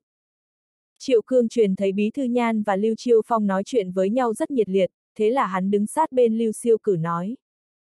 Anh Lưu, bây giờ sự kiện đã trở nên có tiếng vang lớn, mọi người đều nói anh và Chủ tịch Vương có quan hệ không tốt, tôi thấy anh nên lợi dụng cơ hội lần này để thu tay lại thì vẫn còn kịp, nên gọi điện thoại mời Chủ tịch Vương một tiếng. Lưu Siêu Cử và Triệu Cương truyền có quan hệ bình thường, bây giờ nghe Triệu Cương truyền nói như vậy thì hắn có chút mất hứng. Hắn cũng không sợ đắc tội Triệu Cương truyền, thế là cười hì hì nói. Chủ tịch Triệu, ngài đến chúc thọ mẹ tôi, tôi thật sự rất cảm kích, nhưng những chuyện khác thì kính mong anh không nên chen vào. Triệu cương truyền coi như vừa mở miệng đã mất mặt, thế nên cũng không nói gì thêm, dù sao thì hắn cũng đã mở miệng làm người hòa giải, nhưng người ta có đồng ý mới thành công được. Bốn người đi vào phòng khách, vừa ngồi xuống nói được vài câu thì lại có người đến. Lần này người đến chính là Phó Bí Thư Thị ủy kiêm Cục trưởng Cục Công an thành phố là Hạ Nham Châu, vì vậy Nhan Mạnh Lương và Triệu Cương Truyền cũng đi theo ra nghênh đón. Khi Hạ Nham Châu đi đến thì các vị cán bộ lãnh đạo thành phố Đông Bộ kéo đến như đèn kéo quân, chỉ một lát thì Phó Bí Thư Thị ủy La Kiến Cường, phó bí thư thị ủy Bành Quang Binh đều đã đến. Tình huống lúc này giống như huyện Nhạc Huy đang mở tiệc, hai vị lãnh đạo Nhan Mạnh Lương và Triệu Cương Truyền vừa ngồi xuống đã phải đứng lên để nghênh đón lãnh đạo. Hai người Nhan Mạnh Lương và Triệu Cương Truyền lúc này cũng chỉ có thể cười khổ mà thôi, bọn họ vốn đang ngồi ở vị trí trung tâm, bây giờ phải nhanh chóng giặt ra ngoài rìa. Khi trưởng phòng lý của phòng tài chính tỉnh ủy đến thì các vị khách lui tới lưu ra mới yên tĩnh hơn một chút, trong quá trình nói chuyện, tất nhiên Lưu Chiêu Phong sẽ là trung tâm của mọi người, rất nhiều chủ đề được mở ra xoay quanh hắn. Lưu Chiêu Phong nói chuyện cũng cực kỳ có tiêu chuẩn, tuy không thể nói như đang ở nhà nhưng dù sao cũng cực kỳ tự nhiên và khách khí. Lão Trung đoàn trưởng, mới đó mà anh đã là quân đoàn trưởng, lúc này chúng tôi còn đang là cán bộ cấp sở, sớm biết như vậy thì năm xưa tôi đã đi theo anh rồi, khỏi phải chuyển nghề. Trưởng phòng lý vừa cắn hạt dưa vừa cười nói với Lưu Chiêu Phong. Lưu Chiêu Phong và trưởng phòng lý có mối quan hệ từ xưa, lúc này nghe thấy trưởng phòng lý nói như vậy thì hắn cười hì hì nói. Anh Lý, nếu anh cứ tiếp tục tại ngũ, cũng không phải không được, chỉ sợ cái bụng của anh không chịu đồng ý mà thôi. Khi Lưu Chiêu Phong nói ra như vậy thì có không ít ánh mắt nhìn về phía cái bụng của trưởng phòng lý, từng tiếng cười chợt phát tán trong đám người. Nếu như người khác nói như vậy thì trưởng phòng lý sẽ tức giận, nhưng người nói lại là Lưu Chiêu Phong, là lãnh đạo cũ của hắn, địa vị lại cao hơn hắn rất nhiều. Trưởng phòng lý cảm thấy rất vui, Lưu Chiêu Phong nói như vậy rõ ràng không xem hắn là người ngoài, vì vậy hắn cười ha hả nói. Lão lãnh đạo, lời này của anh phải là nói cho sớm, chẳng lẽ anh cho rằng bụng đàn ông sẽ đơn giản chỉ là có tác dụng giải trí như của phụ nữ sao? Trưởng phòng lý nói một câu rất ẩn giấu, thế nhưng đám người nơi đây ai cũng là tinh anh trong quan trường, thế cho nên ai cũng nghĩ ra được ý nghĩa bên trong lời nói của hắn, vậy là kẻ nào cũng cười phá lên ha hả. Lưu Chiêu Phong càng chỉ vào trưởng phòng Lý nói. Anh Lý ơi là anh Lý, tôi cũng đang nghĩ anh chuyển nghề công tác ở địa phương vài năm sẽ là như thế nào, sẽ là bộ dạng gì, không thể ngờ anh vẫn là bộ dạng như thế. Khi mọi người đang ngồi trong phòng nói giỡn với nhau thì Lưu Trí Bân chạy vào nói. Xe của Bí Thư Đồng đã đến. Đa số mọi người ngồi đây đều là cán bộ thành phố Đông Bộ, thế cho nên Đồng Quốc Khánh đến thật sự có lực tác động mạnh đến mọi người, không ít người đang cười phải ngưng tụ nụ cười nhìn về phía Lưu Chiêu Phong. Trước kia Lưu Chiêu Phong cũng có quan hệ với Đồng Quốc Khánh, thế là hắn đứng lên nói. Các vị cứ nghỉ ngơi một lúc, tôi đi đón bí thư đồng. Chúng tôi cùng theo ngài ra nghênh đón. Nhan Mạnh Lương đứng ở vòng ngoài cũng không chờ Triệu Cương truyền lên tiếng, hắn đứng lên, chuẩn bị nghênh đón vị lãnh đạo đứng đầu thành phố. Dù sao thì đây chính là bí thư thành phố Đông Bộ, là một đại nhân vật trực tiếp ảnh hưởng đến vận mệnh của hắn. Trưởng phòng lý thấy phần lớn mọi người đều đi ra ngoài thì cũng có vài phần không yên, hắn nhanh chóng đứng lên đi theo. Khi bọn họ đi ra đến cửa thì thấy chiếc xe Audi của Đồng Quốc Khánh đã chạy đến, sau đó dừng lại ở ngay bên ngoài. Bí thư Đồng đang làm gì vậy nhỉ? Khi đám người đang cảm thấy có chút nghi hoặc, đúng lúc có một chiếc xe từ phía sau chạy đến, nhóm người trưởng phòng lý thấy trên xe là máy chụp hình và máy quay phim, thế là hai mắt chợt sáng lên. Trưởng phòng lý vốn đi sau nhưng lúc này lại nhanh chân lên trước, nụ cười trên mặt vô cùng sáng lạn, mà vẻ mặt Lưu Chiêu Phong cũng lộ ra cảm giác vui mừng. Chiếc xe đầu tiên đã dừng lại, Trương Đông Viễn mặc một bộ tây trang màu xanh cười ha hả bước xuống xe. Khi lão bước xuống xe, bí thư thị ủy Đông Bộ cũng cười bước xuống xe. Đông Viễn cũng thật là, xa như vậy cũng đi đến đây được. Lưu Chiêu Phong và Trương Đông Viễn cũng không phải là quen thuộc bình thường, thế nên hắn cũng không gọi tên hiệu của Trương Đông Viễn, trực tiếp cười ha hả đón chào. Trương Đông Viễn cũng cười nói. Chiêu Phong, tôi phải phê bình cậu, bác gái đại thọ 80 mà không thông báo một tiếng, có phải chẳng coi tôi là bạn không? Khi hai người Lưu Chiêu Phong nói chuyện với nhau thì những người khác chỉ có thể đứng yên lắng nghe, trong đám người có cả Đồng Quốc Khánh là nhân vật mà mọi người đang chú tâm nghênh đón. Nhưng sự thật lại quá rõ ràng, bây giờ Trương Đông Viễn là phó chủ tịch tỉnh, tuy chưa tiến vào thường ủy nhưng cấp bậc lại cao hơn hẳn Đồng Quốc Khánh. Đồng Quốc Khánh nhìn Lưu Chiêu Phong bắt tay với Trương Đông Viễn mà trong lòng không khỏi sinh ra cảm giác chán ghét. Trước đó hắn vốn là phó phòng thường vụ phòng tổ chức tỉnh ủy, là một trong những cán bộ lãnh đạo trong một ban ngành cực kỳ có quyền lực của tỉnh ủy, Trương Đông Viễn cũng không sánh bằng hắn. Nhưng khốn nổi hắn chỉ là cấp giám đốc sở, trong khi Trương Đông Viễn là phó chủ tịch tỉnh cấp phó bộ. Tuy Đồng Quốc Khánh cảm thấy không thoải mái nhưng lại không có chút biểu hiện nào ngoài vẻ mặt, mà Lưu Chiêu Phong làm chủ cũng không để hắn chờ lâu, sau khi hàn huyên vài câu với Trương Đông Viễn thì nhanh chóng hướng về phía bí thư Đồng Quốc Khánh. Bí thư Đồng, chào mừng, chào mừng anh. Lưu Chiêu Phong nói vài lời hoan nghênh với Đồng Quốc Khánh, sau đó đám đông cùng đi về phía đại sảnh.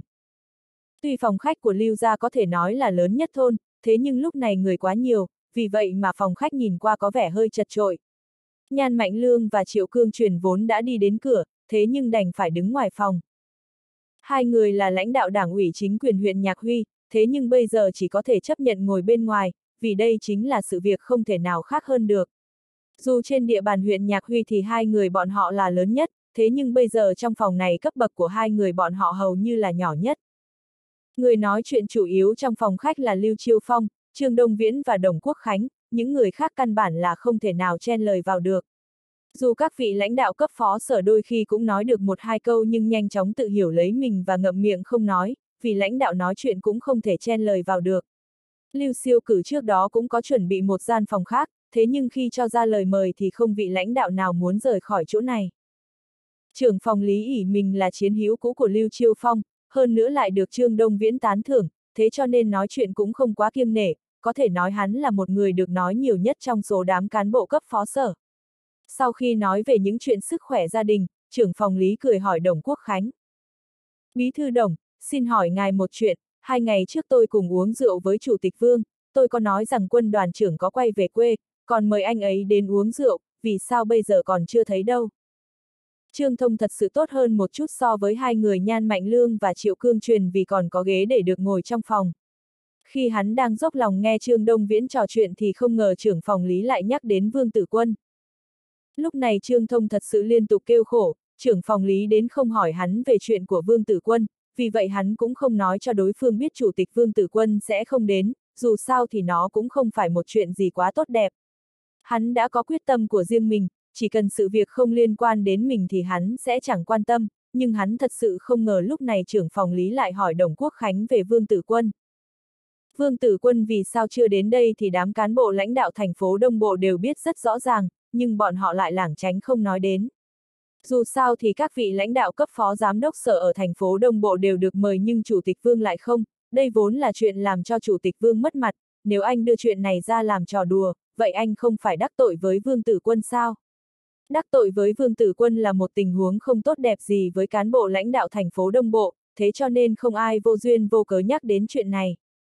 Lúc này cả phòng khách chợt yên tĩnh trở lại, hầu như từng ánh mắt đều nhìn về phía trưởng phòng lý. Lúc này trưởng phòng lý mới ý thức được mình đặt câu hỏi không nên, nhưng ván đã đóng thuyền, hắn khó thể nào thu lại được. Trương Đông Viễn đã sớm phát hiện được vấn đề này, dù thế nào thì hắn cũng là trưởng bối của Vương Tử Quân, Đồng Quốc Khánh đến mà Vương Tử Quân không xuất hiện, rõ ràng là sự kiện này có vấn đề. Nhưng Trương Đông Viễn cũng không quá quan tâm, thế cho nên cũng không nói về vấn đề này. Khi trưởng phòng lý hỏi vấn đề này thì Lưu Chiêu Phong mới kịp phản ứng, trước kia hắn quay về thì dù là Tiết Diệu Tiến hay Nhâm Sương Bình cũng chưa từng vắng mặt, bây giờ bí thư Đồng Quốc Khánh đã đến nhưng chủ tịch thành phố Đông Bộ lại không xuất hiện, đây là có chuyện gì? Trên mặt Đồng Quốc Khánh là nụ cười nhàn nhạt, nhìn qua không khác gì so với lúc vừa rồi, thế nhưng trong lòng hắn lại rất vui mừng, lại càng thêm cảm kích phát triển lý đã đặt ra câu hỏi như vậy. Hắn có chút trầm ngâm, sau đó nói. Chủ tịch Vương tạm thời có nhiệm vụ tiếp đãi nên không tới được, cậu ấy còn nhờ tôi chuyển lời thăm hỏi bác gái. Đồng Quốc Khánh nói rất khéo léo, tuy đám người nơi đây đều biết đó là lời nói dối, thế nhưng hắn nói như vậy trên cơ bản là trợ giúp Vương Tử Quân, để người ta cảm thấy hắn là người biết nguyên tắc, chú ý đại cục, bảo trì đoàn kết ban ngành. Hừ hừ, nhà chúng tôi chỉ là miếu nhỏ, căn bản không đón được vị đại thần như chủ tịch vương. Không biết Lưu Siêu Cử đã đi vào phòng từ lúc nào, hắn chợt cười nhạt một tiếng, lại dùng giọng mỉa mai nói. Lưu Siêu Cử nói một câu như vậy thật sự làm cho trưởng phòng lý và đám cán bộ trong tỉnh đi theo cùng chợt ý thức được Vương Tử Quân có mâu thuẫn với Lưu Gia, có một số người bắt đầu quay sang hỏi thăm đám cán bộ thành phố Đông Bộ ở bên cạnh xem có chuyện gì xảy ra. Lưu Chiêu Phong dùng ánh mắt hung hăng nhìn Lưu Siêu Cử rồi nói. Siêu Cử, cậu nói gì vậy? Không có việc của cậu, đi ra ngoài cho tôi. Đại ca, em nói là sự thật, chúng ta không thể trêu vào vị đại thần kia, vì vậy cũng không dám mời. Lưu Siêu Cử dùng giọng mỉa mai nói. Tôi đến để hỏi các vị đại ca, bây giờ có thể mở tiệc được chưa? Lưu truyền pháp nhìn đám người châu đầu ghé tai nghị luận, hắn cũng không biết bọn họ nghị luận cái gì, nhưng lúc này việc duy nhất hắn có thể làm chính là gác sự việc sang một bên, sau này để xem như thế nào rồi hãy nói. Lưu Chiêu Phong đưa mắt nhìn Trương Đông Viễn, hắn thấy Trương Đông Viễn nhíu mày, hắn đang định hỏi Trương Đông Viễn xem nên mở tiệc hay chưa, nhưng đành nuốt lời vào bụng. Trương Đông Viễn lúc này thầm nghĩ về Vương Tử Quân, sự việc đến nước này thì lão biết rõ có chút vấn đề. Chính mình đã đến, trong tỉnh có vài vị lãnh đạo ban ngành đến thăm, có nhiều thành viên đảng ủy chính quyền thành phố đến chung vui, nhưng chủ tịch thành phố Đông Bộ như Vương Tử Quân lại không được mời. Đây là một việc nhỏ nhưng nói ra lại không dễ nghe. Trương Đông Viễn lúc này muốn loại trừ ảnh hưởng với Vương Tử Quân cũng không bia ra tay ở điểm nào, nếu như lão nói không tốt thì sợ rằng sẽ càng làm cho sự việc thêm khó coi. Vậy, khi Lưu Chiêu Phong chuẩn bị nói lời mở tiệc, đúng lúc hắn chợt nhớ ra vài vấn đề. Chính ủy đường của phân khu thành phố Đông Bộ đến chưa? Lúc này Lưu Siêu Cử cảm thấy như được ăn mật ngọt, hắn nhìn đám cán bộ nói chuyện to nhỏ với nhau, đặc biệt là đám cán bộ tỉnh, thế là hắn biết mình xem như đạt được mục đích. Hắn thiếu chút nữa đã không nghe rõ ràng lời nói của anh mình. Sau khi sững sờ thì hắn chợt nhớ đến vị lãnh đạo phân khu thành phố Đông Bộ còn chưa đến. Lãnh đạo phân khu thành phố Đông Bộ không thể không đến được. Lưu siêu cử chợt sững sờ, sau đó hắn lên tiếng. Anh, còn chưa đến, có phải có gì đó làm trễ nãi không? À, để tội gọi điện thoại cho anh Đường. Lưu siêu cử là người có quan hệ không tệ với đường Hồng Vĩ của phân khu thành phố Đông Bộ, thế là hắn không nghĩ nhiều mà nhanh chóng gọi điện thoại ra ngoài. Alo, chính ủy đường phải không? Tôi là Lưu Chiêu Phong, anh đang ở đâu? Lưu siêu cử bấm máy và đưa điện thoại cho Lưu Chiêu Phong, Lưu Chiêu Phong cũng có quan hệ rất tốt với đường Hồng Vĩ, thế nên hắn căn bản không khách sáo mà cười nói. Điện thoại cách âm không tốt, vì vậy mà âm thanh của đường Hồng Vĩ thông qua điện thoại chuyên vào trong tai mọi người. Anh Lưu à, anh về đến nhà chưa? Tôi đang định gọi điện thoại cho anh, không ngờ anh lại gọi đến rồi. Tôi vừa về đến nhà, tôi muốn uống với anh vài ly nhưng phát hiện anh chưa đến, thế là tôi gọi điện thoại thúc giục anh, để anh nhanh chóng đưa đến hai chai rượu lâu năm. Lưu Chiêu Phong vừa cười vừa nói, có vẻ rất tự nhiên. Lưu Siêu Cử nhìn thấy anh mình nói chuyện điện thoại với đường Hồng Vĩ mà thật sự cực kỳ hâm mộ, thầm nghĩ mỗi lần mình gặp mặt đường Hồng Vĩ thì đối phương cũng căn bản không quá nể mặt. Hắn cũng không được giống như anh mình, có thể tùy ý nói chuyện với lãnh đạo như vậy. Tuy Lưu Siêu Cử rất hâm mộ nhưng không biết làm sao cho phải, thân phận của hắn quá rõ ràng, dù lợi dụng thân phận của anh mình thì cũng không đến mức được xưng anh em với đường Hồng Vĩ. Quân đoàn trưởng Lưu vẫn là tính tình như năm xưa, anh cứ yên tâm, tôi sẽ cho người đưa rượu đến, còn có quà cho bác gái, thế nhưng mong anh tha thứ, hôm nay tôi thật sự không đến được. Anh, anh Đường, tôi đã hỏi bí thư đồng, hôm nay anh không rời khỏi thành phố Đông Bộ, nếu anh không cho tôi lời giải thích, tôi sẽ không nhận anh là bạn. Lưu Chiêu Phong vừa cười vừa trừng mắt với Đồng Quốc Khánh ở bên kia. Đồng Quốc Khánh cũng cười theo, hắn biết Lưu Chiêu Phong đang chơi trò dối trá, nhưng cũng không quan tâm. Điều này, điều này, được rồi anh Lưu, tôi nói cho anh biết, có vài vị thủ trưởng đến thành phố Đông Bộ, tôi phải đi cùng với các vị lãnh đạo. Đường Hồng Vĩ do dự một lúc rồi khẽ nói. Có vài vị thủ trưởng đến thành phố Đông Bộ, là những vị thủ trưởng nào? Lưu Chiêu Phong lúc này cũng thu hồi nụ cười, hắn trầm giọng hỏi đường Hồng Vĩ. Đồng Quốc Khánh đang cười nghe hai người Lưu Chiêu Phong trò chuyện điện thoại cũng phải nhíu mày, có thể được đường Hồng Vĩ gọi là lão thủ trưởng, như vậy nhất định là đại nhân vật. Bây giờ các đại nhân vật đến thành phố Đông Bộ, hắn là bí thư thị ủy mà không biết gì cả, điều này làm hắn cảm thấy không thoải mái. Là Mạc Lão, Trương Lão, Vương Lão. Đường Hồng Vĩ nói ra bốn năm cái tên, điều này không khỏi làm cho vẻ mặt Lưu Chiêu Phong chợt biến đổi. Đặc biệt là nghe nói có Mạc Lão thì hắn có chút kích động. Lưu Chiêu Phong có thể lên đến cấp bậc hôm nay thật sự không thiếu sự quan tâm của Mạc Lão, năm xưa hắn mới tổng quân thì làm nhân viên thông tin của Mạc Lão, cũng không biết vì sao Lão thủ trưởng lại chọn hắn. Cũng vì kinh nghiệm như vậy, cộng với bản thân hắn rất hiếu học, thế cho nên mới phát triển đến ngày hôm nay. Bây giờ Mạc Lão đến thành phố Đông Bộ, điều này làm cho Lưu Chiêu Phong cực kỳ kích động. Tuy mỗi năm hắn đều đến thủ đô chúc Tết Mạc Lão, thế nhưng Mạc Lão từ thủ đô đến thành phố Đông Bộ lại có ý nghĩa hoàn toàn khác. Anh đúng là, Mạc Lão gia tử đến mà anh không nói cho tôi biết một tiếng, anh mau nói cho tôi biết các anh đang ở nơi nào, nếu không anh cẩn thận với tôi đấy. Lưu Chiêu Phong nói, cũng không còn giọng đùa giỡn như trước, đây rõ ràng là chính thức mở miệng mắng. Đường Hồng Vĩ có quan hệ không tệ với Lưu Chiêu Phong, thế cho nên hắn hiểu được cảm giác của Lưu Chiêu Phong, hắn cười hì hì nói. Chiêu Phong, đây không phải là tôi không muốn thông báo cho anh, là Mạc Lão phân phó, ngài muốn đến thăm chiến hữu, nếu tuyến trên không đặc biệt nói cho tôi biết, tôi cũng không biết được. Hừ, tiểu tử cậu cũng đừng tìm lý do, mau nói cho tôi biết các vị thủ trưởng đang ở đâu.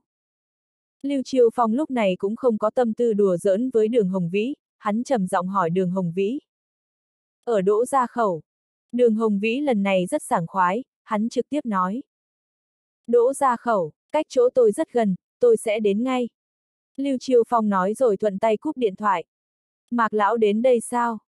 Trương Đông Viễn rõ ràng nghe thấy đường Hồng Vĩ ở bên kia báo danh một nhóm thủ trưởng đến thành phố Đông Bộ, nhưng lão nhìn vẻ mặt và lời lặp lại của Lưu Chiêu Phong, thế là xác định Mạc Lão đến.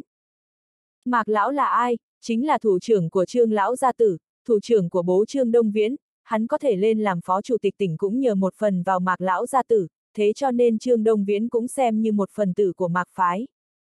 Tuy Mạc Lão càng lúc càng rời xa sân khấu quyền lực nhưng lực ảnh hưởng vẫn mạnh mẽ như trước, bây giờ Mạc Lão đến tỉnh Sơn Nam mà một người làm cháu như mình lại không biết, thật sự khó thể nào nói nổi.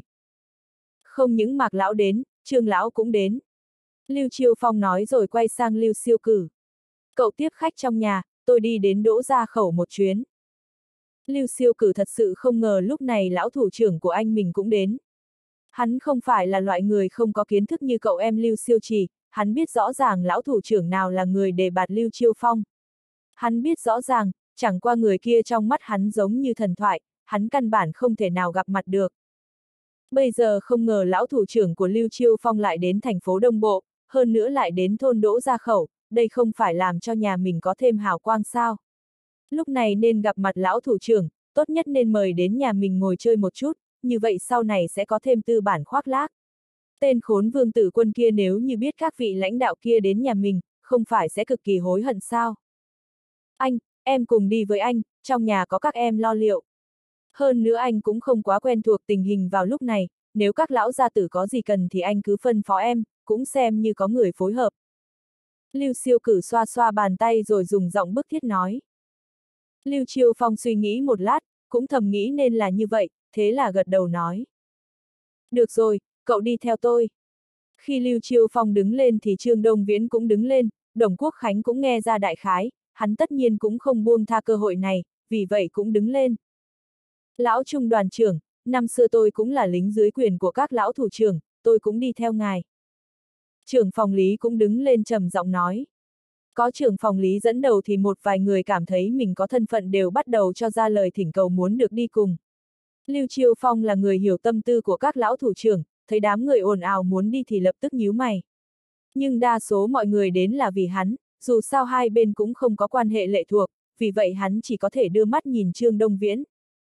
Trương Đông Viễn là phó chủ tịch tỉnh Sơn Nam, là lãnh đạo cao nhất ở chỗ này, hắn thấy đám người lộn xộn xin theo thì trầm ngâm dây lát rồi nói. Anh Đồng, chúng ta cũng không nên đi quá nhiều người, thị ủy các anh đi 5 người, đơn vị tỉnh đi 5 người, chúng ta đi trên 3 xe, cũng không nên đi quá nhiều.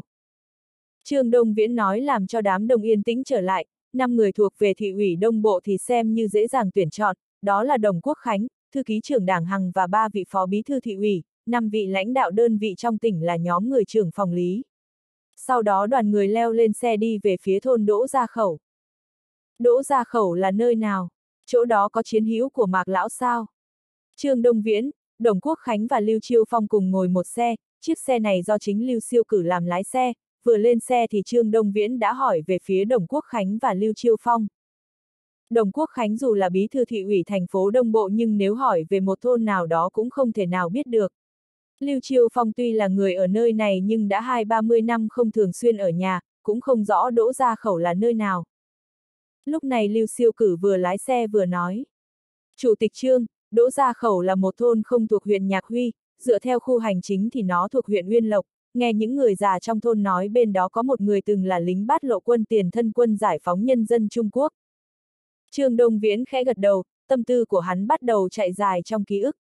Năm xưa hình như lão gia nhà mình đã đi theo mạc lão chiến đấu ở vùng này, nhưng chưa nghe nói có chiến hữu ở chỗ này. Lưu siêu cử lái xe rất tốt, chỉ một lát sau đã đến địa phận huyện Nguyên Lộc. Khi xe đi đến đường đất tiến vào thôn Đỗ Gia Khẩu, xe không thể không đi chậm lại, con đường gồ ghề làm cho người ngồi trong xe cảm thấy sóc này khó chịu. Đồng Quốc Khánh là bí thư thị ủy thành phố Đông Bộ, lúc này xe chạy trên con đường đất gồ ghề sóc này như vậy thì hắn thật sự vã mồ hôi.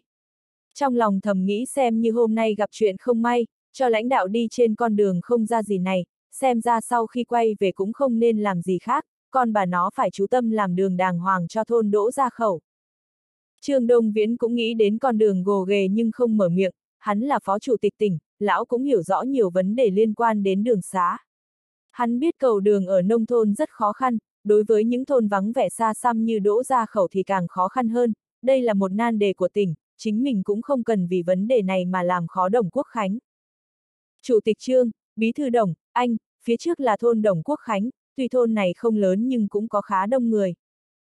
Lưu siêu cử nhìn về phía cổng thôn đỗ ra khẩu, trong lòng bùng lửa nóng, chỉ cần đưa mạc lão đến nhà mình, như vậy lưu gia sẽ được sơn son thiếp vàng. Đến lúc đó để xem còn ai không nể mặt mình, còn ai dám lấy công trình của mình cho người khác, còn ai dám. Một chiếc xe Việt giã màu xanh với biển số quân đội từ trong thôn chạy ra, sau đó dừng lại cách đám người Lưu Chiêu Phong không xa. Khi xe dừng lại, một tên quan quân hơn 30 tuổi từ trên xe nhảy xuống. Lưu Chiêu Phong thấy tên quan quân thì cũng nhanh chóng xuống xe, tên sĩ quan nhìn thoáng qua nhóm người Lưu Chiêu Phong rồi cúi chào. Chào thủ trưởng. Lưu Chiêu Phong chào lại đối phương một cái theo nghi thức quân đội, chợt nghe tên sĩ quan trầm giọng báo cáo. Quân đoàn trưởng Lưu, tôi phụng mệnh các vị thủ trưởng đến dẫn đường, mời anh theo tôi. Lưu Chiêu Phong khẽ gật đầu, chiếc xe Việt dã bắt đầu chạy đi về phía cổng thôn đỗ ra khẩu. Lưu siêu cử chạy theo chiếc xe Việt dã, tay có hơi run, trái tim bao năm bình tĩnh bây giờ lại có chút sao động. Sau khi vượt qua một ngõ hẹp, xe dừng lại ở một bãi đất trống, đám người còn chưa xuống xe thì đường Hồng Vĩ với gương mặt đầy nụ cười và tư lệnh phân khu tần viễn thắng đã đi ra. Anh Đường, lão thủ trưởng đang ở nơi nào? Không đợi đường Hồng Vĩ lên tiếng, Lưu Chiêu Phong đã vội vàng hỏi. Các lão thủ trưởng đang ở bên trong, mời các anh theo tôi. Đường Hồng Vĩ nói rồi chỉ chỉ về phía khoảng sân nhỏ của Đỗ Ngọ Thành. Lưu Chiêu Phong đưa mắt nhìn thoáng qua khoảng sân nhỏ của một căn nhà cũ nát rách mướp, sau đó hắn cất bước đi vào bên trong. Đám lãnh đạo đi theo hắn cũng không dám tạo ra tiếng động, bọn họ khẽ đi theo Lưu Chiêu Phong vào trong nhà. Lưu Siêu cử nhìn cái cổng nhà nho nhỏ, tâm tình muốn mời Mạc Lão đến nhà chơi chợt rơi xuống vực sâu, vì cánh cổng kia thật sự giống như cửa ma, nó mở ra trong lòng hắn một phần ký ức không tốt. Đây không phải là thân thích của Vương Tử Quân sao? Tối hôm đó không phải mình đã đích thân đến đây chịu lỗi nhận tội sao? Bây giờ Mạc Lão ở trong nhà này, nếu... Lưu siêu cử đã thật sự cảm thấy không ổn, trên đầu vã mồ hôi, chỉ sau nháy mắt áo trắng ngắn tay đã ướt đẫm mồ hôi. Làm sao bây giờ, làm sao bây giờ? Lưu siêu cử thật sự cảm thấy choáng váng, hắn cảm thấy có người vỗ vỗ vai mình. Khi hắn quay đầu nhìn lại, chợt thấy trưởng phòng lý dùng giọng quan tâm hỏi. Anh Lưu, anh đừng quá căng thẳng, mạc lão rất hòa ái dễ gần. Tôi cũng không quá căng thẳng. Lưu siêu cử cắn môi, hắn nói ra từng câu từng chữ, khi hắn nói xong, cũng không biết thế nào lại đi vào trong nhà. Lúc này Lưu Chiêu Phong đang cúi chào vài ông lão đang ngồi dưới một gốc cây lớn. Nhưng lúc này hấp dẫn ánh mắt Lưu Siêu Cử không phải là các ông lão bên kia, cũng không phải là chủ nhà, mà chính là một người đàn ông trẻ tuổi. Người đàn ông kia cầm một cây kéo trong tay, hắn đang ngồi bên cạnh một giếng nước, đang mổ bụng một con cá chép nặng 2-3 cân. Vợ, em giữ lấy con cá, để anh làm thịt nó. Vương Tử Quân vừa nói với Mạc Tiểu Bắc ở bên cạnh vừa cầm kéo cắt bụng cá. Mạc Tiểu Bắc giữ lấy con cá lại có động tác rất cứng nhắc làm cho người ta nhìn vào và cảm thấy thật sự khó thể nào nên chuyện. Vương Tử Quân, đây là Vương Tử Quân, hắn vì sao? Sao lại ở chỗ này? Lưu siêu cử nhìn gương mặt với nụ cười của Vương Tử Quân, hắn cảm thấy đầu mình chợt nổ ầm một cái, chỉ sau nháy mắt hắn giống như nghĩ đến điều gì đó, nhưng trong đầu lại càng thêm mê muội. Các ông, trà đã đến rồi. Nhị nha đầu với gương mặt đỏ bừng bừng đang bưng một cái khay không biết đã sử dụng bao nhiêu năm chạy đến bên cạnh các ông cụ ngồi trên bàn, trên khay là một ấm trà bát tiên quá hải rất cũ. Tuy ấm trà sáng loáng nhưng những lỗ hồng bên trên cũng có thể thấy được rõ ràng. Mạc lão gia tử vẫn cực kỳ tinh thần, lão nói hai câu với Lưu Chiêu Phong, sau đó nhìn thấy nhị nha đầu với gương mặt đỏ bừng bừng thì cười nói. Nhị nha đầu, cháu đi thay thế cho hai đứa không chuyên nghiệp kia đi thôi, rõ ràng đó là điển hình của những người không làm tốt công tác hậu cần. Hai người bọn họ cộng tuổi lại cũng hơn 50 nhưng lại không giết được một con cá, nếu đợi cho bọn họ giết được nó và làm thịt, chỉ sợ phải chờ đến tối. Nhóm vương lão gia tử và trương lão gia tử nghe được lời nói ẩn giấu của mạc lão gia tử thì cười lên ha hả, đám cán bộ trong tỉnh đến cũng cười, nhưng đám cán bộ thành phố đông bộ lại cười không nổi. Đảng Hằng rất muốn cười, hắn nhìn vị chủ tịch thành phố ngày thường uy phong bốn phương tám hướng nhưng bây giờ giết một con cá lại rất lóng ngóng, bộ dạng không quá tốt, thật sự rất buồn cười. Nhưng ý nghĩ xuất hiện trong đầu lại làm hắn thật sự cười không nổi. Vương Tử Quân ở đây, Vương Tử Quân rất thân cận với Mạc Lão Gia Tử, Vương Tử Quân có quan hệ thế nào với những người này? Lưu Chiêu Phong cười rất thoải mái, hắn không biết thân phận của Vương Tử Quân, càng không biết mối quan hệ giữa Vương Tử Quân và cậu em mình là thế nào, vì vậy hắn cười nói. Lão thủ trưởng, có câu kỹ thuật cần phải rèn luyện, thế cho nên chuyên giết cá cũng không phải thích làm là làm. À, cậu nói cũng đúng, lão tiểu đoàn trưởng, vương lão, tử quân này thật sự không tệ, nếu các anh cảm thấy nó giết cá không được và không thích, không bằng cho tôi, ngày nào tôi cũng giết cá cho nó ăn. Trương lão gia tử vừa uống trà vừa cười nói với mạc lão gia tử và vương lão gia tử. Anh Trương, như vậy là không được, vì kỹ thuật làm cá của anh cũng không tốt. Tôi nhớ năm xưa có một lần hành quân, anh Vương bắt đầu được hai con cá cho chính ủy bồi dưỡng cơ thể, lúc đó tôi giao nhiệm vụ nấu cá cho anh. Anh nói xem lúc đó anh nấu thế nào. Chỉ rửa cá qua loa rồi trực tiếp ném vào nồi, thế là nước nóng lên và một con cá còn nhảy cả ra ngoài. Mạc lão gia tử chỉ vào trương lão gia tử rồi cười ha hả nói. Các ông lão ngồi đây xem như quay về thời điểm năm xưa, cả đám cười lên ha hả, tiếng cười khởi mở vang vọng khắp sân. Tâm tình của đồng quốc khánh cực kỳ phức tạp, hắn nhìn vương tử quân đã buông cây kéo cắt cá xuống, trong lòng thật sự bùng lên hàng ngàn hương vị. Hắn vốn mượn nhờ lưu ra để áp chế danh tiếng của vương tử quân, không ngờ bây giờ nhìn vào tình hình đang xảy ra, rõ ràng mình là tiểu nhân. Bí thư đồng, sao ngài cũng đến đây rồi?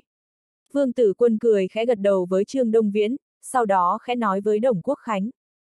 Đồng Quốc Khánh lúc này có thể nói gì được, hắn cố gắng tươi cười nói. Nghe nói Mạc Lão đi đến thành phố Đông Bộ, tôi đại biểu thành phố Đông Bộ đến thăm, thật không ngờ Chủ tịch Vương lại ở chỗ này. Ông nội của tôi đến thăm chiến hữu cũ, cũng không muốn kinh động nhiều người, thế cho nên không thông báo, ngay cả anh Đường cũng không biết. Vương Tử Quân mời thuốc Đồng Quốc Khánh rồi khẽ nói. Tôi hiểu, tôi hiểu. Đồng Quốc Khánh nhận lấy thuốc rồi khẽ nói. Mạc Lão, đây là bí thư Đồng Quốc Khánh. Trương Đông Viễn nói vài câu với bố mình, sau đó hắn chỉ tay sang Đồng Quốc Khánh nói. Chào Mạc Lão. Đồng Quốc Khánh khẽ bước đến lên tiếng chào Mạc Lão gia tử. Mạc Lão gia tử nhìn Đồng Quốc Khánh rồi cười cười nói. Đồng chí Quốc Khánh, vài ông lão chúng tôi đến thăm chiến hữu cũ, cũng không muốn kinh động mọi người. Nhưng nếu mọi người đã đến thì ở lại uống vài ly cho vui. Cảm ơn Mạc Lão. Khi thấy Mạc Lão gia tử nói chuyện ôn hòa như vậy thì Đồng Quốc Khánh thật sự có chút cảm động. Cọc cọc. Khi mọi người đang nói chuyện thì một tên thanh niên chống gậy đi đến, hắn thấy trong nhà mình chợt có nhiều người, thế là có chút kinh hoàng. Khi hắn còn đang trần trừ thì nhị nha đầu đã đi đến bên cạnh. Anh, là chiến hữu cũ đến thăm ông nội. Nhị nha đầu vừa nói vừa đỡ lấy anh mình. Nhị nha đầu, đỡ anh sang nhà tam thúc nghỉ ngơi đi. Đỗ Ngọ Thành hôm nay rất vui vẻ, lão không những được gặp các vị lãnh đạo năm xưa, càng gặp được mạc lão gia tử. Trung đoàn trưởng mạc đến nhà lão thăm thú, đây là sự việc mà lão thật sự không dám nghĩ đến. Khi nhóm mạc lão gia tử đến thì Đỗ Ngọ Thành thật sự rất vui mừng, lão là người đã 80 tuổi, lão cảm thấy cơ thể thật sự thoải mái. Lúc bắt đầu lão nói chuyện còn có chút gò bó, nhưng bây giờ đã chậm rãi thả lòng. Anh Đỗ, đây là cháu nội của anh sao? Chân cháu bị làm sao vậy? Khi nhị nha đầu muốn đỡ Tiểu Long đi, Mạc Lão Gia Tử chợt đứng lên đi về phía Tiểu Long rồi hỏi. Mạc Lão Gia Tử có thể nói là thủ trưởng của các ông cụ ở chỗ này, Lão đứng lên thì mọi người cũng đứng lên nhìn về phía Tiểu Long. Không có gì cả, chỉ là đi làm không cẩn thận nên xảy ra sự cố. Đỗ Lão Gia Tử trầm ngâm một lát rồi khẽ nói. Mạc Lão Gia Tử nhíu mày rồi khẽ nói. Anh Đỗ à, cháu nó không có chuyện gì đấy chứ? Trung đoàn trưởng, không có gì cả, bác sĩ nói vài ngày nữa thì tốt. Đỗ lão gia tử vừa nói vừa nở nụ cười tự diễu. Thanh niên mà, đôi khi chịu chút khổ sở cũng tốt. Anh Đỗ, tôi thấy gần đây trên báo có nhiều bài viết về việc công nhân vào thành phố công tác và bị thương không nhận được tiền thuốc men, đứa bé này bị thương có nhận được tiền thuốc men không? Người lên tiếng là một ông lão mà Vương Tử Quân trước nay chưa từng gặp, khi gặp mặt thì Vương lão gia tử đã giới thiệu đó là ông Hạ. Lúc này trái tim của Lưu Siêu Cử chợt chạy lên cổ họng, bây giờ tất cả tâm tư tranh cường háo thắng, ý nghĩ muốn mời Mạc lão gia tử về nhà mình đã tan biến sạch sẽ. Hắn chỉ hy vọng mình có thể yên ổn rời khỏi chỗ này mà thôi. Audio điện tử võ tấn bền. Hết tập 61